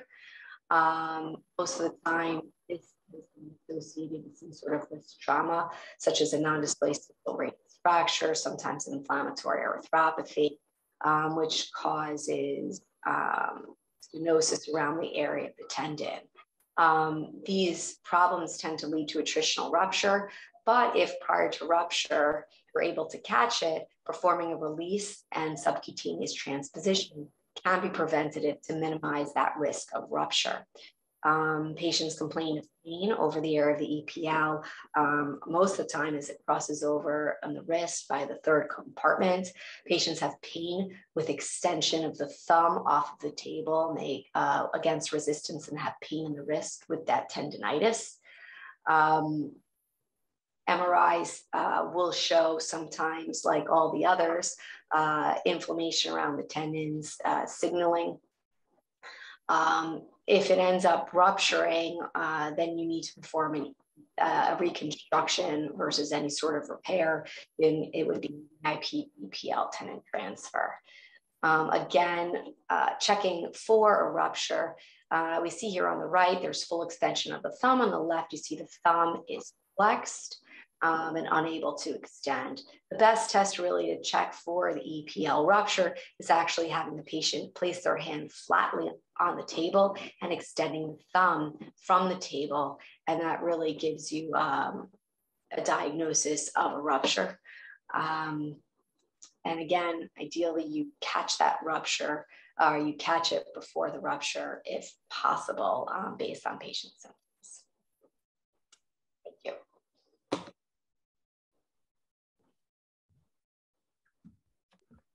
Okay, our next presenter is Dr. Gilbert discussing compression neuropathy. We are running about 10 minutes behind, um, but hopefully we'll we'll make up for that. And again, questions, there are, are some questions from the audience and we'll be covering those at, uh, at the end of this session at 1245, 1250, uh, whenever we finish. Thank you. Can everybody see my screen? Yes. Okay. I'm going to go through compression neuropathy. Um, it's a lot to go through. I'll, I'll try to uh, uh, go through this on time. Remember, this will be loaded up on the website. So we'll start with carpal tunnel syndrome, certainly the most common uh, compression neuropathy that we see. And you certainly want to know the anatomy of the median nerve. And uh, in addition, the anatomy of the carpal tunnel. Remember, and I'll somewhat gauge this towards some questions that can be asked on the OIT.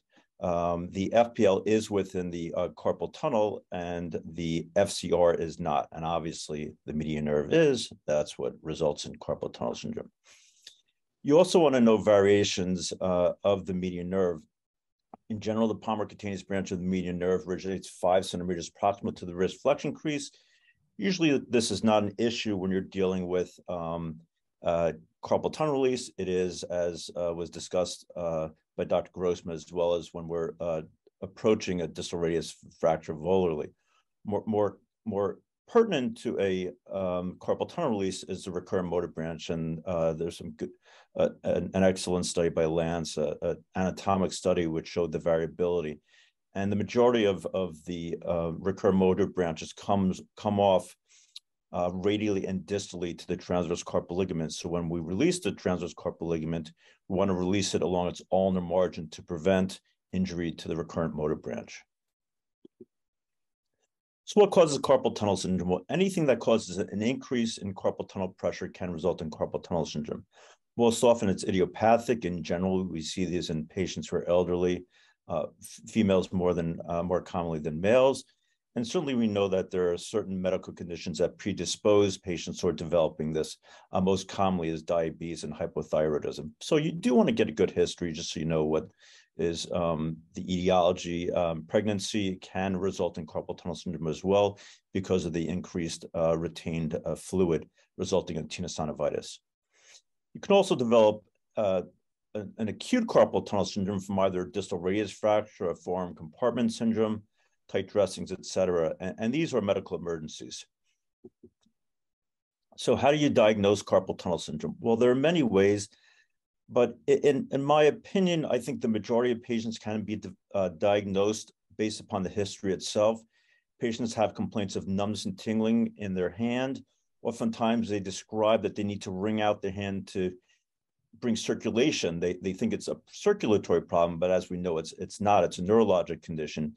And anything that, that keeps the wrist flexed uh, prolonged times or repetitively, such as sleeping at night when we keep our wrist flexed or driving, reading a book, etc., increases the pressure of the median nerve within the carpal tunnel, and this can result in symptoms. So you want to do a good sensory exam. Um, we all know the distribution of the median nerve. Um, and the important thing is, is, is really just touching is, is not, so touching the finger is not a very good way of really diagnosing carpal tunnel syndrome, at least in its early stages. By the time a patient loses sensitivity, um, it, this is probably advanced carpal tunnel syndrome. Innervation density tests are relatively insensitive. Threshold tests such as Semmes-Weinstein and vibrometry are much more sensitive we in general do not do these in our office. These are more often done by our uh, CHT colleagues or in studies, but just keep this in mind. You want to examine the hand, you want to look for thenar atrophy as well as weakness. Again, these are late stages of carpal tunnel syndrome. And then there are provocative tests. There's the Tinel sign where you tap along the median nerve, uh, just at or proximal to the uh, carpal tunnel.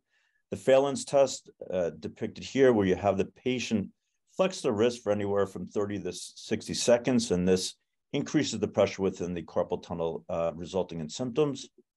The Durkan's compression test, which as you see is a much more accurate test, where you basically compress the median nerve at or proximal to the wrist flexion crease, resulting in symptoms.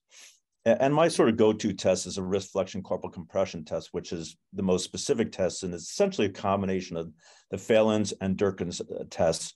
Um, and, and, this is a pretty good test. And, and, these exams you can do within a minute or two and have a pretty good idea of what's going on. A little bit on electromyography. Um, I, I think to some extent it is falling out of favor, although it still is the gold standard. Um, it's operator dependent. It's important to know that negative tests do not necessarily mean that disease is absent. Anywhere up to 20% of patients who have carpal tunnel syndrome may have normal or equivocal EMGs, and it has not been shown to correlate with outcome to treatment. And in fact, EMGs generally don't normalize even after successful decompression. Ultrasound is beginning to somewhat supplant um, EMGs. There are many advantages. It's much less expensive. It's quick. It's non-invasive. Patients are comfortable, and EMG is not a comfortable test. You get immediate results, and you can also diagnose other concomitant um, etiologies for the carpal tunnel syndrome if present, such as tenosynovitis and ganglia. A good diagnostic parameter to remember is if you have a median nerve cross-sectional area greater than or equal to 10 millimeters squared at the wrist flexion crease or at the level of the pisiform. Um, this is diagnostic of carpal tunnel syndrome. Certainly have been some studies recently showing a higher sensitivity and specificity than even um, EMGs. It is somewhat operator dependent. Uh, there are many hand surgeons who are comfortable performing this test in their office, and you do not need to send the patient for EMGs, but um, certainly EMGs are still something that are a, a test that is commonly ordered. So how do we treat carpal tunnel syndrome? Well, um, certainly you want to know the underlying diagnosis and if necessary, have the patient be treated for the underlying diagnosis. If the symptoms are mild, uh, you can treat them initially with splinting. So patient has mostly symptoms at night. Um, in most patients, this does not lead to long-term relief of their symptoms. Steroid injections do help the symptoms in the majority of patients, but it really depends upon the extent of the carpal tunnel syndrome. And only about one in five patients gets long-term relief. But particularly, um, I like a steroid injection, one for patients with mild symptoms, or two, to judge their response to surgery. So if you have a patient who has, say, a, a cervical radiculopathy as well as carpal tunnel syndrome, and you're not certain which way to go in terms of treatment, their response to a cortisone injection is relatively predictive of um, their response to surgery. And certainly you'll have a happier patient who is going to undergo carpal tunnel release as opposed to go for cervical fusion and not have relief of their symptoms, knowing that they should have just had their carpal tunnel released. And medications, they've been, been studied exhaustively, we really have no proven benefit over placebo, particularly vitamin B6, which uh, there used to be some literature uh, supporting this. I still see many patients who get this prescribed, particularly by neurologists, and um, there's really no use. If it is, it's a placebo effect. So surgery options are open release. You can do a mini open release or an endoscopic release. One thing to remember is that both techniques are essentially equivalent at three months. Um, it's a it's an earlier return to work and an earlier recovery for endoscopic, but really it's just based upon your your training and um, what you're comfortable with. Um, it, I would say in the uh, in the 90s there was some literature showing that there were a higher complication rate with the endoscopic technique, particularly uh, iatrogenic nerve or vessel injury. And most studies over the past 20 years have shown that this is not really true. A couple things to remember. Routine antibiotics are not indicated for open carpal tunnel release, as well as most soft tissue uh, procedures. Um, splinting is not really necessary, and OT in most patients is not necessary. So I'll throw in a couple questions that uh, came out from recent OITs. Um, which physical examination finding among patients with carpal tunnel syndrome has the highest specificity? Well, the wrist flexion carpal compression test, as we discussed earlier. What is the most common pattern of branching of the thenar motor branch of the median nerve at the level of transverse carpal ligament? Again, um, the anatomic study by Lanz. It's extraligamentous, most commonly comes distally and radially to the distal aspect of the transverse carpal ligament. An otherwise healthy 42-year-old woman is scheduled for carpal tunnel release. The physician should adhere to routine sterility protocols. And do we need antibiotics? No, without local or systemic antibiotics. Okay, on to cubital tunnel syndrome, which is the second most common upper extremity um, compression neuropathy. Uh, these patients uh, present with numbness and tingling along the ulnar nerve distribution, the ulnar one and a half digits, as depicted in this lower um, left-hand uh, picture. Uh, in more advanced cases, patients can have uh, intrinsic atrophy. And remember, the ulnar nerve provides the majority of the intrinsic strength and muscles within the hand. So much more so than carpal tunnel syndrome, carpal, the, the median nerve only innervates the thenar muscle. So these patients in late stages will have um, much worse symptoms in terms of hand function. Late stages, you can see clawing, and obviously you don't want the patient to get to this point. Examination, a lot of these exams are very similar to what we do um, on the median nerve. You can tap over the nerve, uh, Tinel sign, you can compress the nerve, uh, and you can also have the patient flex the elbow, and this stretches the nerve, decreasing the vascularity of the nerve, and this results in symptoms of numbness and tingling along the ulnar nerve distribution. You should certainly examine the stability of the ulnar nerve. This is particularly important if a patient is undergoing surgery because if they have an unstable nerve, um, then uh, you will likely require um, need to uh, transpose the nerve. Um, also keep in mind though that there, there is certainly a subset of patients who have a subluxable ulnar nerve without symptoms of cubital tunnel syndrome. So just because they have a subluxable ulnar nerve does not necessarily mean that they will have symptoms of cubital tunnel syndrome.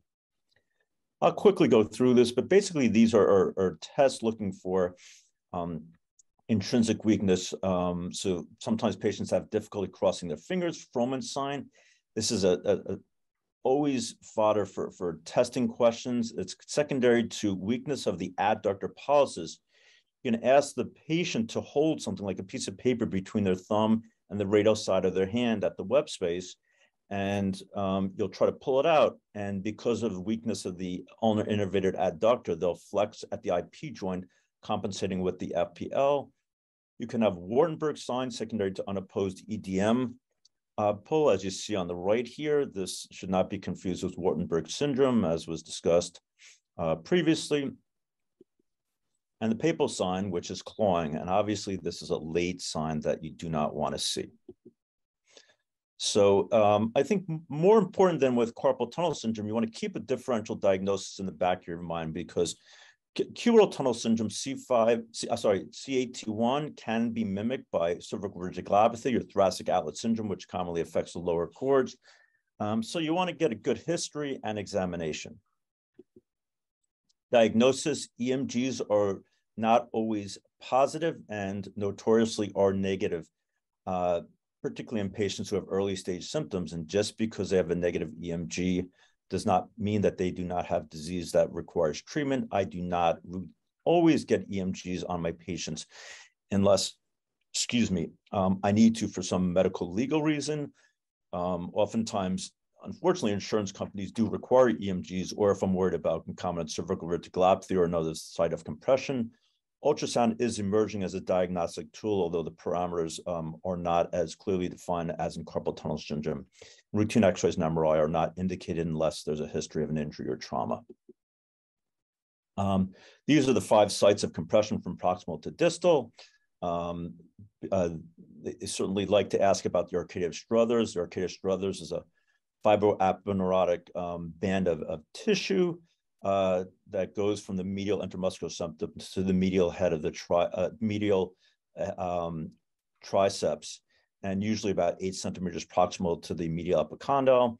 Osborne's ligament is another name for the roof of the um, uh, the roof of cubital tunnel.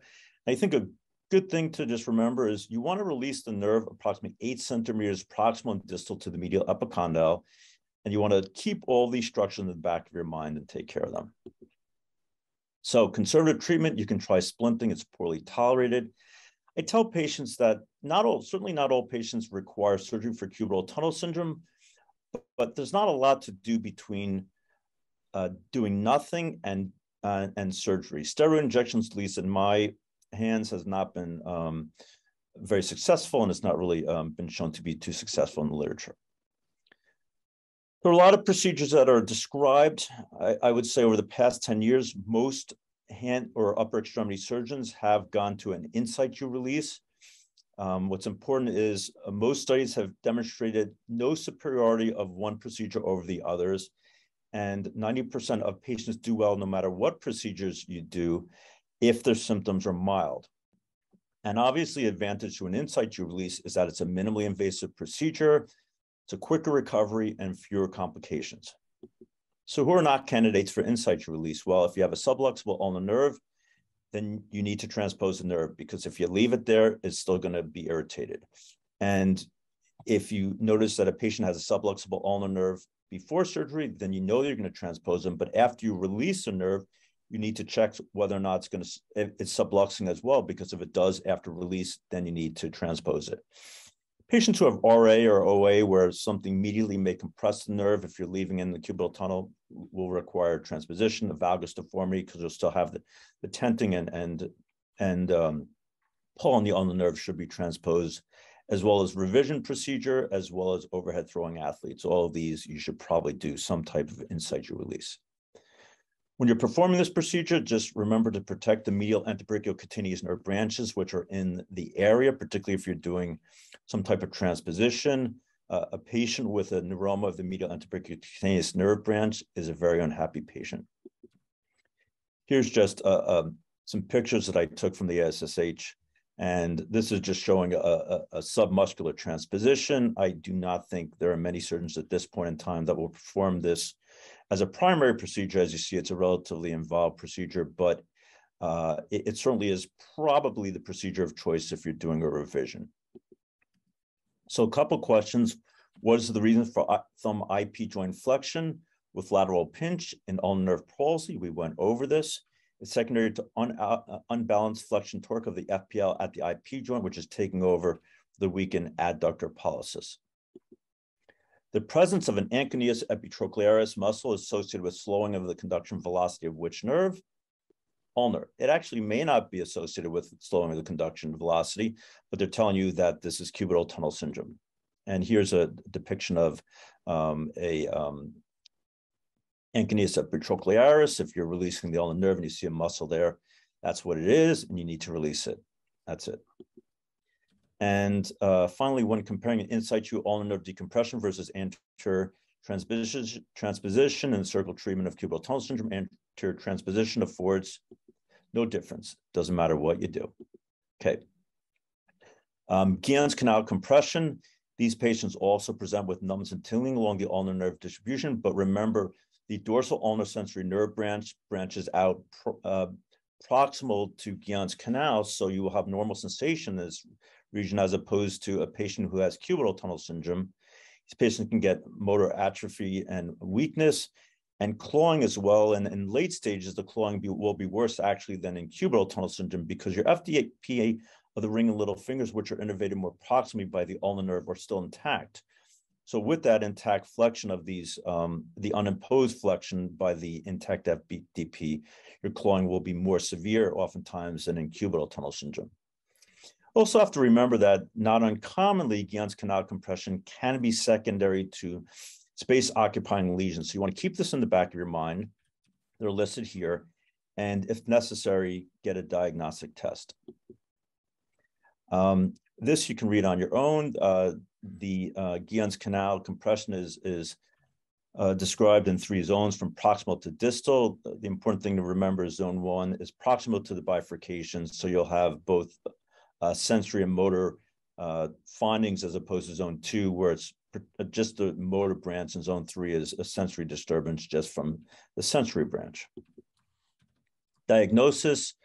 Um, in terms of EMGs, I will get uh, EMGs fairly routinely if I think a patient has Guyon's canal compression, because I want to make certain that they uh, do not have a more proximal uh, compression as well, where you need to release the ulnar nerve of the tubal tunnel or some other uh, etiology, such as cervical radiculopathy. If you're um, concerned about a space occupying lesion, you should image them with either an MRI or an MR, um, as well as vascular lesions such as a um, ulnar artery aneurysm.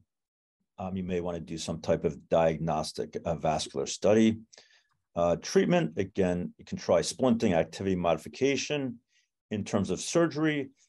Uh, if you have a primarily compression of the Guyon's canal, you want to release Guyon's canal.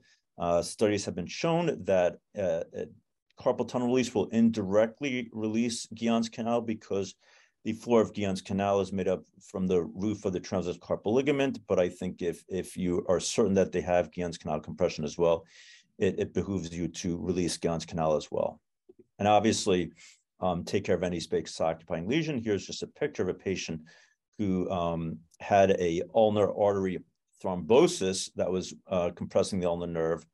And this can be treated. Obviously, you want to try to diagnose this before, do a good Allen's test. And this can either be diagnosed, uh, treated um, with ligation, depending upon the Allen test, although I think most people will reconstruct this with a vein graft. A couple quick questions. Uh, which of the following is an anatomical component of the floor of the distal ulnar tunnel or Guyon's canal, as I said before, transverse carpal ligament. We'll quickly finish up with radial tunnel syndrome. Um, so radial tunnel syndrome is a pain syndrome. It is not a neurologic symptom, syndrome. You do not have neurologic findings. Patients have pain right over this area, um, and it can be confused with lateral epicondylitis, which can coexist oftentimes secondary to repetitive tasks, swelling, inflammatory conditions, sometimes from patients with um, rheumatoid or other inflammatory conditions compressing this area. Remember, PIN syndrome is different than radial tunnel syndrome. Radial tunnel syndrome is a purely a pain syndrome. PIN is actually a syndrome where you can compression of the posterior interosseous nerve and you actually get motor findings. You can get a um, PIN palsy, and this is usually secondary to some type of space occupying lesions. Lipomas have a predilection. Um, it was like to ask um, uh, sometimes a patient with rheumatoid arthritis where they have radiocapitellar synovitis. Diagnosis is generally a diagnos diagnosis based upon examination. Patients have pain in this area. Just remember, this is a relatively painful area, so always examine the contralateral um, form. Don't confuse this with cubital tunnel syndrome pain can be increased with resistant supination. Sometimes patients describe the pain as gnawing, almost like a, a toothache in their forearm. EMGs are not helpful. Do not get these. They're normal. Again, this is a, a pain syndrome secondary compression of a nerve, but not a, a compression neuropathy. Conservative treatment can try activity modification, splinting, cortisone injections. I find that the majority of patients with this condition can be treated non-operatively. Um, these are the five sites of compression from proximal to distal. Um, uh, the arcade of Frohse, which is a fibroaponeurotic um, leading edge of the supinator. Um, and these are certainly um, uh, sites that um, are oftentimes uh, questioned uh, on examination. Here's a picture. Left is proximal, right is distal. Right over here is the posterior interosseous nerve. This is the supinator. This is superficial head of the supinator, and this is the arcade of Frohse, the leading fibroaponeurotic edge of the supinator. One question, proximal dorsal forearm pain with supination against resistance is a finding used to support the diagnosis of radial tunnel syndrome. Thank you.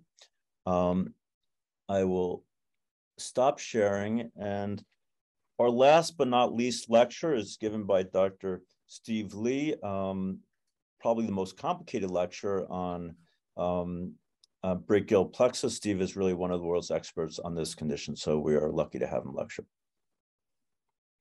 Thanks, Rich. Can everybody hear me okay? Yes. All right. Thanks so much. Yeah, thanks for uh, hanging in there. I know it's a lot of info in this uh, relatively short time, but um, I'm going to try to be, uh, you know, get to the salient points of a very complex topic in 20 minutes. So this is our brachial plexus and reconstruction. Let's see, I'm not advancing it here for some reason here. Okay, here we go.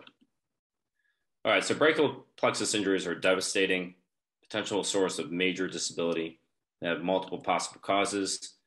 Um, a study back in 2014 showed that mostly male, I think we know this, young, a lot of motorcycles. Uh, half of them are complete, meaning that the entire extremity, upper extremity is a flail limb. 30% are the upper and 21% upper plus. We'll get to that. And very uncommonly where um, it's just the hand a lot of associated injuries, you can see. Trying to take uh, the plexus, which is kind of like a black box from medical school, hopefully not in 1943, uh, to the current uh, OR. Most common mechanism is traction. Um, the, very commonly, the uh, patient will fall off a motorcycle, the head hits the ground, the shoulder hits the ground, and there's a massive stretch to the area. Birth palsy, the head comes out, canal, shoulder doesn't come out and uh, there's a stretch, but it's uh, lower energy.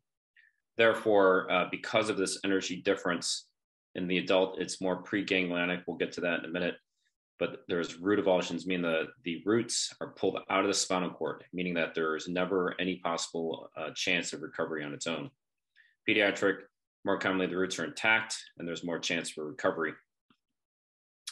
Also, a big difference between adults and peds is that it's difficult to reanimate the hand in an adult, not possible. Where peds, you can get the hand back because it's a shorter distance of uh, uh, regeneration, and babies uh, and kids, uh, people under 20, regenerate much faster. Other mechanisms other than traction would be sharp laceration, gunshot wounds. Other things could be masses, tumors, uh.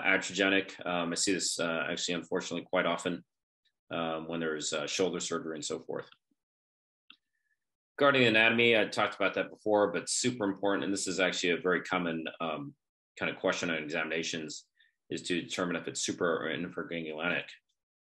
What that means is that if it's supraganglion, it's, it's, it's closer to the brain from the uh, dorsal root ganglion.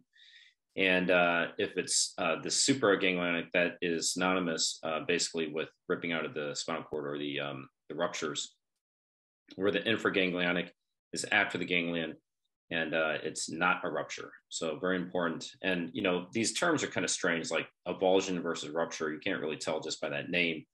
But once again, if it's avulsed, um, then ripped out of spinal cord, you have to you don't have a live nerve root anymore, and you have to bring in uh, axons from somewhere else, and that's via nerve transfer.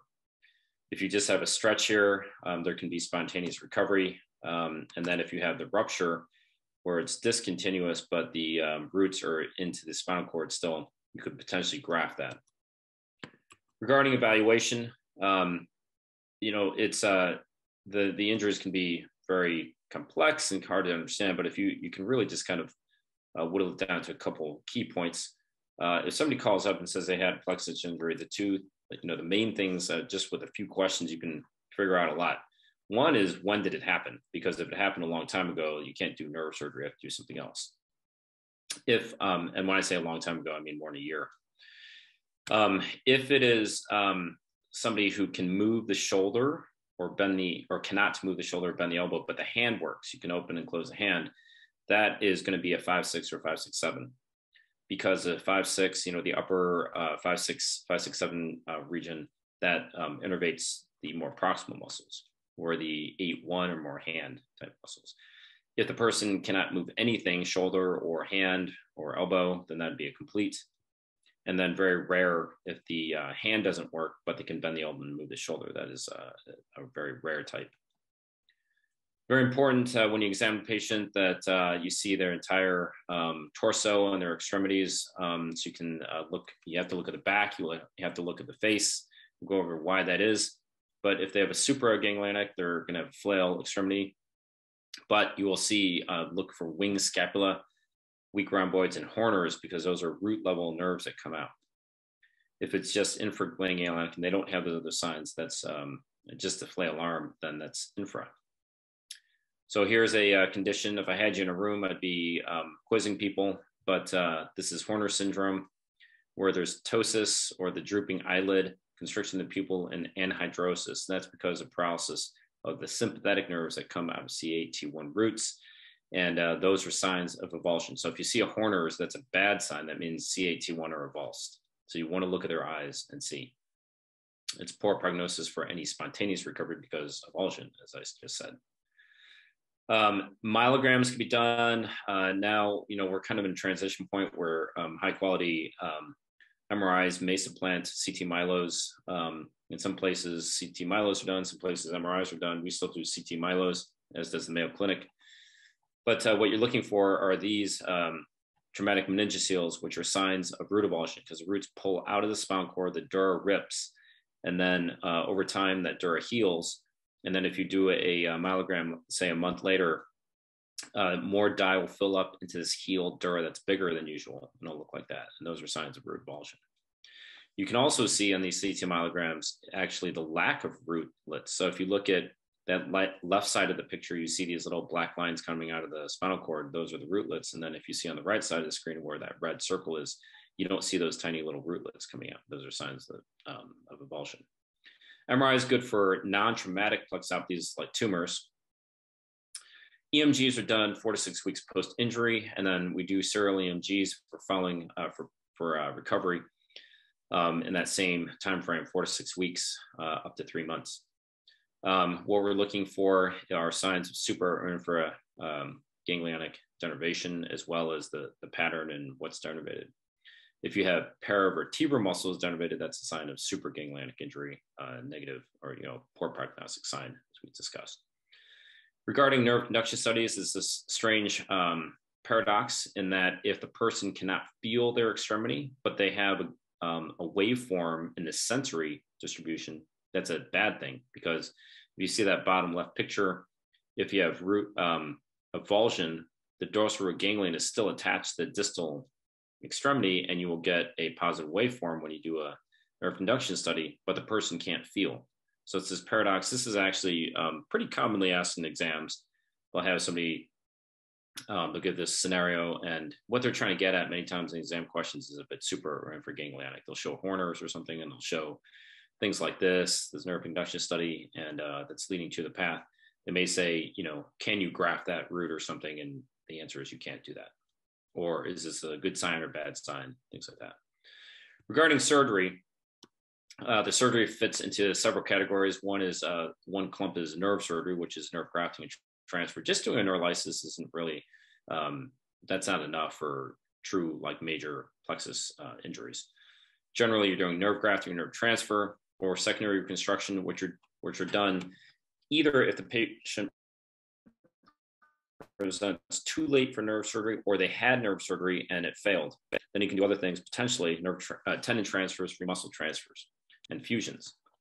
For a standard traction injury, we'll do, as I said, serial examinations, physical examinations, also serial EMGs up to three months. And then the surgery window is generally three to six months. The exception to that is if you knew that somebody had five uh, root level avulsions or the majority root level avulsions right off the bat, there's no reason to wait because there's no spontaneous recovery possible. The reason we wait for three months is that some of these could be neuropraxic and uh, different from what you learn in med school and even maybe residency. Neuropraxia is not six weeks to recover, it's three months to recover. So if somebody doesn't have good recovery, like actually moving the extremity, not just twitching of muscles, but actually anti-gravity of muscles by three months, then they'll not have good recovery. So, um, and then if you do surgery after six months, then the outcomes get worse. So that's why there's that golden window between three and six months if uh, the motor plates, so the motor end plates and the distal nerve, they fade away after a while. And if you cannot reinnervate those motor end plates by 12 to 18 months, then um, you cannot do nerve surgery. So, um, and you have to, each case is different because it depends on where the level of injury is, how big the person is. So, um, as you may recall, the nerves regenerate about a millimeter a day. And if you just measure it out, you'll see that um, you know, certain scenarios, uh, it just won't, those motor end plates won't be around anymore. So you don't do nerve surgery. What are you trying to do? You're trying to uh, assess what they, um, what the major deficits are, what nerves that may receive the um, input, what donor nerves you have. Uh, kind of like tendon transfers, you know, what are you, what are you lacking? What do you, what do you have to give? Um, so nerve um, surgery the same way. Two most common upper extremity deficits that require treatment would be elbow flexion and shoulder abduction, external rotation, and stability, um, I should say in there. Um, when somebody has a plexus injury and they can't move their shoulder or their elbow, a couple bad things happen, in addition to just not being able to use the extremity. But some other things happen that are actually even worse is that the shoulder or the extremity just hangs and it hurts and it actually doesn't feel connected to the body and actually will affect their ambulation because just imagine if you have this dead weight hanging on your torso that you can't move and it's not connected to your body, it actually affects everything. So just getting shoulder stability and even a little bit of motion, not even great motion that looks good on a video, but just some stability of the shoulder and some motion is uh, very helpful. Having the elbow bend, uh, you know, if the elbow is just hanging there, you have to wear a sling for the rest of your life. So those are really two things that are key things we try to get back. Other things um, are to stabilize scapula, elbow extension, because if you ever get um, more 90 degrees of um, abduction to shoulder, that your hand will just flop down and hit you in the head. Also, if you can um, extend the elbow, you can push down on things and it can be a helping extremity. Later things that you can't always get would be distal things, anything distal to the, um, the elbow, um, such as these. Uh, those are um, not usual to get in a five level. And um, we'll talk about that a little later. How do you approach them surgically? Uh, you know, the we kind of break it up into above the clavicle or the supraclavicular approach, or below the clavicle, the infraclavicular approach. Uh, we do have some good videos on. Um, it's called um, the uh, HSS eAcademy.